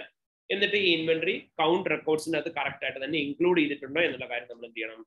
എൻഷുർ ചെയ്യണം. ദെൻ നെക്സ്റ്റ് റിസീവബിൾസിന്റെ കേസിൽ. ഇപ്പം ഒരു വിധപ്പെട്ട ക്വസ്റ്റ്യൻസിനകത്തെല്ലാം കിടക്കുന്ന എൻഡിന്റെ അല്ല? ഇപ്പം കമ്പനി ഒരു പ്രോഡക്റ്റ് പ്രൊഡ്യൂസ് ചെയ്യാൻ തുടങ്ങി. അപ്പോൾ അതിനകത്ത് ക്വാളിറ്റി പ്രോഡക്ട്സ് ഉണ്ടായി ഇപ്പൊ റീകോളിന്റെ കേസ് എടുക്കാം. അപ്പൊ കഴിഞ്ഞ ഈ ഒരു വർഷത്തിൽ തന്നെ ലാസ്റ്റ് ഫോർ മന്ത്സിലെ വിറ്റ പ്രോഡക്റ്റ് ആണ് റീകോൾ ചെയ്തിരിക്കുന്നത്. ഓക്കെ അപ്പൊ നമ്മളിവിടെ റെസ്പോൺസ് ആയിട്ട് ആ പ്രീ ഇയറന്റ് എന്നുള്ള ടേം നമുക്ക് യൂസ് ചെയ്യാൻ പറ്റത്തുള്ളൂ. ലാസ്റ്റ് ഫോർ മന്ത്സ് എന്നല്ലേ യൂസ് ചെയ്യേണ്ടത്? ലാസ്റ്റ് ഫോർ മന്ത്സ് അവിടെ നമ്മൾ എപ്പോഴും സാമ്പിൾസ് ആയിരിക്കും കളക്ട് ചെയ്യുന്നുണ്ടാവും. ആ സാമ്പിൾസ് കളക്ട് ചെയ്തിട്ട്. ഇപ്പം എന്തോ പിന്നെ നമ്മൾ അത് ചെയ്യേണ്ടത് കഴിഞ്ഞ വർഷത്തെ സെയിൽസുമായിട്ടല്ല കഴിഞ്ഞ ഫോർ മന്ത്സിലെ സെയിൽസിന്റെ തന്നെയാണോ റിട്ടേൺസ് എന്ന് കൺഫേം ചെയ്യുക. നമ്മൾ എന്താണ് പറയുന്നത് പ്രീ ഇയർ എൻഡ് എന്നുള്ള ടേം എന്തുകൊണ്ടാണ് യൂസ് ചെയ്യുന്നതെന്ന് അറിയോ നമ്മൾ ഇവിടെ പറഞ്ഞ എന്തായിരുന്നു? നമ്മൾ പറഞ്ഞ subsequent to the year end year എൻഡിന് ശേഷം ഈ പ്രോഡക്ട്സ് ഒക്കെ വാങ്ങിയത് എന്തായി? റിട്ടേൺ വന്നു എന്നാണ് പറഞ്ഞത്. മനസ്സിലായോ? അപ്പം ഇയർ എൻഡിന് ശേഷം റിട്ടേൺ വന്നു എന്ന് പറഞ്ഞുകൊണ്ടാണ് നമ്മൾ പറഞ്ഞത്. ഇയർ എൻഡിന് ശേഷം റിട്ടേൺ വന്നേക്കുന്ന ഓരോന്നും പ്രീ ഇയർ എൻഡിലെയാണോ നോക്കണം. കഴിഞ്ഞ വർഷത്തെയാണോ നോക്കണം. കാരണം എന്താ? ഇയർ എൻഡിന് ശേഷം ചിലപ്പോൾ റിട്ടേൺ വന്നേക്കുന്ന ഇയർ എൻഡിന് ശേഷം നടന്ന സെയിലിന്റെ ആവാം. അങ്ങനെയാണെന്നുണ്ടെങ്കിൽ അത് ഈ വർഷത്തിൽ ഇൻക്ലൂഡ് ചെയ്യേണ്ട കാര്യമില്ല. അപ്പൊ അത് കാരണം കൊണ്ടാണ് നമ്മൾ പ്രീ ഇയർ എൻഡ് എന്നുള്ള ടൈം യൂസ് ചെയ്യുന്നത്. മനസ്സിലായോ. ഓക്കെ ഓൾറൈറ്റ് അപ്പൊ നമ്മളിപ്പോ പറഞ്ഞുകൊണ്ടിരുന്ന ഏതായിരുന്നു? Audit client is a new client for the auditor നിങ്ങളുടെ ക്വസ്റ്റിന്റെ അത് ക്ലിയർ കട്ട് ആയിട്ട് ഫസ്റ്റ് ലൈനിൽ പറഞ്ഞിട്ടുണ്ടാവും. നമ്മുടെ ന്യൂ ക്ലയന്റ് ആണ് എന്നുള്ള കാര്യം മെൻഷൻ ചെയ്തിട്ടുണ്ടാവും. അപ്പൊ നിങ്ങളുടെ ക്വസ്റ്റിന്റെ അകത്ത് ന്യൂ ക്ലയന്റ് ആണ് എന്ന് പറഞ്ഞിട്ടുണ്ട് എന്നുണ്ടെങ്കിൽ നമ്മൾ അവിടെ എപ്പോഴും പറയുന്ന റിസ്ക് എന്തായിരിക്കും? ഒരു പർട്ടിക്കുലർ ക്ലയന്റ് ന്യൂ ക്ലയന്റ് ആണെന്നുണ്ടെങ്കിൽ ആ ക്ലയന്റിന്റെ അക്കൗണ്ടിങ് പോളിസിനെ കുറിച്ചോ ബാലൻസസിനെ കുറിച്ചോ ഒന്നും നമുക്ക് എന്തുണ്ടാവില്ല. ആഡിക്വേറ്റ് എമൗണ്ട് ഓഫ് നോളജ് ഉണ്ടാവില്ല. സോ ഓട്ടോമാറ്റിക്കലി ഡിറ്റക്ഷൻ റിസ്കിനുള്ള പോസിബിലിറ്റീസ് ഹൈ ആയിരിക്കും. So always keep that in one in mind അതായത് ഇൻ കേസ് അങ്ങനെ നിങ്ങളോട് പറയാണ് ന്യൂ ക്ലയന്റിന്റെ ഓഡിറ്റ് ആണ് നിങ്ങൾ പെർഫോം ചെയ്യുന്നത് അങ്ങനെയാണെങ്കിൽ എപ്പോഴും നിങ്ങൾ ഓർത്ത് വെക്കുക ന്യൂ ക്ലയന്റ് ആണെന്നുണ്ടെങ്കിൽ നിങ്ങൾക്ക് ആ ഓഡിറ്റിന്റെ പെർഫോം ചെയ്യുന്ന സമയത്ത് അവിടുത്തെ ക്ലയന്റിന്റെ അക്കൗണ്ടിങ് പോളിസിനെ കുറിച്ചോ ട്രാൻസാക്ഷനെ കുറിച്ചോ ബാലൻസിനെ കുറിച്ചോ ഒന്നും നിങ്ങൾക്ക് ആഡിക്യൂറ്റ് എമൗണ്ട് ഓഫ് നോളജ് ഉണ്ടാവില്ല. അപ്പൊ ഡിറ്റക്ഷൻ റിസ്ക് ഉണ്ടാവും. അതേപോലെ തന്നെ അവിടെ എടുക്കാൻ പറ്റുന്ന റെസ്പോൺസ് എന്തായിരിക്കും?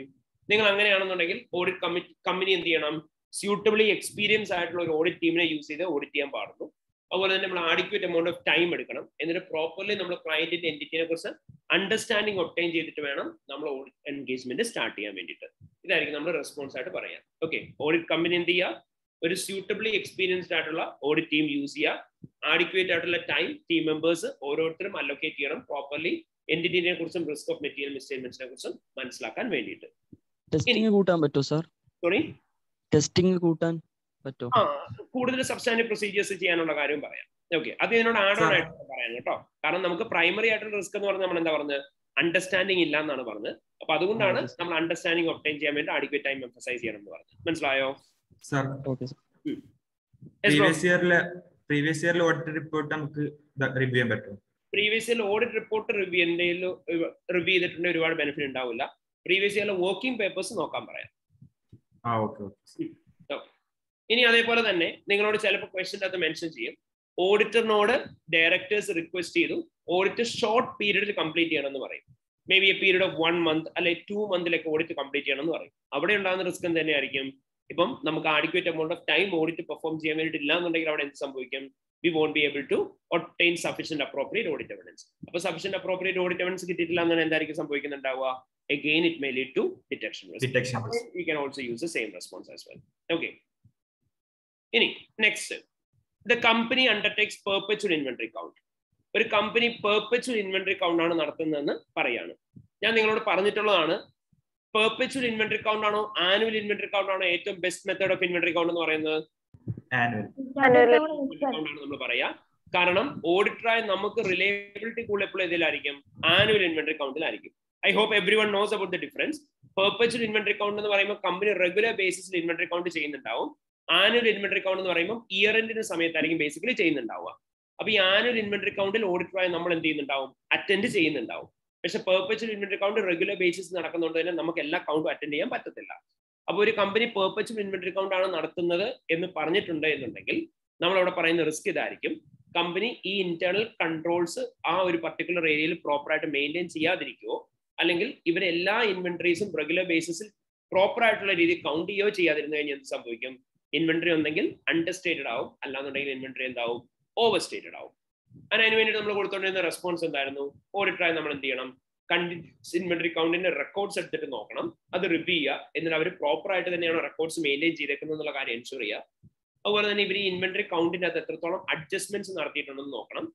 അത് റീസണബിൾ ആണോ നോക്കുക. അല്ലാന്നുണ്ടെങ്കിൽ നമ്മൾ എന്ത് ചെയ്യാൻ പറയാ year end inventory count perform ചെയ്യാൻ പറയണം. അപ്പൊ എപ്പോഴും ആനുവൽ ഇൻവെന്ററി കൗണ്ട് ചെയ്യുന്നതിന് പകരം ഇവർ കണ്ടിന്യൂസ് ഇൻവെന്ററി കൗണ്ട് ആണ് ചെയ്യുന്നതെന്ന് പറയുകയാണെങ്കിൽ ഇത് പറഞ്ഞാൽ മതി. നമ്മൾ എന്ത് ചെയ്യുന്നുണ്ടാവണം? Completeness of the continuous inventory count records നോക്കണം. അതുപോലെ തന്നെ ലെവൽ ഓഫ് അഡ്ജസ്റ്റ്മെന്റ്സ് എത്രയാണ് നടത്തിയേക്കുന്നത് നോക്കാം. എന്നിട്ട് ഇൻവെന്ററി കൗണ്ടിന് മേലെ എത്രത്തോളം റിലേ നമുക്ക് ചെയ്യാൻ പറ്റും എന്നുള്ള കാര്യം നമ്മൾ കൺസിഡർ ചെയ്യണം. ഇനി നമ്മളുടെ ക്വസ്റ്റനിൽ പറയാണ് സെയിൽസ് റിലേറ്റഡ് ആയിട്ടുള്ള ബോണസ് സ്കീമാണ് കമ്പനി കൊടുക്കുന്നത്. നമ്മൾ നേരത്തെ പറഞ്ഞു കഴിഞ്ഞാൽ സെയിൽസ് റിലേറ്റഡ് ബോണസ് സ്കീമാണ് കൊടുക്കുന്നുണ്ടെങ്കിൽ ഓട്ടോമാറ്റിക്കലി അവിടെ ഉണ്ടാകുന്ന റിസ്ക് എന്തായിരിക്കും? ഇവർ സെയിൽസ് ഓവർ സ്റ്റേറ്റ് ചെയ്ത് കാണിക്കാനായിട്ട് ശ്രമിക്കും. കട്ട് ഓഫ് എറേഴ്സ് ഉണ്ടാവാനുള്ള ചാൻസ് ഉണ്ട്. റെസ്പോൺസ് ആയിട്ട് നിങ്ങൾക്ക് എന്ത് പറയാം? പ്രൊഫഷണൽ സ്കെപ്റ്റിസിസം മെയിന്റെയിൻ ചെയ്യണം എന്നുള്ള കാര്യം പറയാം. അതുപോലെ തന്നെ അലേർട്ട് ആയിരിക്കണം എന്ന് പറയാം. ഇൻ അഡീഷൻ ടു ദാറ്റ് നമ്മൾ ഇവിടെ പറഞ്ഞ കട്ട് ഓഫ് എറർ ഉണ്ടാവുന്നതാണ്. അപ്പൊ നമ്മൾ എന്ത് പറഞ്ഞ് കൂടുതൽ കട്ട് ഓഫ് പ്രൊസീജിയേഴ്സ് പെർഫോം ചെയ്യുക. എന്നിട്ട് ഇയർ സമയത്ത് ഏതെങ്കിലും കട്ട് ഓഫ് എറേഴ്സ് ഉണ്ടോ? അതുപോലെ തന്നെ ഇയറിന് ശേഷം ക്യാൻസലേഷൻ ഓഫ് കോൺട്രാക്ട്സ് ഏതെങ്കിലും ഉണ്ടോ എന്നുള്ള കാര്യം ചെക്ക് ചെയ്താൽ മതി. ഇനി നമ്മുടെ കസ്റ്റമേഴ്സ് കുറെ പേര് ഗുഡ്സ് ക്രെഡിറ്റിനാണ് വാങ്ങിച്ചേക്കുന്നത്. അതിന് ഈ കസ്റ്റമേഴ്സ് നമ്മുടെ കയ്യിൽ നിന്ന് ഗുഡ്സ് ക്രെഡിറ്റിന് വാങ്ങിയിട്ട് പോയിട്ട് കുറെ കസ്റ്റമേഴ്സിന്റെ ക്രെഡിറ്റ് വേർത്തിനെസ്സിൽ കുറെ നമുക്ക് സംശയങ്ങളുണ്ട്.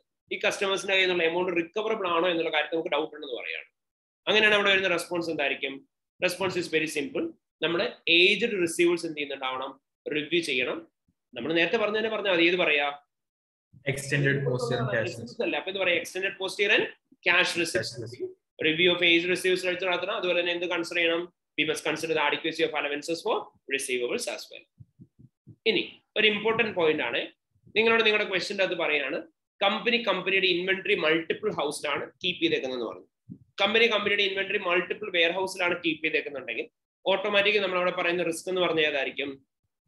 നമ്മൾ പറയാറുണ്ട് കമ്പനി ഇൻവെന്ററി മൾട്ടിപ്പിൾ വെയർ ഹൗസിലാണ് കീപ്പ് ചെയ്തേക്കുന്നുണ്ടെങ്കിൽ ഉള്ള പ്രശ്നം എന്താ? ഓഡിറ്ററായി നമുക്ക് ചെയ്യാൻ പറ്റത്തില്ല. എല്ലാ വെയർ ഹൗസിലും കൗണ്ട് അറ്റൻഡ് ചെയ്യാൻ പറ്റത്തില്ല. നമ്മളപ്പോ എല്ലാ വെയർ ഹൗസിലും പോയി ഇൻവെന്ററി കൗണ്ട് അറ്റൻഡ് ചെയ്തിട്ടില്ല എന്നുണ്ടെങ്കിൽ എന്തായിരിക്കും സംഭവിക്കുക? അവിടുത്തെ ഇൻവെന്ററി ശരിക്കും എക്സിസ്റ്റിംഗ് ആണോ? അതിന്റെ കണ്ടീഷൻ എന്താണെന്നുള്ള കാര്യം നമുക്ക് മനസ്സിലാവത്തില്ല. ഏത് റിസ്ക് അവിടെ വരിക? Detection risk okay detection risk വരും. ഇനി അതിന് വേണ്ടിയിട്ട് നമ്മൾ എടുത്തോണ്ടിരുന്ന റെസ്പോൺസ് എന്തായിരുന്നു മക്കളെ? ഓഡിറ്റർ എന്ത് ചെയ്യുന്നുണ്ടാവണം? ഏത് ഇൻവെന്ററി വെയർഹൗസിലാണ് കൗണ്ട് അറ്റൻഡ് ചെയ്യാൻ പോകേണ്ടത് എന്നുള്ള കാര്യം തീരുമാനിക്കണം. അത് ഓഡിറ്റർ എങ്ങനെയായിരിക്കും ബേസിക്കലി തീരുമാനിക്കുന്നുണ്ടാവുക? എവിടെയാണോ ഇതിന് മുന്നേ കൂടുതൽ എറേഴ്സ് ഉണ്ടായത്? ഒന്നെങ്കിൽ അവിടെ പോവാ അല്ലെങ്കിൽ ഏറ്റവും അവിടെ വേണം ഓഡിറ്റർ പോകാനായിട്ട്. അതുപോലെ തന്നെ നമ്മൾ പറഞ്ഞു ഓഡിറ്റർ ഇപ്പൊ ഏതെങ്കിലും ഇൻവെന്ററി വെയർ ഹൗസിൽ പോയിട്ടില്ല എന്നുണ്ടെങ്കിൽ എന്ത് ചെയ്യുക അവിടുത്തെ ഡോക്യുമെന്റ്സ് വാങ്ങിക്കണം. എന്നിട്ട് അവിടെ എത്രത്തോളം ഡിഫറൻസ് ആണ് ഇൻവെന്ററി കൗണ്ടിൽ ഉണ്ടായെന്ന് നോക്കുക എന്നിട്ട് എന്തെങ്കിലും ഇഷ്യൂസ് ഉണ്ടെന്നുണ്ടെങ്കിൽ അത് മാനേജ്മെന്റുമായിട്ട് ഡിസ്കസ് ചെയ്യണം. ദെൻ നമ്മൾ പറയാണ് നിങ്ങളോട് സ്പെസിഫിക്കലി ചിലപ്പം ക്വസ്റ്റിന്റെ അകത്ത് പറഞ്ഞിട്ടുണ്ടാവും. നിങ്ങളുടെ ഇൻവെന്ററീസ് തേർഡ് പാർട്ടി വെയർ ഹൗസിലാണ് കീപ്പ് ചെയ്തേക്കുന്നത്. ആൻഡ് ഈ വെയർ ഹൗസ് എല്ലാം തേർഡ് പാർട്ടിയുടെ ഓണർഷിപ്പിലാണെന്ന് പറഞ്ഞിട്ടുണ്ടാവും. അങ്ങനെ സ്പെസിഫിക്കലി നിങ്ങളോട് പറയാണ് the company has kept its inventory in multiple warehouse some warehouse are own by the company while some other warehouses are own by the third parties എന്ന് നിങ്ങളുടെ അടുത്ത് പറഞ്ഞിട്ടുണ്ട്. അങ്ങനെയാണെങ്കിൽ മാത്രം ഓർത്തോണം തേർഡ് പാർട്ടിയുടെ വെയർ ഹൗസ് എന്താവാൻ ചാൻസ് ഉണ്ട്? കമ്പനി കമ്പനിയുടെ പ്രോപ്പർട്ടി പ്ലാന്റ് എക്യുപ്മെന്റ് പി പിക്ക് അത് ഇൻക്ലൂഡ് ചെയ്യാൻ ചാൻസ് ഉണ്ട്. അപ്പൊ ഈ തേർഡ് പാർട്ടിയുടെ വെയർ ഹൗസിൽ ഏതെങ്കിലും കമ്പനി കമ്പനിയുടെ പി പിക്ക് അത് ഇൻക്ലൂഡ് ചെയ്ത് കഴിഞ്ഞാൽ എന്ത് സംഭവിക്കും? കമ്പനിയുടെ പി പി ഓവർ സ്റ്റേറ്റഡ് ആയിരിക്കും. അതുപോലെ തന്നെ കമ്പനിയുടെ എക്സ്പെൻസസ് എന്താവും അണ്ടർ സ്റ്റേറ്റഡ് ആവും. ആൻഡ് അതിന് വേണ്ടിയിട്ട് നമുക്ക് കൊടുക്കാൻ പറ്റുന്ന റെസ്പോൺസ് എന്തായിരിക്കണം? ഓഡിറ്റർ സപ്പോർട്ടിംഗ് ഡോക്യുമെന്റ്സ് റിവ്യൂ ചെയ്യണം വെയർ ഹൗസിന്റെ ഓരോന്നിന്റെയും. എന്നിട്ട് പി പിയുടെ എല്ലാത്തിനെയും ഓണർഷിപ്പ് കൺഫേം ചെയ്യണം. എന്നിട്ട് കമ്പനി ഒരു നോൺ കറന്റ് അസറ്റ് പോലും ഓവർ സ്റ്റേറ്റ് ചെയ്തിട്ടില്ല എന്നുള്ള കാര്യം നമ്മൾ എൻഷുർ ചെയ്യണം. അപ്പൊ ഇത്രയായിരിക്കും നമ്മൾ റെസ്പോൺസ് ആയിട്ട് എടുക്കുന്നുണ്ടാവുക. ഇനി നിങ്ങളോട് നിങ്ങളുടെ ക്വസ്റ്റനിൽ പറയും. കമ്പനി ഒരു അസറ്റ് ഡിസ്പോസ് ചെയ്തു. കമ്പനി അസറ്റ് ഡിസ്പോസ് ചെയ്തേക്കുന്ന ഒരു ഹ്യൂജ് എമൗണ്ട് ഓഫ് പ്രോഫിറ്റിനാണെന്ന് പറഞ്ഞിട്ടുണ്ടാവും. കമ്പനി അസറ്റ് ഡിസ്പോസ് ചെയ്തേക്കുന്ന പ്രോഫിറ്റിനാണെന്ന് പറഞ്ഞു കഴിഞ്ഞാൽ നമ്മൾ basically disposal of an asset ആണെങ്കിൽ അത് എങ്ങനെയാണ് ട്രീറ്റ് ചെയ്യേണ്ടത്? നമ്മുടെ പി പി അകത്ത് നിന്ന് എമൗണ്ട് എന്ത് ചെയ്യണം? റിമൂവ് ചെയ്യണം. എന്നിട്ട് നമ്മൾ നോൺ കറന്റ് കാണിക്കേണ്ടത് ഈ എൻഡിൽ കാണിക്കണം. റിസ്ക് എന്തായിരിക്കും? അവരത് റിമൂവ് ചെയ്തിട്ടുണ്ടാവില്ല അപ്പം പി പി എന്താവും? ഓവർ സ്റ്റേറ്റഡ് ആയിരിക്കും. പ്രോഫിറ്റ് അണ്ടർ സ്റ്റേറ്റഡും ആയിരിക്കും. അതിന് റെസ്പോൺസ് ആയിട്ട് നമുക്ക് എന്തായിരിക്കും പറയാൻ പറ്റുക? നമുക്ക് non current asset register review ചെയ്യാം. എന്നാൽ അസറ്റ് എല്ലാം കറക്റ്റ് ആയിട്ട് തന്നെ റിമൂവ് ചെയ്തിട്ടുണ്ടോ നോക്കാം. അതുപോലെ തന്നെ ഇപ്പൊ ഡിസ്പോസൽ എന്തെങ്കിലും ഉണ്ടെങ്കിൽ അതിന്റെ റീകാൽക്കുലേറ്റ് ചെയ്തിട്ട് ഡിസ്പോസലിന്റെ കാൽക്കുലേഷനും കറക്റ്റ് ആണെന്ന് എൻഷുർ ചെയ്യാം. ഇനി ഇവിടെയാണ് നിങ്ങൾ ശ്രദ്ധിക്കേണ്ട ഒരു മെയിൻ കാര്യം. പ്രോഫിറ്റ് ഓൺ ഡിസ്പോസൽ ആണെങ്കിലും ലോസ് ഓൺ ഡിസ്പോസൽ ആണെങ്കിലും എല്ലാം സെയിം തന്നെയാണ് എഴുതേണ്ടത്. പക്ഷേ ഞാൻ നിങ്ങൾക്ക് നേരത്തെയും പറഞ്ഞു തന്നിട്ടുള്ള കാര്യമാണ്. ഒരു കമ്പനി പ്രോഫിറ്റ് ഓൺ ഡിസ്പോസലിനാണ് ഒരു അസറ്റ് ഡിസ്പോസ് ചെയ്തേക്കുന്നതെന്ന് പറഞ്ഞു. അല്ലെങ്കിൽ ഒരു പർട്ടിക്കുലർ കമ്പനി ലോസ് ഓൺ ഡിസ്പോസലിനാണ് അസറ്റ് ഡിസ്പോസ് ചെയ്തതെന്ന് പറഞ്ഞു. അങ്ങനെയാണ് അവിടെ എപ്പോഴും നമ്മൾ പറഞ്ഞുകൊണ്ടിരുന്ന ഒരു പോസിബിലിറ്റി എന്തായിരുന്നു? എന്തായിരുന്നു മക്കളെ? ലോസ് നമ്മൾ കാണിക്കണമെങ്കിൽ നമുക്ക് റിസർവ് ഇല്ലാത്ത ടൈമിൽ ആ അതല്ല അതല്ല. അല്ലാണ്ട് with regarding the depreciation depreciation എന്തായാലും നമ്മൾ പഠിച്ചിട്ടുള്ള ഡിപ്രിസിയേഷനോട് റിലേറ്റ് ചെയ്ത് ഡിപ്രിസിയേഷൻ ആക്യുറേറ്റ് ആയിട്ട് ചെയ്തില്ലെങ്കിൽ സിഗ്നിഫിക്കന്റ് എമൗണ്ട് ഓഫ് എക്സാക്ട്ലി അല്ലേ? അതായത് നമ്മൾ പറഞ്ഞെന്തായിരുന്നു കമ്പനിയുടെ ഡിപ്രിസിയേഷൻ പോളിസി കറക്റ്റ് അല്ല എന്നുണ്ടെങ്കിലാണ് എന്ത് സംഭവിക്കുക basically huge amount of profit on ഡിസ്പോസലോ അല്ലെങ്കിൽ huge amount of loss on ഡിസ്പോസലോ വരത്തുള്ളൂ. കാരണം huge amount of profit on disposal എപ്പോഴാണ് വരിക? കമ്പനിയുടെ ഡിപ്രിസിയേഷൻ പീരീഡ് കൂട്ടിയിട്ടേക്കാണെങ്കിലാണ് ഹ്യൂജ് എമൗണ്ട് ഓഫ് പ്രോഫിറ്റ് വരിക. ഹ്യൂജ് എമൗണ്ട് ഓഫ് ലോസ് എപ്പോഴാണ് വരിക? കമ്പനിയുടെ ഡിപ്രിസിയേഷൻ പോളിസി ബേസിക്കലി കുറച്ച് ടെക്കുമ്പോഴായിരിക്കും ഹ്യൂജ് എമൗണ്ട് ഓഫ് ലോസ് വരുന്നുണ്ടാവുക. അതുകൊണ്ട് തന്നെ നമുക്ക് എന്ത് പറയാം? നമുക്ക് പറയാൻ പറ്റുന്ന കാര്യമാണിത് അതായത് ഏതെങ്കിലും ഒരു പർട്ടിക്കുലർ കമ്പനി അവർ ഹ്യൂജ് പ്രോഫിറ്റ് അല്ലെങ്കിൽ ലോസ് ഓൺ ഡിസ്പോസൽ ആണ് ചെയ്തേക്കുന്നുണ്ടെങ്കിൽ നിങ്ങൾ എന്ത് പറയണം? There can be chances are the company might have used inappropriate depreciation rates അത് കാരണം കൊണ്ടാണ് ഇങ്ങനെ ഉണ്ടായിരിക്കുന്നതെന്ന് പറയാം. എന്നിട്ട് പറയാം അത് കാരണം കൊണ്ട് ഡിപ്രിസിയേഷൻ എക്സ്പെൻസസ് എന്തായിരിക്കും? അതുപോലെ തന്നെ അസറ്റിന്റെ വാല്യൂ എന്തായിരിക്കും എന്ന് പറയാം? അണ്ടർ അല്ലെങ്കിൽ ഓവർ സ്റ്റേറ്റഡ് ആയിരിക്കും എന്ന് പറയാം. റെസ്പോൺസ് ആയിട്ട് എന്ത് പറഞ്ഞാൽ മതി? നേരത്തെ നമ്മൾ പറഞ്ഞ കാര്യം മാനേജ്മെന്റുമായിട്ട് ഡിസ്കസ് ചെയ്യാൻ പറയാം. എന്ത് റാഷണലിന്റെ ബേസിസിലാണ് അവർ ഡിപ്രിസിയേഷൻ ഡിറ്റർമൈൻ ചെയ്തേക്കുന്നത്? അത് റീസണബിൾ ആണോ? ഇൻ അക്കോർഡൻസ് വിത്ത് സ്റ്റാൻഡേർഡ്സ് ആണോ എന്നുള്ള കാര്യം ചെക്ക് ചെയ്യണം. മനസ്സിലായോ മക്കളെ? ഓക്കെ ദെൻ കമ്പനി നിങ്ങളുടെ അടുത്ത് പറയുകയാണ് കമ്പനി കമ്പനിയുടെ ഇൻവെന്ററി വാല്യൂ ചെയ്യുന്നത് lower of selling price or average profit margin ആണെന്ന് പറഞ്ഞു. അല്ലെങ്കിൽ കമ്പനി ഏതെങ്കിലും ഒരു മെത്തേഡിലാണ് ഇൻവെന്ററി വാല്യൂ ചെയ്യുന്നതെന്ന് പറഞ്ഞു. നമുക്കറിയാം എപ്പോഴും ഇൻവെന്ററി നമ്മൾ വാല്യൂ ചെയ്യേണ്ടത് എങ്ങനെയാണ്? ലോവർ ഓഫ് കോസ്റ്റോ എൻ ആർ വി ആണ്. ഇൻവെന്ററി ലോവർ ഓഫ് കോസ്റ്റ് അല്ല എൻ ആർ വി അല്ലാണ്ട് വേറെ ഏതെങ്കിലും മെത്തേഡിൽ വാല്യൂ ചെയ്തു എന്നാണ് നിങ്ങളുടെ അടുത്ത് പറഞ്ഞേക്കുന്നുണ്ടെങ്കിൽ ഓട്ടോമാറ്റിക്കലി അവിടെ സംഭവിക്കുന്ന എന്തായിരിക്കും? വാല്യൂ ഓഫ് ഇൻവെന്ററി ഇത് അൺടെസ്റ്റേറ്റഡ് ആയിരിക്കും. അല്ലാന്നുണ്ടെങ്കിൽ വാല്യൂ ഓഫ് ഇൻവെന്ററി എന്തായിരിക്കും? ഓവർ സ്റ്റേറ്റഡ് ആയിരിക്കും. ഇതായിരിക്കും നിങ്ങൾ എപ്പോഴും റിസ്ക് ആയിട്ട് പറയുന്നുണ്ടാവുക. So always keep that one in mind നിങ്ങളോട് ഇൻവെന്ററി വാല്യൂ ചെയ്തേക്കുന്നത് selling price plus average profit margin അല്ലെങ്കിൽ വേറെ ഏത് മെത്തേഡ് പറഞ്ഞു കഴിഞ്ഞാൽ നിങ്ങൾ എന്ത് പറയാ? Inventory should be always be valued lower of cost or N R ഏതെങ്കിലും മെത്തേഡിലാണ് ഇൻവെന്ററി വാല്യൂ ചെയ്തേക്കുന്നത് ആക്യുറേറ്റ് അല്ല എന്നുണ്ടെങ്കിൽ ഇൻവെന്ററി വാല്യൂ ഇതർ അണ്ടർസ്റ്റേറ്റഡ് ആവും അല്ലെങ്കിൽ ഓവർ സ്റ്റേറ്റഡ് ആവും.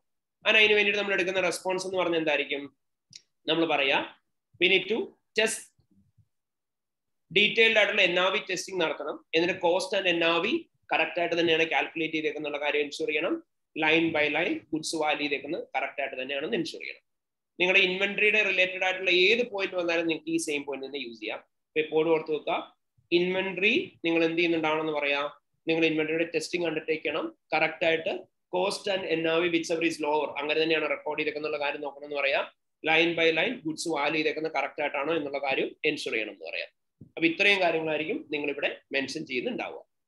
അപ്പൊ ഇത്രയാണ് നമ്മൾ പറഞ്ഞ കോമൺ റിസ്ക് ആൻഡ് റെസ്പോൺസ് എന്ന് പറയാം. ഇനി ഇവിടെ വെച്ചിട്ടാണ് ഏറ്റവും ഇമ്പോർട്ടന്റ് ആയിട്ടുള്ള കാര്യം നിങ്ങൾക്ക് പറഞ്ഞു തരാനുള്ളത് സി ബേസിക്കലി ഓഡിറ്റ് റിസ്ക് എന്ന ക്വസ്റ്റ്യൻ വന്നു കഴിഞ്ഞാൽ ഒരിക്കലും നിങ്ങൾ റിസ്ക് സിനാരിയോ എന്ന് കണ്ടുപിടിക്കാൻ ശ്രമിക്കരുത്. റിസ്ക് കണ്ടുപിടിക്കാൻ എപ്പോഴും പാടായിരിക്കും. ഒരിക്കലും റിസ്ക് കണ്ടുപിടിക്കാൻ ശ്രമിക്കരുത്. പകരം റിസ്കിന്റെ ക്വസ്റ്റ്യൻ ആണോ വരുന്നത്? സിനാരിയോ തന്നിട്ടുണ്ടോ? ആദ്യമേ നിങ്ങൾ നോക്കേണ്ടത് ഈ ഒരു സിറ്റുവേഷനിൽ വരുന്ന അക്കൗണ്ടിങ് ട്രീറ്റ്മെന്റ് എന്താണ്? ഈ ഒരു സാഹചര്യത്തിൽ വരുന്ന അക്കൗണ്ടിങ് ട്രീറ്റ്മെന്റ് എന്താണ്? അങ്ങനെ ആലോചിച്ച് നോക്കുക. അതായത് ഇപ്പൊ ഞാൻ നേരത്തെ പറഞ്ഞു പറയാം കമ്പനി ഒരു പ്രിഫറൻസ് ഷെയർസ് ഇഷ്യൂ ചെയ്തു. റെഡീമബിൾ പ്രിഫറൻസ് ഷെയർ ആണ് ഇഷ്യൂ ചെയ്തതെന്ന് പറഞ്ഞു.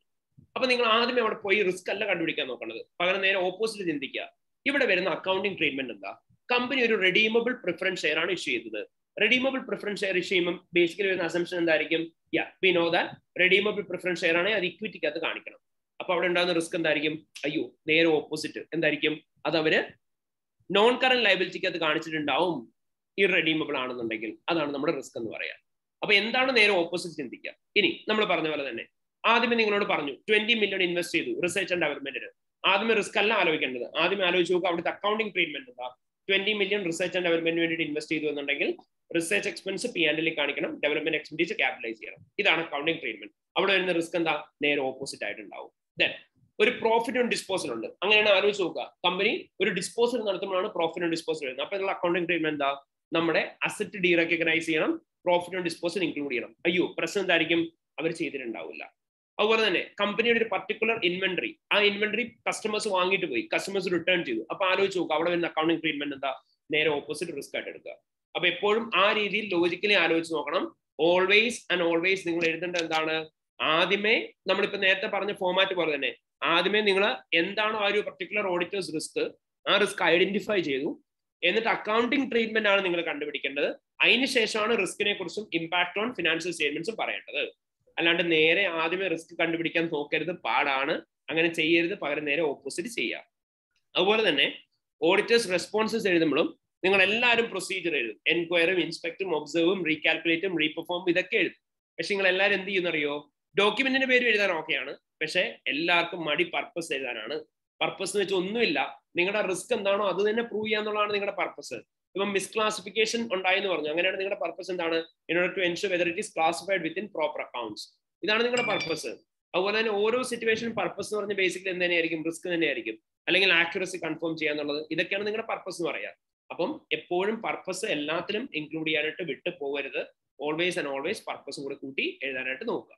ഓക്കെ സോ അപ്പൊ നമ്മളിപ്പോ കുറച്ച് കോമൺ ആയിട്ടുള്ള റിസ്കുകൾ പറഞ്ഞു. നമ്മുടെ കഴിഞ്ഞിട്ടില്ല എവിടെ എത്തിയിട്ടില്ല? സാറേ എനിക്ക് ഒരു മൂന്നെണ്ണത്തിന്റെ അക്കൗണ്ടിങ് ട്രീറ്റ്മെന്റ് എന്ന് പറഞ്ഞാലോ ആ. അതായത് ഒന്ന് നമ്മളിപ്പോ എക്സ്പോർട്ട് ചെയ്യാന്ന് വിചാരിച്ചു ഇൻവെന്ററി ഓക്കെ. അപ്പോ അത് ഗുഡ്സ് ഇൻ ട്രാൻസിറ്റ് ആണല്ലോ. ആ.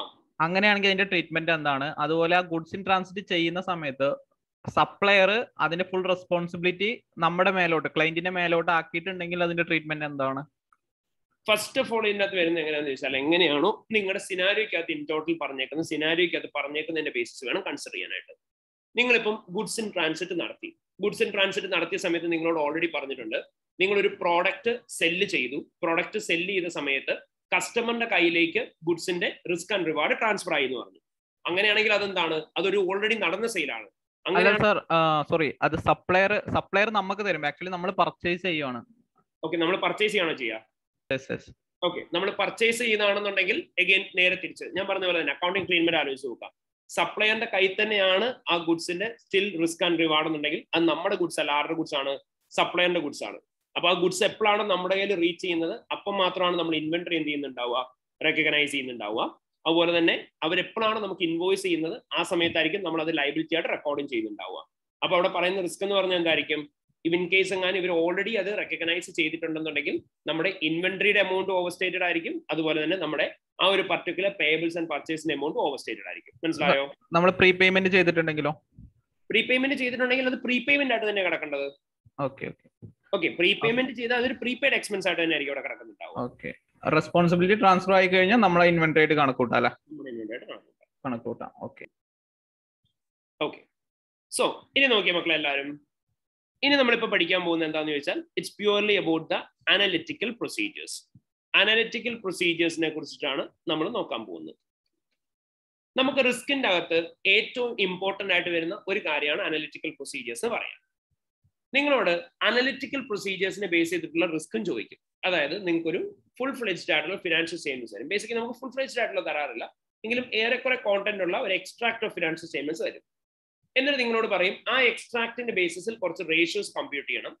ആൻഡ് കമ്പ്യൂട്ട് ചെയ്ത റേഷ്യോനെയും കൂടെ യൂസ് ചെയ്തിട്ട് നിങ്ങൾ എന്ത് ചെയ്യണം എന്ന് പറയും. റിസ്ക് ഫിഗർ ഔട്ട് ചെയ്യണം എന്ന് പറയും. അപ്പൊ അങ്ങനെയാണ് എക്സാമിനർ നിങ്ങളുടെ അടുത്ത് ചോദിക്കുന്നുണ്ടെങ്കിൽ നിങ്ങൾ എന്ത് ചെയ്യണം?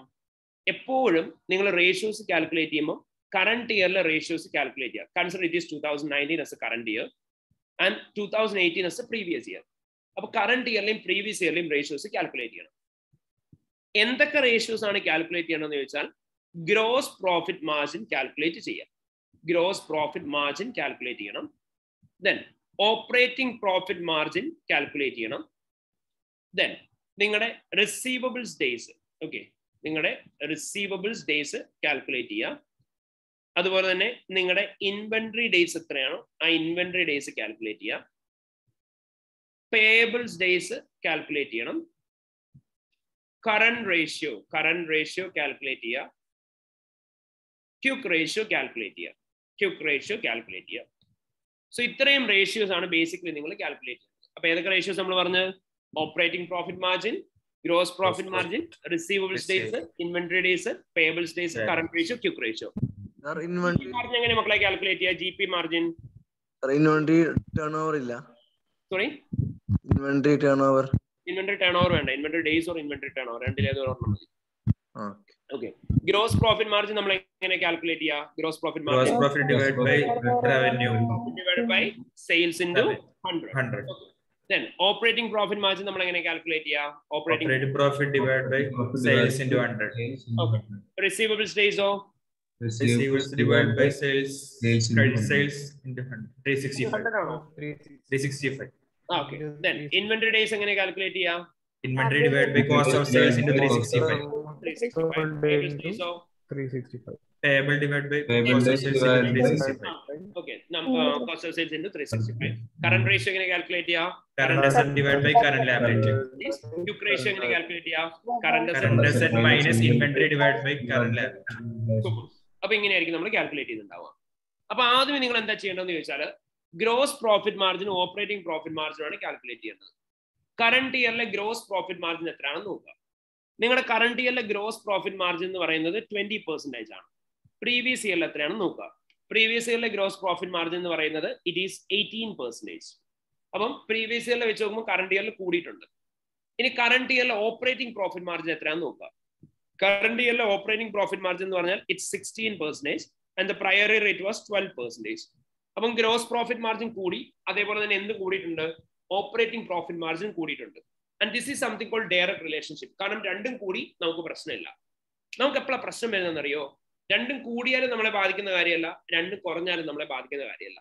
നമുക്ക് പ്രശ്നം ഉണ്ടാകുന്ന സിറ്റുവേഷൻ ഏതാണെന്ന് ചോദിച്ചാൽ ഗ്രോസ് പ്രോഫിറ്റ് മാർജിൻ കൂടി ഓപ്പറേറ്റിംഗ് പ്രോഫിറ്റ് മാർജിൻ കുറഞ്ഞു. അതായത് ഇൻവേഴ്സ്ലി ആണ് റേഷ്യോസ് വന്നിരിക്കുന്നത് ഗ്രോസ് പ്രോഫിറ്റ് മാർജിൻ എന്ത് ചെയ്തു? കൂടി ഓപ്പറേറ്റിംഗ് പ്രോഫിറ്റ് മാർജിൻ എന്തായി? കുറഞ്ഞു. ഇങ്ങനെ വരുമ്പോഴാണ് നമുക്ക് ഇഷ്യൂ വരിക. ഓക്കെ. അറിയില്ലാത്തവർക്ക് വേണ്ടിയിട്ട് പറഞ്ഞുതരാം. ഇത്രയേ ഉള്ളൂ. നമ്മുടെ ഗ്രോസ് പ്രോഫിറ്റ് മാർജിൻ എന്ന് പറയുന്നത് കൂടണം എന്നുണ്ടെങ്കിൽ രണ്ട് പോസിബിലിറ്റി ആണുള്ളത്. എന്തായിരിക്കും? ഒന്ന് റവന്യൂ കൂടണം. അല്ലാന്നുണ്ടെങ്കിൽ എന്ത് കുറയണം? Cost of കുറയണം. അതുപോലെ തന്നെ നമ്മുടെ ഓപ്പറേറ്റിംഗ് പ്രോഫിറ്റ് മാർജിൻ കുറയണം എന്നുണ്ടെങ്കിൽ രണ്ട് പോസിബിലിറ്റി ആണുള്ളത്. ഒന്നെങ്കിൽ റവന്യൂ കുറയണം അല്ലെങ്കിൽ കോസ്റ്റ് ഓഫ് സെയിൽസ് കൂടണം.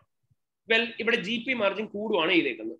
അതുകൊണ്ട് തന്നെ റവന്യൂ കുറഞ്ഞു എന്നുള്ള ആ പോസിബിലിറ്റി നമുക്ക് എടുത്ത് കളയാം. റവന്യൂ എന്ന് പറയുന്നത് രണ്ടിൽ ഈക്വൽ ആണ്. അതുകൊണ്ട് റവന്യൂ നമുക്ക് രണ്ടിൽ പറയാം. നമ്മളെ ബാധിക്കുന്ന കാര്യം എന്ന് പറഞ്ഞാൽ എന്താണ്? കോസ്റ്റ് ഓഫ് സെയിൽസ് ആണ്. സോ അപ്പൊ നമുക്ക് ഇവിടെ നോക്കിക്കഴിഞ്ഞാൽ മനസ്സിലാവും. ഗ്രോസ് പ്രോഫിറ്റ് മാർജിൻ കൂടുവാണ് ഈ ചെയ്തേക്കുന്നത് അങ്ങനെയാണെങ്കിൽ നമുക്ക് കോസ്റ്റ് ഓഫ് സെയിൽസ് എന്ന് പറയുന്നത് കൂടണോ കുറയണോ? കുറയണം. ഓപ്പറേറ്റിംഗ് പ്രോഫിറ്റ് മാർജിൻ കുറയുവാണ് ചെയ്തേക്കുന്നത് അങ്ങനെയാണെങ്കിൽ ഓപ്പറേറ്റിംഗ് എക്സ്പെൻസ് ഉണ്ടാവും കൂടിയിട്ടുണ്ടാവും. ശരിയല്ലേ? അപ്പൊ ഇത് രണ്ടും കൂടെ കമ്പൈൻ ചെയ്ത് നമ്മൾ എന്ത് പറയുന്ന അറിയോ ജി പി മാർജിൻ കൂടുകയും ഒ പി മാർജിൻ കുറയുകയും ചെയ്തു കഴിഞ്ഞാൽ നമ്മൾ പറയും എക്സ്പെൻസസ് എന്തൊക്കെയാണോ നമ്മൾ കോസ്റ്റ് ഓഫ് സെയിൽസിന്റെ അകത്ത് ഇൻക്ലൂഡ് ചെയ്യേണ്ടത്. അത് എവിടെ കൊണ്ട് ഇൻക്ലൂഡ് ചെയ്തിട്ടുണ്ടാവും ഇൻക്ലൂഡ് ചെയ്തിട്ടുണ്ടാവും. അങ്ങനെയാണ് എന്ത് സംഭവിക്കും? കോസ്റ്റ് ഓഫ് സെയിൽസ് അണ്ടർസ്റ്റേറ്റഡ് ആയിരിക്കും. ഓപ്പറേറ്റിംഗ് എക്സ്പെൻസസ് എന്താവും? ഓവർ ഇതായിരിക്കും നമ്മൾ പറയുന്ന റിസ്ക് എന്ന് പറയാം. മനസ്സിലായോ? ഓക്കെ അപ്പൊ നമ്മൾ ഇങ്ങനെയായിരിക്കും പറയാം. നമ്മൾ റിസ്ക് ആയിട്ട് ഇങ്ങനെ എക്സ്പ്ലെയിൻ ചെയ്താൽ മതി. The company's gross profit margin has been increased from 18% to 20%. On the other hand, the company's operating profit margin has been decreased from 12% to 9%. Therefore, there is a possibility that the expenses that need to have been included within the cost of sales might have been misclassified into operating expenses, thereby leading to overstatement of the operating expenses, operating expenses and understatement of the cost of sales എന്നുള്ളത് പറയാം. ഇതാണ് നമ്മുടെ risk എന്ന് പറയാം. And ഇവിടെ നമുക്ക് പറയാൻ പറ്റുന്ന റെസ്പോൺസ് എന്തായിരിക്കും? എന്താ റെസ്പോൺസ് പറയാൻ പറ്റുക? മിസ് ക്ലാസിഫിക്കേഷൻ അല്ലേ ഉണ്ടായിരിക്കുന്നത് അപ്പൊ ഞാൻ നിങ്ങളുടെ അടുത്ത് ഓൾറെഡി പറഞ്ഞു മിസ് ക്ലാസിഫിക്കേഷൻ ഉണ്ടാകുന്ന എല്ലാ കേസിലും എന്ത് യൂസ് ചെയ്യാം? ബ്രേക്ക് ഡൗൺ യൂസ് ചെയ്യാം. അപ്പൊ എന്ത് പറഞ്ഞാൽ മതി? Obtain the breakdown cost of sales and operating operating cost നടത്തിയിട്ട് എന്ത് ചെയ്യാൻ പറയാ? ഫിനാൻഷ്യൽ സ്റ്റേറ്റ്മെന്റ്സിനകത്ത് കറക്റ്റ് ആയിട്ടാണ് ക്ലാസിഫൈ ചെയ്തേക്കുന്നത് എൻഷുർ ചെയ്യാൻ പറയാം. ഓക്കെ ഇനി തിരിച്ചൊന്ന് പിടിച്ച മക്കളെ? അതായത് ഓപ്പറേറ്റിംഗ് പ്രോഫിറ്റ് മാർജിൻ കൂടി ജി പി മാർജിൻ കുറഞ്ഞു. അങ്ങനെയായിരുന്നു എന്നുണ്ടെങ്കിൽ നമ്മൾ എന്താ പറയേണ്ടത്? Operating cost cost of sales operating എക്സ്പെൻസിന്റെ അത് കാണിക്കേണ്ട കാര്യങ്ങൾ എവിടെ കൊണ്ട് കാണിച്ചിട്ടുണ്ടാവും പറയണം. കോസ്റ്റ് ഓഫ് സെയിൽസ് കാണിച്ചിട്ടുണ്ടാവും പറയണം. ഓക്കെ അപ്പം കോസ്റ്റ് ഓഫ് സെയിൽസ് എന്തായി? അണ്ടർസ്റ്റേ സോറി ഓവർ സ്റ്റേറ്റഡ് ആയി. ഓപ്പറേറ്റിംഗ് എക്സ്പെൻസ് എന്തായി? അണ്ടർസ്റ്റേറ്റഡ് സൂപ്പർ ഇനി next one is receivables days ഇത്രയും നാളത്തെ നമ്മുടെ റിസീവബിൾസ് ഡേയ്സ് എന്ന് പറയുന്നത് സിക്സ്റ്റി ഡേയ്സ് ആയിരുന്നു. അതിപ്പോ നയന്റി ഡേയ്സ് ആയി. അപ്പൊ റിസീവബിൾസ് ഡേയ്സ് എന്തായി? കൂടി as compared with prior year receivables days കൂടി കഴിഞ്ഞാൽ അതിനുള്ള പോസിബിലിറ്റി എന്തായിരിക്കും? What happens exactly possibility of having increase in the bad and doubtful debts അല്ലെ? ബാഡ് ആൻഡ് ഡൗട്ട്ഫുൾ ഡെപ്സിനുള്ള പോസിബിലിറ്റി ഉണ്ടാവും. അതായിരിക്കും നമ്മൾ റിസ്ക് ആയിട്ട് പറയുന്നുണ്ടാവുക. ആൻഡ് അതിന് വേണ്ടിട്ട് നമുക്ക് പറയാൻ പറ്റുന്ന റെസ്പോൺസ് എന്തായിരിക്കും? What should be the response for അതല്ലേ? ആ അത് എന്ത് പറയാ? Extended post post year receipt and review review of age receives return consider ചെയ്യാൻ പറയാം. relevant is call receivables super ഇനി ഇൻവെന്ററി ഡേയ്സ് ഇൻവെന്ററി ഡേയ്സ് ഇത്രയും നാളും ഫിഫ്റ്റി ഡേയ്സ് ആയിരുന്നു. ഇപ്പൊ ഇൻവെന്ററി ഡേയ്സ് സിക്സ്റ്റി ഡേയ്സ് ആയി. ഇൻവെന്ററി ഡേയ്സ് കൂടി. ഇൻവെന്ററി ഡേയ്സ് കൂടി കഴിഞ്ഞാൽ അവിടെ എന്തിനുള്ള പോസിബിലിറ്റി ആയിരിക്കും എക്സാക്ട്ലി അതായത് നമ്മുടെ ഇൻവെന്ററി വിറ്റ് പോകാനായിട്ട് ഒരുപാട് ടൈം എടുക്കുകയാണ്. Inventory is taking much more time for the purpose of sale അങ്ങനെയാണ് എന്തുള്ള പോസിബിലിറ്റി ആയിരിക്കും? There always a possibility of having slow moving or moving. Inventory slow moving ആയിരിക്കും. അല്ലെങ്കിൽ ഇൻവെന്ററി നമ്മൾ എന്തായിരിക്കും? ഒബ്സലറ്റ് ആയിരിക്കും. അപ്പം ഇൻവെന്ററി സ്ലോ മൂവിങ് അല്ലെങ്കിൽ ഇൻവെന്ററി ഒബ്സലറ്റ് ആയി കഴിഞ്ഞിട്ടുണ്ടെങ്കിൽ നമുക്കറിയാം നമ്മൾ എന്താ ചെയ്യേണ്ടത് അതിനെ? എന്താ ഓഫ് പ്രകാരം ലോവർ ഓഫ് കോസ്റ്റ് അല്ലെങ്കിൽ എൻ ആർ വി ആയിരിക്കണം ഇവിടെ ഉണ്ടാവുന്ന റിസ്ക് എന്ന് പറഞ്ഞാൽ എന്തായിരിക്കും? ചെയ്തിട്ടുണ്ടാവില്ല. to overstatement of എന്തായിരിക്കും? Inventory and of of the related expenses. Expenses അവിടെ നമ്മൾ എൻ ആർ വിയുടെ കാര്യമാണ് പറഞ്ഞത്. അപ്പൊ നമുക്ക് എന്തായിരിക്കും റെസ്പോൺസ് ആയിട്ട് പറയാൻ പറ്റുക? ലൈൻ ബൈ ലൈൻ ബേസിസിൽ ഏതെങ്കിലും തരത്തിലുള്ള ഇത് ഉണ്ടോ എന്ന് നോക്കാൻ പറയാം. ഓക്കെ കറക്റ്റ് ആയിട്ട് line by line basis treat ചെയ്തിട്ടുണ്ടെന്ന് നോക്കാൻ പറയാം. ഇത് നോക്കിയ മക്കളെ? പേബിൾസ് ഡേയ്സ് ആയി ശ്രദ്ധിക്കണേ. പേബിൾസ് ഡേയ്സ് നേരത്തെ ഫോർട്ടി ഡേയ്സ് ആയിരുന്നു. ഇപ്പൊ അത് സെവന്റി ഡേയ്സ് ആയി. നമ്മുടെ കറണ്ട് റേഷ്യോ എന്ന് പറയുന്നത് വൺ പോയിന്റ് നയൻ ആയിരുന്നു. ഇപ്പൊ അത് പോയിന്റ് നയൻ ആയി. ടുക്ക് റേഷ്യോ എന്ന് പറയുന്നത് വൺ പോയിന്റ് ത്രീ ആയിരുന്നു. ഇപ്പൊ അത് പോയിന്റ് സിക്സ് ആയി. ഞാൻ നിങ്ങളുടെ അടുത്ത് ചോദിക്കാം. ജി പി മാർജിനും ഒ പി മാർജിനും കൂടുന്നതാണോ നല്ലത് കുറയുന്നതാണോ നല്ലത്? കൂടുന്നതാണ്. റിസീവബിൾസ് ഡേയ്സും ഇൻവെന്ററി ഡേയ്സും പേബിൾസ് ഡേയ്സും കൂടുന്നതാണോ കുറയുന്നതാണോ നല്ലത്? കുറയുന്നതാണ്. കുറയുന്നതാണ് നല്ലത്. കറന്റ് റേഷ്യോയും ക്യുക്ക് റേഷ്യോയും കുറയുന്നതാണോ കൂടുന്നതാണോ നല്ലത്? കൂടുന്നതാണ് നല്ലത്. അപ്പം ഇത് വെച്ച് നോക്കിയാൽ നമുക്ക് ഇവിടുത്തെ അഡ്വേഴ്സ് റേഷ്യോസ് ഏതൊക്കെയാന്ന് പിക്ക് ചെയ്യാം അല്ലെ? അഡ്വേഴ്സ് റേഷ്യോ എന്ന് പറഞ്ഞാൽ എന്താണ്? ഏതാണ് നല്ലത്? അതിന് നേരെ ഓപ്പോസിറ്റ് വന്നാണ് അഡ്വേഴ്സ് റേഷ്യോസ് എന്ന് പറയാം. അപ്പൊ ഇവിടെ ലിറ്ററലി പറഞ്ഞു കഴിഞ്ഞാൽ നമ്മുടെ ഗ്രോസ് പ്രോഫിറ്റ് മാർജിൻ വെച്ച് ബാക്കിയെല്ലാം എന്താണ്? അഡ്വേഴ്സ് അപ്പൊ നിങ്ങൾ എന്ത് ചെയ്യണം? ഈ അഡ്വേഴ്സ് റേഷ്യോസ് എല്ലാം കൂടെ പിക്ക് ചെയ്തിട്ട് ഇന്റർപ്രിറ്റ് ചെയ്യാം അപ്പൊ ഇങ്ങനെ പറഞ്ഞാൽ മതി. As compared with the prior year the company's operating profit margin has been decreased. In addition to this, the receivables days, inventory days, and the payables days has been increased drastically with an decrease in the amount of current ratio and quick ratio. അപ്പൊ ഇത്രയും നിങ്ങൾ interpret ചെയ്തു എന്നിട്ട് എന്ത് പറയണം all this represent chances of having Going concern implication. Going concern uncertainty ഉണ്ടെന്നേ പറയാവുള്ളേ going concern അല്ല എന്ന് പറയരുത് എന്തുണ്ടെന്ന് വേണം പറയാൻ Uncertainty related to going concern. ഉണ്ടെന്ന് പറയണം അവിടുത്തെ അക്കൗണ്ടിങ് ട്രീറ്റ്മെന്റ് എന്താ? എല്ലാരും കാണിക്കുന്ന എല്ലാരും കാണിക്കുന്ന ഒരു അബദ്ധമാണ്. ഇത്ര എഴുതി വെച്ചിട്ട് there is uncertainty rating to going concern എഴുതി വെച്ചിട്ട് പോകും. അവിടെ ബാക്കി ആരും വരൂല ബാക്കി എഴുതാൻ. നമ്മളവിടെ അക്കൗണ്ടിങ് ട്രീറ്റ്മെന്റ് ഇതുവരെ പറഞ്ഞിട്ടില്ല. അവിടെ എന്താ നമ്മൾ പറയേണ്ടത്? ഡിസ്ക്ലോസ് ചെയ്തിട്ടുണ്ട്. റിസ്ക് എന്ന് പറഞ്ഞാൽ എന്തായിരിക്കും? ചെയ്തിട്ടുണ്ടാവില്ല. അപ്പൊ നമ്മൾ അവിടെ ടോട്ടൽ ആയിട്ട് ഇങ്ങനെ പറഞ്ഞാൽ മതി. ഇത്രയും റേഷ്യോസ് ഇന്റർപ്രിറ്റ് ചെയ്യുക. എന്നിട്ട് എന്ത് പറയണം? They can be chances of having uncertainties relating to going concern And in case of uncertainties, it must be adequately be disclosed in the financial statements. However, there can be chances that the uh, company might not have included disclosures leading to material mistakes in the disclosures of the financial. Response എന്തായിരിക്കണം നമ്മൾ പറയുന്നത് discuss ചെയ്യണം management അടുത്ത് അങ്ങനെ ഒരു management discuss ചെയ്യാൻ പറയാ uncertainty relating to going concern എന്തെങ്കിലും ഉണ്ടോ എന്നുള്ളത് ഉണ്ടെങ്കിൽ നോട്ട്സ് നോക്കുക അത് ഡിസ്ക്ലോസ് സ്റ്റേറ്റ്മെന്റ്സ് റിവ്യൂ ചെയ്യുക അൺസർട്ടനിറ്റീസിനെ കുറിച്ച് ഡിസ്ക്ലോസ് ചെയ്തിട്ടുണ്ടോ എന്ന് അറിയാൻ വേണ്ടിയിട്ട്. അപ്പൊ നമ്മൾ ഇങ്ങനെ പറഞ്ഞാൽ മതി. Discuss with the management whether there is any uncertainty in relation to the going concern and if there is any uncertainty review the financial statements to ensure that these are being adequately disclosed. Disclosed. നമ്മൾ analytical പ്രൊസീജിയേഴ്സിന്റെ പാർട്ടായിട്ട് പറയുന്നുണ്ടാവുക. Okay so ഈ ഒരു particular ഏരിയനെ കുറിച്ച് നിങ്ങൾക്ക് നോക്കുകയാണെന്നുണ്ടെങ്കിൽ നമുക്കറിയാം. ഈ ഒരു ഏരിയ കമ്പാരിറ്റീവ്ലി ഭയങ്കര എളുപ്പമാണ് മാർക്ക് സ്കോർ ചെയ്യാൻ വേണ്ടിയിട്ട് കാരണം റേഷ്യോ കാൽക്കുലേഷൻ വേണ്ടിയിട്ട് മാത്രം ചിലപ്പോൾ ഫോർ ടു സിക്സ് മാർക്സ് ഒക്കെ വരാറുണ്ട്. റേഷ്യോ കമ്പ്യൂട്ടേഷന് വേണ്ടിയിട്ട് മാത്രം അതായത് റിസ്ക് കണ്ടുപിടിക്കാനല്ല റേഷ്യോസ് കാൽക്കുലേറ്റ് ചെയ്യാൻ വേണ്ടിയിട്ട് മാത്രം.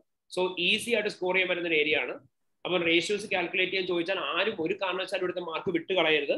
എന്താണെങ്കിലും കാൽക്കുലേറ്റ് ചെയ്യാം. ഓക്കെ അതുപോലെ തന്നെ റേഷ്യോസ് കാൽക്കുലേറ്റ് ചെയ്തതിന് ശേഷം നമ്മൾ എന്താ ചെയ്യേണ്ടതെന്ന് ചോദിച്ചിട്ടുണ്ടെങ്കിൽ we will just do one thing ratios compute ചെയ്തതിന് ശേഷം നമ്മൾ അതേപോലെ തന്നെ ഒരു കാര്യം കൂടെ ചെയ്യുന്നുണ്ടാവണം. എപ്പോഴും റേഷ്യോസ് മിക്സപ്പ് സിനാരിയോ ആയിട്ട് ചെയ്തിട്ട് വേണം നിങ്ങൾ ആൻസേഴ്സ് എഴുതുകയും ചെയ്യാനായിട്ട്. ഓക്കെ അപ്പൊ ഈ ഒരു കാര്യമായിരിക്കും നമ്മളിവിടെ ചെയ്യേണ്ടി വരിക. So we can just do one thing we will start with a question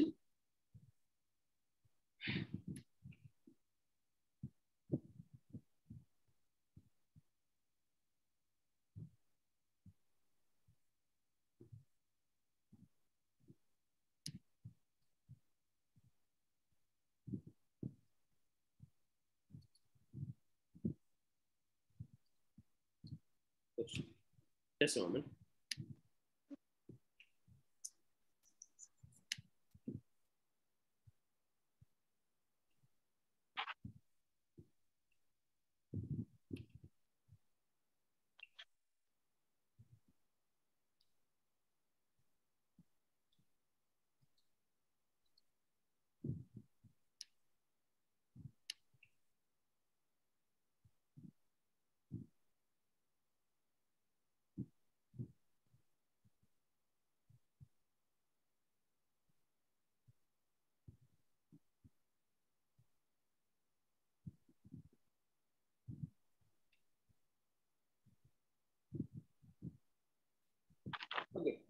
So we will start with a question called Kangaroo Construction Company. Kangaroo Construction Company. And എല്ലാവരുടെയും കയ്യിൽ റിവിഷൻ കിറ്റ് ഉണ്ടെങ്കിൽ ഈ ക്വസ്റ്റൻ ഒന്ന് എടുത്ത് മക്കളെ. It's in Kaplan revision kit question number two one three some of you might have already done അല്ല നമ്മൾ almost എല്ലാവരും തന്നെ ചെയ്തതാണ്. It's in question number two one three page number ninety eight in the Kaplan revision kit Kangaroo Construction Company അവിടുത്തെ requirement എന്താണെന്ന് നോക്കി നിങ്ങളോട് first ചോദിച്ചേക്കുന്ന requirement it's a direct straightforward question explain the concept of materiality performing in uh, accordance with IS 320 materiality in planning and performing an audit. Materiality പഠിച്ചിട്ടുള്ളതല്ലേ performance materiality പഠിച്ചിട്ടുള്ളതല്ലേ എന്തായിരുന്നു മക്കളെ materiality എന്ന് പറഞ്ഞാൽ കാരണം യൂസേഴ്സിനെ ഇൻഫ്ലുവൻസ് ചെയ്യാൻ like even omission or misstatement would reasonably influence economic decision of users of financial statements അതിനെയാണ് നമ്മൾ എന്തെന്ന് വിളിക്കുക മെറ്റീരിയൽ എന്ന് വിളിക്കുക then planning materiality performance materiality നമ്മൾ പഠിച്ചായിരുന്നു. എന്തായിരുന്നു പ്ലാനിങ് മെറ്റീരിയാലിറ്റി എന്ന് പറഞ്ഞാൽ? Financial statements as a whole. Performance materiality എന്ന് പറഞ്ഞാൽ എന്തായിരുന്നു? ഡിഫറെന്റ് ലെവൽസിൽ ട്രാൻസാക്ഷൻ മെറ്റീരിയാലിറ്റി ആണ് പെർഫോമൻസ് മെറ്റീരിയാലിറ്റി എന്ന് പറയാം. അല്ലാന്നുണ്ടെങ്കിൽ നമ്മൾ പറഞ്ഞു ഓവറോൾ മെറ്റീരിയാലിറ്റിനെക്കാളും ബിലോ നമ്മൾ സെറ്റ് ചെയ്തേക്കുന്ന മെറ്റീരിയാലിറ്റിയാണ് നമ്മൾ വിളിക്കുക? പെർഫോമൻസ് മെറ്റീരിയാലിറ്റി എന്ന് വിളിക്കുക. എന്നിട്ട് നമ്മളോട് ഇവിടെ എന്താ പറഞ്ഞേക്കുന്നത് നോക്കിയേ? നിങ്ങളുടെ അടുത്ത് പറയുന്നുണ്ട് നിങ്ങൾ സിക്സ് റേഷ്യോസ് കാൽക്കുലേറ്റ് ചെയ്യണം ഫോർ ബോത്ത് ഇയേഴ്സ് രണ്ട് വർഷത്തിലേക്കും കൂടെ വേണ്ടിയിട്ട് നിങ്ങൾ സിക്സ് റേഷ്യോസ് കാൽക്കുലേറ്റ് ചെയ്യുക. സിക്സ് റേഷ്യോസ് ടു ഇയേഴ്സിനും കൂടെ വേണ്ടിയിട്ടാണ് കാൽക്കുലേറ്റ് ചെയ്യേണ്ടത്. And that too for six marks അതിനുശേഷം നമ്മൾ പറഞ്ഞു using the information provided and the ratios calculated identify and describe seven audit risk and explain the auditor's responses to each risk നമ്മളോട് പറഞ്ഞ എന്താണ് നമ്മൾ കാൽക്കുലേറ്റ് ചെയ്തേക്കുന്ന റേഷ്യോന്റെ ബേസിസിൽ നമ്മൾ എന്ത് ചെയ്യണം? അതേപോലെ തന്നെ തന്നേക്കുന്ന സിനാരിയോന്റെ ബേസിസിൽ സെവൻ ഓഡിറ്റ് റിസ്കും ഓഡിറ്റേഴ്സ് റെസ്പോൺസസും കണ്ടുപിടിക്കണം. ഇത്രയാണ് നമ്മുടെ അടുത്ത് ചെയ്യാൻ പറഞ്ഞേക്കുന്നത്. So we will just one thing അപ്പോൾ ക്വിക്ലി ഒരു ടെൻ മിനിറ്റ്സ് ടൈമിൽ എല്ലാവരും ഈ ക്വസ്റ്റൻ ഒന്ന് വായിച്ച് അതുപോലെ തന്നെ റേഷ്യോസ് ഒന്ന് പടയെന്ന് കാൽക്കുലേറ്റ് ചെയ്തേ. Okay so please start with it അപ്പൊ എല്ലാവരും ഈ കങ്കരു കൺസ്ട്രക്ഷൻ കമ്പനി എന്ന് പറഞ്ഞതിന്റെ ക്വസ്റ്റനും വായിച്ച് നോക്കുക റേഷ്യോസും കാൽക്കുലേറ്റ് ചെയ്യാം കേട്ടോ ഓക്കെ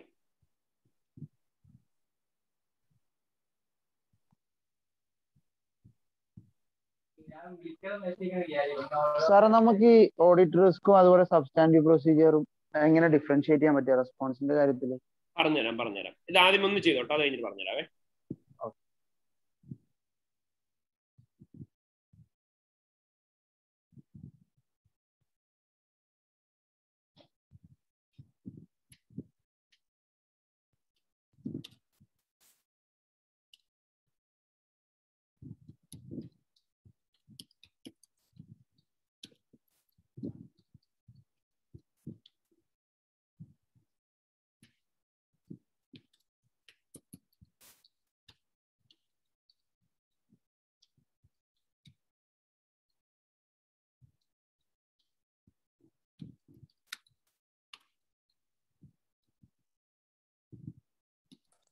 വേറെ ഒരു ക്വസ്റ്റ്യനകത്ത് ഒരു റിക്വയർമെന്റ് ആയിട്ട് ഓഡിറ്റ് സ്ട്രാറ്റജി ഡോക്യുമെന്റിനകത്ത് എന്തൊക്കെയാണ് ഇൻക്ലൂഡ് ചെയ്യേണ്ടതെന്ന് ചോദിച്ചത് നമ്മൾ മറ്റേ മാറ്റേഴ്സ് ടു ബി കൺസിഡർഡ് അതാണ് എഴുതുന്നത് മാറ്റേഴ്സ് ടു ബി കൺസിഡർഡ് നമ്മൾ സ്ട്രാറ്റജി ഡോക്യുമെന്റും പോളിസിയും പഠിച്ചില്ലായിരുന്നു അതിന്റെ അത്ര കോണ്ടന്റ്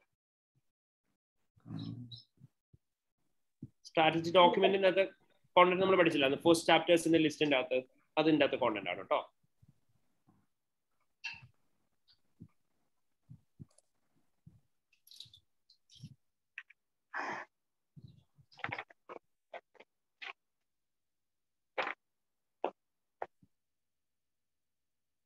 എല്ലാരും ക്വസ്റ്റ്യൻ വായിക്കണേ.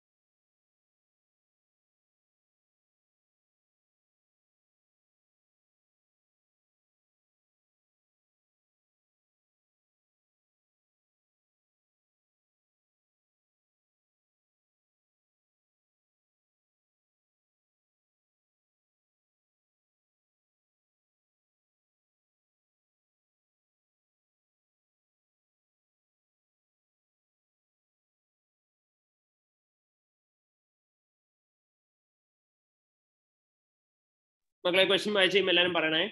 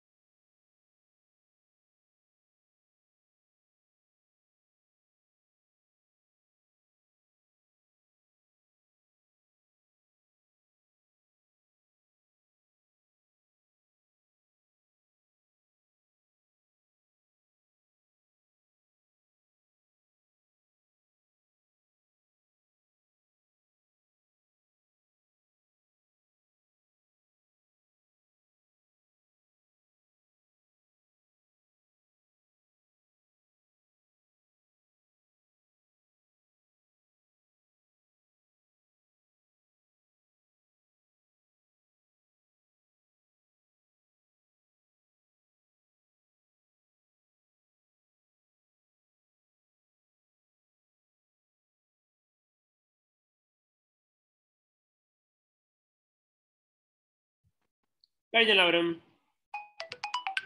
ഓക്കെ സോ നോക്കി മക്കളെല്ലാരും അപ്പൊ റേഷ്യൂസ് എല്ലാവരും കാൽക്കുലേറ്റ് ചെയ്തില്ലേ? ഒന്ന് പറഞ്ഞേ. ഏതൊക്കെയാ റേഷ്യോസ് കാൽക്കുലേറ്റ് ചെയ്തേക്കുന്നത്? G P margin G P margin two thousand ഏതൊക്കെയാ near thirteen twelve thirteen okay two thousand തേർട്ടീനും two thousand twelve two thousand തേർട്ടീനിലെ G P margin എത്രയാ?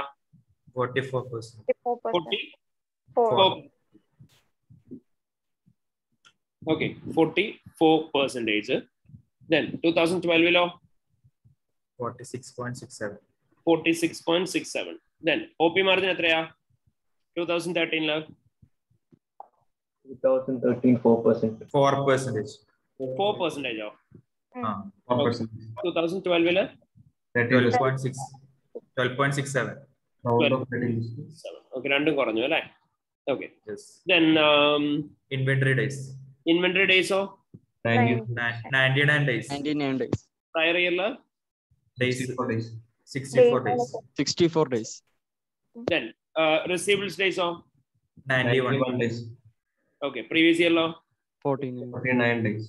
Forty nine days okay ബാക്കി റേഷ്യോസ് ഇപ്പൊ പറയണ്ട. ബാക്കി നമുക്ക് ലാസ്റ്റ് അപ്പൊ നിങ്ങൾ റേഷ്യോസ് ഒരേ ഒരു കാര്യം കൺസിഡർ ചെയ്യാം.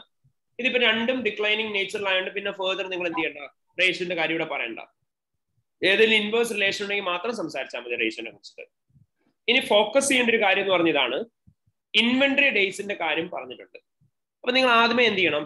ക്വസ്റ്റ്യൻ വായിക്കുന്ന സമയത്ത് ഇൻവെന്ററി ഡേയ്സുമായിട്ട് റിലേറ്റ് ചെയ്തിട്ടുള്ള ഏതെങ്കിലും പോയിന്റ്സ് ക്വസ്റ്റ്യൻ അകത്തുണ്ടോ എന്നുള്ള കാര്യം നമ്മൾ നോക്കണം. ഇനി അതേപോലെ തന്നെ നിങ്ങൾ റിസീവബിൾസ് ഡേയ്സ് വായിക്കുന്ന സമയത്ത് റിസീവബിൾസുമായിട്ട് റിലേറ്റ് ചെയ്തിട്ടുള്ള എന്തെങ്കിലും പോയിന്റ്സ് ക്വസ്റ്റ്യൻ അകത്തുണ്ടോ എന്നുള്ള കാര്യം നോക്കണം. ഇൻവെന്ററി ആയിട്ട് റിലേറ്റ് ചെയ്തിട്ടുള്ള പോയിന്റ്സ് എന്തെങ്കിലും ഉണ്ട് എന്നുണ്ടെങ്കിൽ ഇൻവെന്ററിയുടെ പോയിന്റ്സിന്റെ കൂടെ കമ്പൈൻ ചെയ്തിട്ട് വേണം ഈ റേഷ്യോസിന്റെ പോയിന്റ്സ് എഴുതാൻ. റിസീവേഴ്സ് ആയിട്ട് റിലേറ്റ് ചെയ്താണെങ്കിലും ക്വസ്റ്റിനകത്ത് ഉണ്ടെങ്കിൽ എന്ത് ചെയ്യുക? റിസീവേഴ്സിന്റെ പോയിന്റുമായിട്ട് കമ്പൈൻ ചെയ്തിട്ട് എഴുതുക. ഇൻ കേസ് എങ്ങാനും അങ്ങനെ ഒരു പോയിന്റ് ഇല്ല എന്നുണ്ടെങ്കിൽ മാത്രം നിങ്ങൾ എന്ത് ചെയ്താൽ മതി? സെപ്പറേറ്റ് ചെയ്ത് എഴുതിയാൽ മതി. അല്ലാതെ എപ്പോഴും എന്ത് ചെയ്താൽ മതി? കമ്പൈൻ ചെയ്ത് അതിന്റെ കൂട്ടത്തിൽ തന്നെ എഴുതി പോയാൽ മതി. Okay so let see you are the audit senior of R and company you are trying the audit of Kangaroo Construction Company for the year ended 31st March 2013. Kangaroo specializes in building house and provides a five-year building warranty to its customers. Specializes in uh, sorry customers. Your audit manager has held a planning meeting with the finance director. He has provided you the following notes of his meeting and financial statements extracts. Kangaroo has had a difficult year. House prices have fallen, and as a result, revenue has dropped. In order to address this, management has offered significantly extended credit terms to the customer. However, the demand has fallen such that there are still some completed houses in inventory where the selling price may be below the cost. Cash flow issues have been elevated partially due to the requirement of the customers to pay a deposit of 5,000 to secure the houses they wish to buy. The deposit is refundable until the house is 75% is complete. At this stage, the house is deemed to be built to the customer specification and the deposit become non-refundable. പറയാം. എന്തൊക്കെയാ പ്രശ്നങ്ങൾ ഇവിടെ ഉള്ള മക്കളെ credit terms. Customers അവർ എന്ത് ചെയ്യുന്നുണ്ടെന്ന് പറഞ്ഞു? Extend credit terms offering. പറഞ്ഞു അല്ലെ? കസ്റ്റമേഴ്സിന് എക്സ്റ്റെൻഡ് ക്രെഡിറ്റ് ടേംസ് കൊടുക്കുന്നുണ്ടെന്ന കാര്യം പറഞ്ഞു. എക്സ്റ്റെൻഡഡ് ക്രെഡിറ്റ് ടേംസ് കസ്റ്റമേഴ്സിന് ഒരുപാട് കൊടുത്തു കഴിഞ്ഞാൽ എന്തായിരിക്കും സംഭവിക്കുക ചാൻസസ് ഉണ്ട് ഇതുമായിട്ട് കമ്പൈൻ ചെയ്യാനുള്ള ഏതെങ്കിലും റേഷ്യോ ഉണ്ടോ അപ്പൊ നിങ്ങൾ രണ്ടും കൂടെ കമ്പൈൻ ചെയ്ത് എന്ത് പറയണം ഇങ്ങനെ പറഞ്ഞാൽ മതി the company has provided extended credit terms to many of its customers and the company's receivables days has been increased by increased from 49 days to 95 days. thereby there is a chance of having bad or doubtful doubtful debts പറയണം? അത്രമാത്രം പറഞ്ഞാൽ മതിയോ? പോരാ. അപ്പം ബാഡോ doubtful വേണ്ടി company എന്താ accounting treatment ചെയ്യേണ്ടത്? Provision recognise ചെയ്യണം. അല്ലാന്നുണ്ടെങ്കിലോ അലവൻസ് സോറി അല്ലെങ്കിൽ അവർ റിസീവ്സ് ബാലൻസ് ചെയ്തിട്ടുണ്ടാവണം റൈറ്റ് ഓഫ് ചെയ്തിട്ടുണ്ടാവണം. റിസ്ക് എന്ന് പറഞ്ഞാൽ എന്തായിരിക്കും? അവർ ആഡിക്യൂറ്റ് അക്കൗണ്ടിങ് ട്രീറ്റ്മെന്റ് എടുത്തിട്ടുണ്ടാവില്ല. സോ റിസീവ്സ് ബാലൻസ് ഉണ്ടാവും ഓവർ സ്റ്റേറ്റഡ് ആവും റിലേറ്റഡ് എക്സ്പെൻസസ് ഉണ്ടാവും അണ്ടർസ്റ്റേറ്റ് റെസ്പോൺസ് നമ്മൾ എന്തായിരിക്കും പറയുന്നുണ്ടാവുക? Extended posture and cash testing, review of and Allowance for receivables. allowances for receivables Okay. Okay ഇനി issue? Issue Price for Inventory below cost and selling price. കമ്പനിയുടെ കുറെ ഇൻവെന്ററിയുടെ selling price എന്തിനേക്കാളും താഴെയാണെന്ന് പറഞ്ഞു കോസ്റ്റിനേക്കാളും below ആണെന്ന് പറഞ്ഞു okay then അതുമായിട്ട് combine ചെയ്യാനുള്ള ratio ഏതെങ്കിലും ഉണ്ടോ Inventory days. ഇൻവെന്ററി അപ്പൊ നമുക്ക് എന്ത് പറയാം the company's Obsolete ആവാൻ. some of the inventories of the company are held at lower than the selling price sorry the selling price are held at lower than the cost, Cost. in addition to which the inventory days has been increased from 64 days to 64 to 99 99. അപ്പൊ അതെന്താ represent ചെയ്യുന്നത് chances of having Slow, slow moving moving or obsolete inventory. Exactly നമുക്കറിയാം slow moving അല്ലെങ്കിൽ inventory obsolete ആണെന്നുണ്ടെങ്കിൽ നമ്മൾ എന്ത് ചെയ്യണം എന്നാ പഠിച്ചിട്ടുള്ളത്?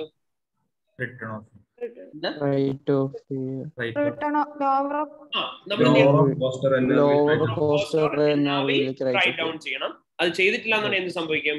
Inventory value over Inventory over- overstate ആവും. എക്സ്പെൻസസ് ഉണ്ടാവും അണ്ടർസ്റ്റേറ്റ് Understood. അതിന് വേണ്ടി നമ്മൾ കൊടുക്കുന്നുണ്ടാവുക റെസ്പോൺസ് എന്തായിരിക്കും? Detailed Detailed cost or NRV test. Correctly. NRV testing നമ്മൾ നടത്തണം. ലൈൻ ബൈ ലൈൻ കറക്റ്റ് ആയിട്ടാണ് വാലി ഞാൻ ചെയ്ത വേറെന്ത് ഇഷ്യൂ ഇവിടെ ഉള്ളത്? വേറെന്ത് ഇഷ്യൂ ഉള്ള മക്കളെ? Sir, revenue കേസ് പറയാമോ? റവന്യൂന്റെ കേസ് പറയാലോ? എന്താ പ്രശ്നം? 72 classical complete. Only എനിക്ക് ഫൈവ് തൗസൻഡ് റുപ്പീസ് കമ്പനി എന്ത് ചെയ്യുന്നുണ്ട്? ഓരോ കസ്റ്റമേഴ്സിന്റെ കയ്യിൽ നിന്ന് ഫൈവ് തൗസൻഡ് ഡോളേഴ്സ് വെച്ചിട്ട് കമ്പനി എന്ത് ചെയ്തു? കമ്പനി കളക്ട് ചെയ്തിട്ടുണ്ട്. റവന്യൂ ആയിട്ട് അവർ ആ ഒരു എമൗണ്ട് ട്രീറ്റ് ചെയ്യാനുള്ള ചാൻസ് ഉണ്ട് അല്ലേ? നിങ്ങൾ പറയേണ്ടത് എന്താ? അവിടെ നിങ്ങളോട് സ്പെസിഫിക്കലി എടുത്ത് പറഞ്ഞിട്ടുണ്ട് ഫൈവ് തൗസൻഡ് റുപ്പീസ് അവർക്ക് ഇൻ അഡ്വാൻസ് കിട്ടിയേക്കുന്നതാണ്. അത് ഡെപ്പോസിറ്റബിൾ ആണോ നോൺ റീഫണ്ടബിൾ ആണോ? നമ്മൾ പറഞ്ഞു റീഫണ്ടബിൾ ആണ്. ആവുന്നിടം വരെ അത് റീഫണ്ടബിൾ ആണ്. അങ്ങനെയാണെന്നുണ്ടെങ്കിൽ ഏത് സ്റ്റാൻഡേർഡ് പ്രകാരം നമ്മൾ യൂസ് ഇതിനെ ട്രീറ്റ് ചെയ്യാം? IFRS 15. I F R S fifteen customers പ്രകാരമാണ് I F R S fifteen പ്രകാരം നമ്മൾ ഈ എമൗണ്ട് എന്താ ചെയ്യേണ്ടത്? ഡെഫേർഡ് ഇൻകം ആയിട്ടാണ് കാണിക്കുന്നത്. Rather than treating it as an income അവിടെ ഉണ്ടാവാൻ ചാൻസ് ഉള്ള പോസിബിലിറ്റി എന്ന് പറഞ്ഞാൽ എന്താണ്. റവന്യൂ റെക്കഗ്നൈസ് അങ്ങനെയാണെന്നുണ്ടെങ്കിൽ നമ്മുടെ റവന്യൂ എന്താവും? Over stated. ഇൻകം എന്താവും? അൺടെസ്റ്റേറ്റഡ് ആവും.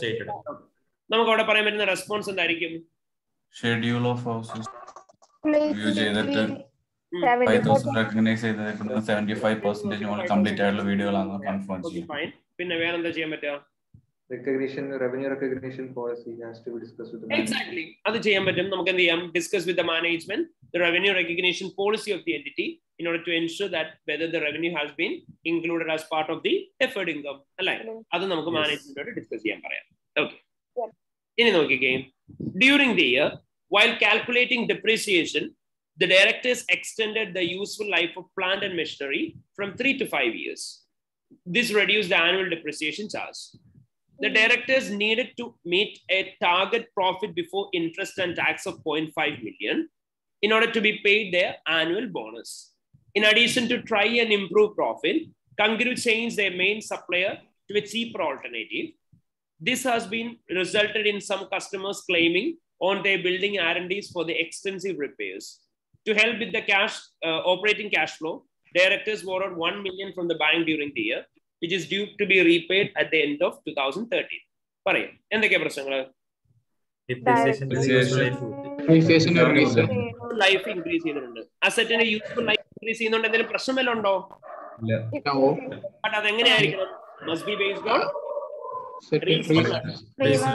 based on reasonable assumption risk എന്ന് പറഞ്ഞാൽ എന്തായിരിക്കും അവിടെ ഉണ്ടാവാൻ ചാൻസ് ഉള്ളത്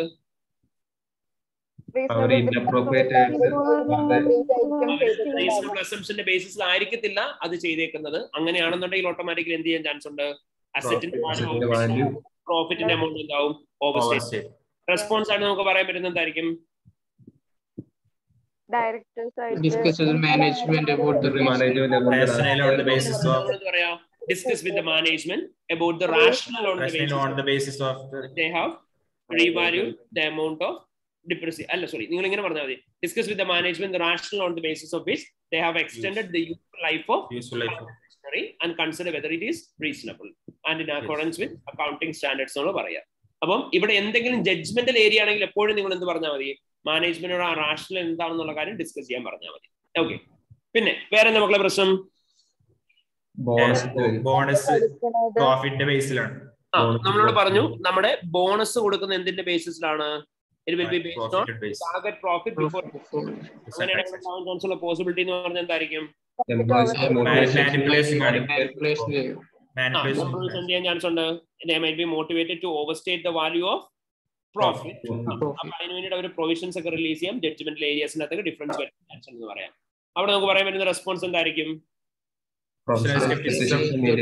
Alert ആയിരിക്കുക ജഡ്ജ്മെന്റ് മെയിന്റെയിൻ ചെയ്യാൻ പറയും ത്രൂ ഔട്ട് ഓഡിറ്റ് അതുപോലെ തന്നെ നമ്മൾ എന്തായിരിക്കണം? ഇൻ അഡീഷൻ ടു വിച്ച് വേറെ എന്തെങ്കിലും ചെയ്യാനുണ്ടോ? റിട്ടേൺ റെപ്രസെന്റേഷൻ ഒപ്റ്റൈൻ ചെയ്യാൻ പറയാം എന്തിനെ കുറിച്ചിട്ട്. അവർ എന്തെങ്കിലും ചേഞ്ചസ് വല്ലതും വരുത്തിയിട്ടുണ്ടെങ്കിൽ അത് റെപ്രസെന്റേഷൻ വാങ്ങിക്കാൻ പറയാം. ഓക്കെ പ്രൊഫഷണൽ നമുക്ക് പറയാൻ പറ്റും ആ അത് നമ്മളിപ്പോ ഓൾറെഡി പറഞ്ഞല്ലോ. കേട്ടില്ലായിരുന്നോ? പ്രൊഫഷണൽ സ്കിൽസ് മെയിന്റെയിൻ ചെയ്യാൻ പറയാം അത് നമുക്ക് ഫസ്റ്റ് പ്രിഫറൻസ് ആയിട്ട് തന്നെ പറയാം കേട്ടോ. ഓക്കെ ഇനി വേറെന്താ പ്രശ്നം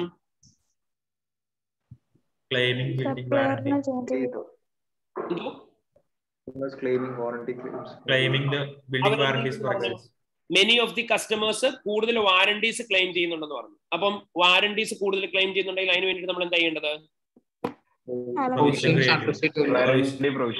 recognized adequate amount of provision for the fu- probable future cash outflow flows. in accordance with ഏതാണ് I S IAS 37 provision provision condition. and condition current asset. അവിടെ ഉണ്ടാവുന്ന റിസ്ക് എന്ന്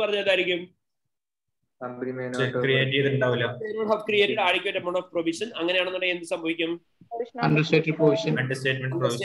ഉണ്ടാവും ഓവർ സ്റ്റേറ്റ്മെന്റ് ഓഫ് പ്രോഫിറ്റ് ഉണ്ടാവും okay response എന്തായിരിക്കും ഇവിടെ എന്താ response ആയിട്ട് എടുക്കേണ്ടത് പ്രൊവിഷൻ ക്രിയേറ്റ് ചെയ്തിട്ടുണ്ടോ നോക്കാം ഡിസ്കസ് ഇവിടെ പ്രൊവിഷൻ ക്രിയേറ്റ് ചെയ്തിട്ടുണ്ടെന്നാണോ ചോദിക്കേണ്ടത്? അല്ല. കാരണം ഇവർ ഓൾറെഡി പ്രൊവിഷൻ ക്രിയേറ്റ് ചെയ്തിട്ടുണ്ട്. അല്ലേ? നിങ്ങൾക്ക് രണ്ട് ഇവർ എന്ത് അസംഷന്റെ ബേസിസിലാണ് പ്രൊവിഷൻ കാൽക്കുലേറ്റ് ചെയ്തേക്കുന്നത് ചോദിക്കാം. അല്ലാന്നുണ്ടെങ്കിൽ നിങ്ങൾ പ്രൊവിഷൻ ക്രിയേറ്റ് ചെയ്യുന്നുണ്ടോ എന്ന് ചോദിക്കാം. പക്ഷെ അവിടെ നിങ്ങൾ എന്ത് ചോദിച്ചാൽ മതി. Discuss with the management whether they have created additional provision during the year in relation to the building warranties എന്ന് പറയാം. മനസ്സിലായോ? അതായത് പ്രൊവിഷൻ ക്രിയേറ്റ് ചെയ്തിട്ടുണ്ടെന്ന് പറഞ്ഞിട്ടുണ്ടോ? അതായത് നോർമലി എന്ത് ചെയ്തിട്ടുണ്ടാവും? എല്ലാ കമ്പനീസും ബിൽഡിംഗ് വാറണ്ടീസ് കൊടുക്കുമ്പോൾ എന്ത് ചെയ്തിട്ടുണ്ടാവും? പ്രൊവിഷൻ ക്രിയേറ്റ് ചെയ്യാറുണ്ട്. ഇവിടെ അവർ പറഞ്ഞ എന്താ? ഈ വർഷം തൊട്ട് അഡീഷണൽ ക്ലെയിംസ് വന്നു തുടങ്ങി എന്നാണ് പറഞ്ഞത്. അപ്പൊ അത് കാരണം കൊണ്ടാണ് നമ്മൾ പറഞ്ഞത് അഡീഷണൽ പ്രൊവിഷൻ ക്രിയേറ്റ് ചെയ്യണം. മനസ്സിലായോ?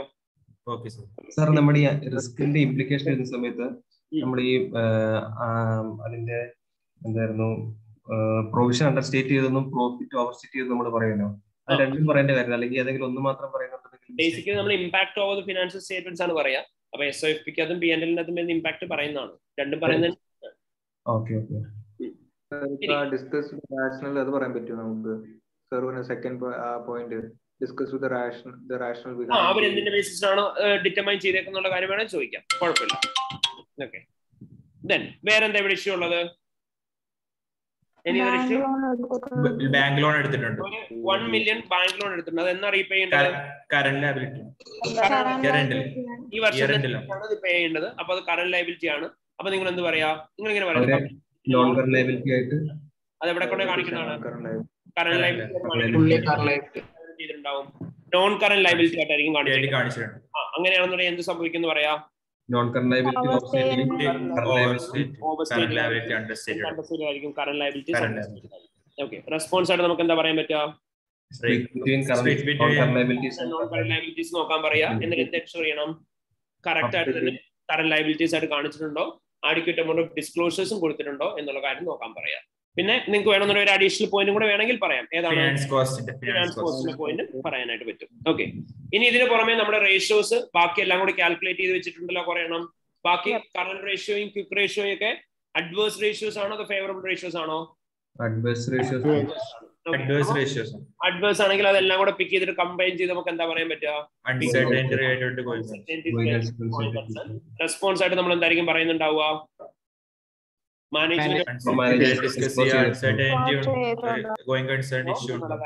അതിന് എന്തെങ്കിലും അൺസർട്ടനിറ്റി ഉണ്ട് എന്നുണ്ടെങ്കിൽ നമ്മൾ എന്ത് ചെയ്യാൻ പറയണോ അത്? ഡിസ്ക്ലോസ് ചെയ്യാൻ പറയും ഡിസ്ക്ലോസ് ചെയ്യാനല്ല. അൺസർട്ടനിറ്റി ഉണ്ടെന്ന് അവർ പറയാണ് നമ്മൾ എന്ത് ചെയ്യണം എന്ന് പറയാം ഫിനാൻഷ്യൽ സയൻസ് റിവ്യൂ ചെയ്യാൻ പറയാം അവർ ഡിസ്ക്ലോസ് ചെയ്തിട്ടുണ്ടോ എന്നുള്ള കാര്യം. മനസ്സിലായോ? അപ്പൊ ഇത്രയായിരിക്കും നമ്മൾ പറയുന്നുണ്ടാവുക. ആൻഡ് ഇത്രയാണ് നമ്മുടെ ഈ ക്വസ്റ്റിന്റെ അകത്ത് ബേസിക്കലുള്ള റിസ്ക് എന്ന് പറയുന്നത്. ഓക്കെ ഇനി എന്നോട് കുറച്ച് മുമ്പ് ഒരാൾ ഡൗട്ട് ചോദിച്ചിരുന്നല്ലോ. എന്താണ്? ഇപ്പം ഞാൻ കഴിഞ്ഞ ദിവസം നിങ്ങൾക്ക് പറഞ്ഞു തന്നായിരുന്നു ആക്ച്വലി സബ്സ്റ്റാൻഡീവ്സിന്റെ ക്ലാസ്സസ് എടുത്ത സമയത്ത്. എന്താണ് സബ്സ്റ്റാൻഡീവ് പ്രൊസീജിയേഴ്സും അതുപോലെ തന്നെ എന്താണ് ഈ ഒരു ഓഡിറ്റേഴ്സ് റെസ്പോൺസും എന്താണ് ടെസ്റ്റ് ഓഫ് കൺട്രോൾസും തമ്മിലുള്ള ഡിഫറൻസ് എന്ന് ചോദിച്ചാൽ മൂന്നിനെയും ഡിഫറൻസ് പറഞ്ഞുതരാം. എല്ലാവരും നോക്കിയേ സബ്സ്റ്റാന്റീവ് പ്രൊസീജിയേഴ്സ് എന്ന് പറയുന്ന സമയത്ത് നമ്മൾ ഇവിടെ കൺസിഡർ ചെയ്യുന്ന എന്താണ് we are considering about the mistakes in the financial statements financial സ്റ്റേറ്റ്മെന്റ്സിന്റെ അകത്ത് മിസ്റ്റേക്ക് എന്തൊക്കെയാണ്? അസേഷൻസിന്റെ അകത്ത് ഉണ്ടാവാൻ ചാൻസ് ഉള്ള മിസ്റ്റേക്ക് എന്തൊക്കെയാണ്? അത് പ്രൂവ് ചെയ്യാൻ വേണ്ടിയിട്ടാണ് നമ്മൾ സബ്സ്റ്റാന്റീവ് പ്രൊസീജിയേഴ്സ് ചെയ്യുക. ഈ ഓഡിറ്റ് പ്രൊസീജിയേഴ്സ് എന്ന് പറയുന്നത് ഒരു മെയിൻ ഹെഡ് ആണ്.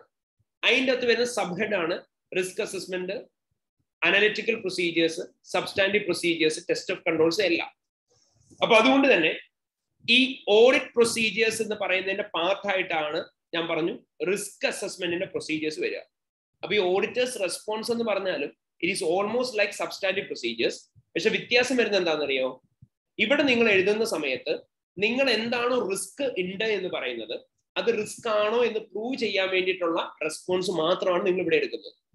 സബ്സ്റ്റാന്റീവ് പ്രൊസീജിയേഴ്സിന്റെ അകത്ത് ഒരു പർട്ടിക്കുലർ ഏരിയയിലെ സബ്സ്റ്റാന്റീവ് പ്രൊസീജിയർ ചോദിച്ചു കഴിയുമ്പോൾ ആ ഒരു പർട്ടിക്കുലർ ഏരിയയിൽ എന്തൊക്കെയാണോ അസേഷൻസ് ഉള്ളത് അതെല്ലാം കറക്റ്റ് ആണോ എന്ന് അറിയാനായിട്ടുള്ള പ്രൊസീജിയേഴ്സ് ആണ് നിങ്ങൾ ചെയ്യുന്നത്. ടെസ്റ്റ് ഓഫ് കൺട്രോൾസിലേക്ക് വന്നു കഴിയുമ്പോഴത്തേനോ അവിടെ നിങ്ങൾ എഴുതുന്നതൊക്കെ സെയിം തന്നെയാണ്. പക്ഷെ അവിടെ വരുന്ന ഡിഫറൻസ് എന്താണെന്ന് ചോദിച്ചാൽ ഇത്രയേ ഉള്ളൂ. ഇവിടുത്തെ പർപ്പസ് എന്ന് പറയുന്നതാണ് എല്ലാവർക്കും മാറ്റം വരിക. ഫസ്റ്റ് കേസിലെ നിങ്ങളുടെ പർപ്പസ് എന്ന് പറഞ്ഞാൽ ഓഡിറ്റേഴ്സ് റെസ്പോൺസ് എഴുതുമ്പോൾ നിങ്ങളുടെ പർപ്പസ് എന്ന് പറഞ്ഞാൽ നിങ്ങൾ പറഞ്ഞ റിസ്ക് എന്താണോ അത് പ്രൂവ് ചെയ്യുക എന്നുള്ളതാണ് നിങ്ങളുടെ പർപ്പസ് സബ്സ്റ്റാൻഡീവ് പ്രൊസീജിയേഴ്സ് ചെയ്യുമ്പോൾ നിങ്ങളുടെ പർപ്പസ് എന്താ? ആ ഒരു പർട്ടിക്കുലർ അസേഷൻസ് എല്ലാം കറക്റ്റ് ആണോ എന്ന് എൻഷുർ ചെയ്യുക എന്നുള്ളതാണ് നിങ്ങളുടെ പർപ്പസ് എന്ന് പറയാം. ഫൈനലി ടെസ്റ്റ് ഓഫ് കൺട്രോൾസ് ചെയ്യുമ്പോൾ നിങ്ങളുടെ പർപ്പസ് എന്ന് പറഞ്ഞാൽ ഇന്റേണൽ കൺട്രോൾ സിസ്റ്റം എഫിഷ്യന്റ് ആണോ എന്ന് നോക്കുക എന്നുള്ളതാണ് നിങ്ങളുടെ പർപ്പസ് അപ്പൊ എപ്പോഴും അത് ഡിഫറൻഷ്യേറ്റ് ചെയ്ത് ഓർത്ത് വെച്ചാൽ മതി. ടെസ്റ്റ് ഓഫ് കൺട്രോൾസിനകത്ത് നമ്മൾ എന്താ കൺസിഡർ ചെയ്യാം? ഇന്റേണൽ കൺട്രോൾ സിസ്റ്റം ആയിരിക്കും കൺസിഡർ ചെയ്യുന്നുണ്ടാവുക. സബ്സ്റ്റാൻഡീവ്സിനകത്ത് നമ്മൾ എന്തായിരിക്കും കൺസിഡർ ചെയ്യുക മിസ്റ്റേക്സ് ആയിരിക്കും കൺസിഡർ ചെയ്യുക റിസ്ക് അസസ്മെന്റിനകത്ത് നിങ്ങൾ എന്താ കൺസിഡർ ചെയ്യുക നിങ്ങൾ പറയുന്നത് അത് കറക്റ്റ് ആണോ? അല്ലെങ്കിൽ അതിന്റെ അകത്ത് എന്തെങ്കിലും പ്രശ്നമുണ്ടോ? അത് ശരിക്കും നമ്മുടെ ഫിനാൻഷ്യൽ സ്റ്റേറ്റ്മെന്റ്സിനെ അഫക്ട് ചെയ്തിട്ടുണ്ടോ എന്ന് നോക്കുക എന്നുള്ളതാണ് നിങ്ങളുടെ അവിടുത്തെ പർപ്പസ് സോ ഈ പർപ്പസ് ആയിരിക്കും മാറിക്കൊണ്ടിരിക്കുക. മനസ്സിലായ എല്ലാവർക്കും അപ്പോ ഫൈൻ ഓൾ റൈറ്റ് അപ്പോൾ നമുക്ക് ഇന്ന് മെയിൻലി ഇത്രയും ഏരിയാസ് ആണ് ഡിസ്കസ് ചെയ്യാനായിട്ടുള്ളത്. അപ്പൊ നമ്മൾ ഇന്ന് ഓഡിറ്റ് റിസ്ക് എന്ന് പറയുന്ന ഏരിയ ആണ് ഡിസ്കസ് ചെയ്തത്. അപ്പം ഞാൻ ആ നോട്ട്സ് എല്ലാവർക്കും ഷെയർ ചെയ്ത് തരാം. എന്റെ ഇൻസ്റ്റഗ്രാം ബയോയിലുണ്ട് ആർക്കെങ്കിലും വേണമെന്നുണ്ടെങ്കിൽ ഡൗൺലോഡ് ഇട്ടുണ്ട് ആൻഡ് എല്ലാവരും അതുപോലെ തന്നെ ഒരു കാര്യം ശ്രദ്ധിക്കുക. ഇന്ന് തന്നെ ആ നോട്ട്സ് ഒന്ന് നല്ല രീതിയിൽ വായിച്ചു നോക്കണം എല്ലാവരും. ആൻഡ് ആരെങ്കിലും ഇതുവരെ പഠിച്ചു തുടങ്ങാത്തവരുണ്ട് എന്നുണ്ടെങ്കിൽ ജസ്റ്റ് വൺ തിങ് നിങ്ങൾ ഇപ്പൊ തന്നെ ഈ ഒരു ബേസിസിലാണെങ്കിലും സ്റ്റാർട്ട് ചെയ്താൽ മതി. ഇന്ന് ഓഡിറ്റ് റിസ്ക് വെച്ച് സ്റ്റാർട്ട് ചെയ്യുക. ഓഡിറ്റ് റിസ്കിന് ഇന്ന് ചെയ്ത ക്വസ്റ്റൻസ് എല്ലാവരും ഒന്നും കൂടി എഴുതി നോക്കുക. ഇതുമായിട്ട് റിലേറ്റഡ് ആയിട്ടുള്ള കുറെ ക്വസ്റ്റൻസ് റെഡ് സ്മിത്ത് എന്നൊക്കെ പറയുന്ന ക്വസ്റ്റൻസ് ഉണ്ട് അതും ചെയ്ത് നോക്കാം. ആൻഡ് എനിക്ക് തോന്നുന്നു നമ്മുടെ ക്ലാസ്സിൽ വെച്ച് നമ്മൾ ഓഡിറ്റ് റിസ്കിന്റെ എല്ലാ ക്വസ്റ്റൻസും കംപ്ലീറ്റ് ചെയ്തതാണ്. അപ്പൊ അത് കാരണം കൊണ്ട് നാളെ നമ്മൾ ഇനി ഫോക്കസ് ചെയ്യുന്നുണ്ടാവും ഇന്റേണൽ കൺട്രോൾസിന്റെ ഏരിയ ആണ്.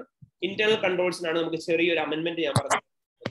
ഇന്റേണൽ കൺട്രോൾസിനകത്ത് വന്നേക്കുന്ന അമെന്റ്മെന്റ് കൂടെ കൺസിഡർ ചെയ്ത് ഇന്റേണൽ കൺട്രോൾസിന്റെ ക്വസ്റ്റൻ ആയിരിക്കും നമ്മൾ നാളെ ചെയ്യുന്നുണ്ടാവുക. മറ്റന്നാൾ നമ്മൾ കുക്ക് ചെയ്യുമ്പോൾ മണം വരുന്ന ഓവറോൾ സിലബസ് ആയിരിക്കും നമ്മൾ കവർ ചെയ്യുന്നുണ്ടാവും മറ്റന്നാൾ.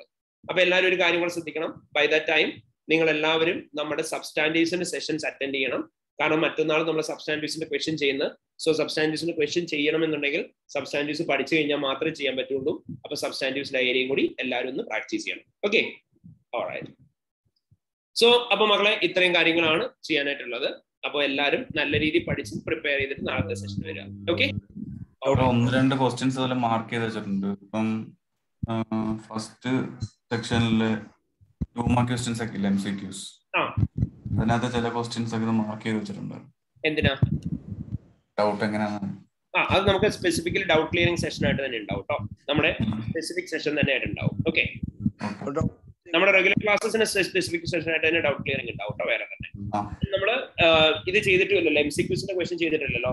നമുക്ക് എം സി ക്യൂസിന് തന്നെ സെപ്പറേറ്റ് സെഷൻസ് ഉണ്ടാവും. ഓക്കെ സാർ നമ്മളിപ്പോ ചെയ്ത് തുടങ്ങണം M C Qs M C Qs theoretical areas ഒന്നും കൂടി റിവൈസ് ചെയ്തതിനു ശേഷം ചെയ്തു തുടങ്ങിയാൽ മതി. അത് നമുക്കത് ഒപ്പം സ്റ്റാർട്ട് ചെയ്യാം. ഓക്കെ ക്ലാസ് പറയാം. നാളെ എപ്പോഴായിരിക്കും ക്ലാസ് ഉണ്ടാവുക? സെയിം ടൈം തന്നെ ആയിരിക്കും കേട്ടോ ഓക്കെ സാർ റിസ്ക് വെച്ചാൽ അതിന്റെ ഒപ്പീനിയൻ ചോദിക്കുന്നില്ലല്ലോ ഒപ്പീനിയനോ നോക്കിയപ്പോ അതിൽ റിസ്കും അതിന്റെ എക്സ്പ്ലനേഷൻസ് ഒക്കെ വന്നിരുന്നേ. ഒന്നുകൂടെ ചോദിക്കും വോയിസ് ക്ലിയർ ആയാലോ ബ്രോ റിസ്ക് ചോദിച്ച്. അതിന്റെ എക്സ്പ്ലനേഷൻ അത് college B B test just നോക്കിയപ്പോ തന്നെ കണ്ടതാണ്. ആരെങ്കിലും കേട്ടിട്ടുണ്ടെങ്കിൽ ഒന്ന് റിപ്പീറ്റ് ചെയ്ത് പറയാം. എനിക്ക് വോയിസ് ക്ലിയർ ആവുന്നില്ല. അതായത് ഓൾഡ് റിസ്ക് ഇല്ലേ? ഓൾഡ് റിസ്ക് വെച്ച് അതിന്റെ എക്സ്പ്ലനേഷനും അതിന്റെ ഇമ്പാക്ടും അതിന്റെ ഒപ്പീനിയൻ ചോദിച്ച്. ഒപ്പീനിയൻ ചോദിച്ച്. ജസ്റ്റ് മെസ്സേജ് ഒന്ന് ടൈപ്പ് ചെയ്തയക്കോ വേഗം. ഓഡിറ്റ് റിസ്കോ അതിന്റെ എക്സ്പ്ലനേഷനും ഇമ്പാക്റ്റും അതിന്റെ ഒപ്പീനിയനും ചോദിച്ചത് ഓക്കെ സെപ്പറേറ്റ് ആയിട്ടാണോ? അത് സ്പ്ലിറ്റ് ചെയ്ത് തന്നെ എഴുതിയാൽ മതി കേട്ടോ. വേറെ വ്യത്യാസമൊന്നും ഇല്ല അതിന്റെ അകത്ത്. ഓക്കെ അത് നേരത്തെ ചോദിച്ചുകൊണ്ടിരുന്ന പാറ്റേൺ ഓഫ് ക്വസ്റ്റൻ ആയിരുന്നു. ഓക്കെ അപ്പം നമുക്ക് ഇത്രയും കാര്യങ്ങളാണ് ഉള്ളത്. അപ്പം വി വിൽ കണ്ടിന്യൂ ടുമോറോ അപ്പൊ എല്ലാവരും റിവൈസ് ചെയ്തിട്ട് വരാം കേട്ടോ. ഓക്കെ ഓഡിറ്റേഴ്സിനകത്തല്ല മറ്റേ എന്തോ ഒരു പോയിന്റ് സാർ എടുത്ത് റവന്യൂ കോൺട്രാക്ട് വിത്ത് കസ്റ്റമേഴ്സിന്റെ അതിന്റെ എക്സാമ്പിൾ എന്റെ? ഒരു എക്സാമ്പിൾ പറയാമോ അതായത് നമ്മളിപ്പം I F R S fifteen പ്രകാരം നമ്മൾ പഠിക്കുന്ന കാര്യമാണത്. നമ്മളിപ്പോ ഒരു പർട്ടിക്കുലർ റവന്യൂ അതായത് I F R S fifteen എന്ന് പറയുന്നതാണ്. നിങ്ങൾ റവന്യൂ പെർഫോമൻസ് ഒബ്ലിഗേഷൻ എപ്പോഴാണ് കംപ്ലീറ്റ് ചെയ്യുന്നത്? പെർഫോമൻസ് ഒബ്ലിഗേഷൻ കംപ്ലീറ്റ് ചെയ്യുമ്പോൾ മാത്രമേ റവന്യൂ റെക്കഗ്നൈസ് ചെയ്യാനായിട്ട് പാടുള്ളൂ. അപ്പൊ അവിടെ ഉണ്ടാവുന്ന റിസ്ക് എന്താണെന്ന് ചോദിച്ചാൽ ഇത്രയേ ഉള്ളൂ. ഒരു കമ്പനിക്ക് എന്തെങ്കിലും തരത്തിലുള്ള ഇൻകം ഓൾറെഡി കമ്പനി കിട്ടിയതായിട്ട് കാണിക്കുന്നുണ്ട്. അഡ്വാൻസ് ആയിട്ട് കമ്പനിക്ക് എന്തെങ്കിലും ഇൻകം കിട്ടിയിട്ടുണ്ടെങ്കിൽ ആ ഇൻകം കമ്പനി എപ്പോഴും ഡെഫേർഡ് ഇൻകം ആയിട്ടായിരിക്കും കീപ്പ് ചെയ്യുന്നത്. Till the date on which the company satisfies the performance obligation അപ്പൊ അവിടെ നേരെ തിരിച്ച് റിസ്ക് വരാനുള്ള ചാൻസ് എന്തായിരിക്കും ഉണ്ടാവുക? അതായത് കംപ്ലീറ്റ് ചെയ്യുന്നതിന് മുന്നേ തന്നെ അവർ എന്ത് ചെയ്തിട്ടുണ്ടാവും? റവന്യൂ അപ്പൊ റവന്യൂ എന്തായിരിക്കും? ഓവർ സ്റ്റേറ്റഡ് ആയിരിക്കും ഡെഫേർഡ് ഇൻകം അണ്ടർ സ്റ്റേറ്റഡ് ആയിരിക്കും. മനസ്സിലായോ? ഓക്കെ അസേഷൻസിന്റെ എക്സ്പ്ലനേഷൻ വരുമോ സോറി അസേഷൻസിന്റെ എക്സ്പ്ലനേഷൻ ചോദിക്കാം കേട്ടോ. ചിലപ്പോൾ ചോദിക്കാം. അസേഷന്റെ എക്സ്പ്ലനേഷൻ എളുപ്പമല്ലേ? ഒന്ന് നോക്കി വെച്ചാൽ മതി. അതിനകത്ത് എന്തെങ്കിലും നമ്മുടെ വീഡിയോസ് കണ്ടാൽ മതി കേട്ടോ. സബ്സ്റ്റാൻഡീവിന്റെ വീഡിയോസ് പ്രോപ്പർലി എടുക്കുന്നുണ്ട് ഓരോന്നിന്റെയും? കിറ്റിനകത്ത് ചെയ്യുന്ന ക്വസ്റ്റ്യൻസിനകത്ത് ഞാൻ അല്ലാതെ പ്രാക്ടീസ് ചെയ്യുന്നതിനകത്ത്. ഇപ്പൊ നമ്മുടെ പ്രീ ഇപ്പൊ ചോദിക്കുന്ന പ്രീ കണ്ടീഷൻസ് എന്തൊക്കെയാണല്ലേ എങ്ങനെയാണ് എൻഷുർ ചെയ്യുന്നത് ചോദിക്കുന്നത് നമ്മുടെ ക്ലാസ്സിൽ സാർ നേരത്തെ പഠിപ്പിച്ചു വെച്ചാൽ ഞാൻ പ്രീ കണ്ടീഷൻസ് എന്താണ് പോയിന്റ്സ് എന്തൊക്കെയാണ് അത്ര എഴുതിയിട്ടുള്ളൂ. അത് മതിയോ? നാല് മാർക്ക് മതി മതി മതി. നമ്മൾ പഠിച്ചേക്കുന്ന പ്രീ കണ്ടീഷൻസ് തന്നെ മതി. അല്ലെ കിറ്റിനകത്ത് കാണിച്ചിരിക്കുന്ന അത്രയും വൈഡ് ആയിട്ടൊന്നും എഴുതണ്ട വേണ്ട വേണ്ട വേണ്ട. പ്രീ കണ്ടീഷൻസ് എന്ന് പറയുന്നത് നമ്മുടെ സ്റ്റാൻഡേർഡിന്റെ ബേസിസ് തന്നെയുള്ളതാണ്. അതുകൊണ്ട് സെയിം തന്നെ മതി കേട്ടോ. അതുപോലെ മെറ്റീരിയാലിറ്റിയുടെ കേസിൽ എന്തോലും പോയിന്റ്സ് മാത്രം എഴുതിയാൽ പോയി മെറ്റീരിയാലിറ്റിയുടെ കേസിൽ എന്താ എഴുതേണ്ടത് വെച്ചാൽ മെറ്റീരിയാലിറ്റി എന്താന്നുള്ള കാര്യം എഴുതാം. എഴുതി പ്ലാനിങ് പെർഫോമൻസ് മെറ്റീരിയാലിറ്റിയുടെ ബെഞ്ച് മാർക്സ് എഴുതാം. ഓക്കെ പോയിന്റ് ആയിട്ട് എഴുതിയാ പോരെ. മതി മതി മതി ഓക്കെ സർ പിന്നെ നമ്മൾ പ്രീവിയസ് പേപ്പർ നോക്കേണ്ട ആവശ്യമില്ല. കപ്ലാൻ കിറ്റിന്റെ അത് മാത്രം പോരെ.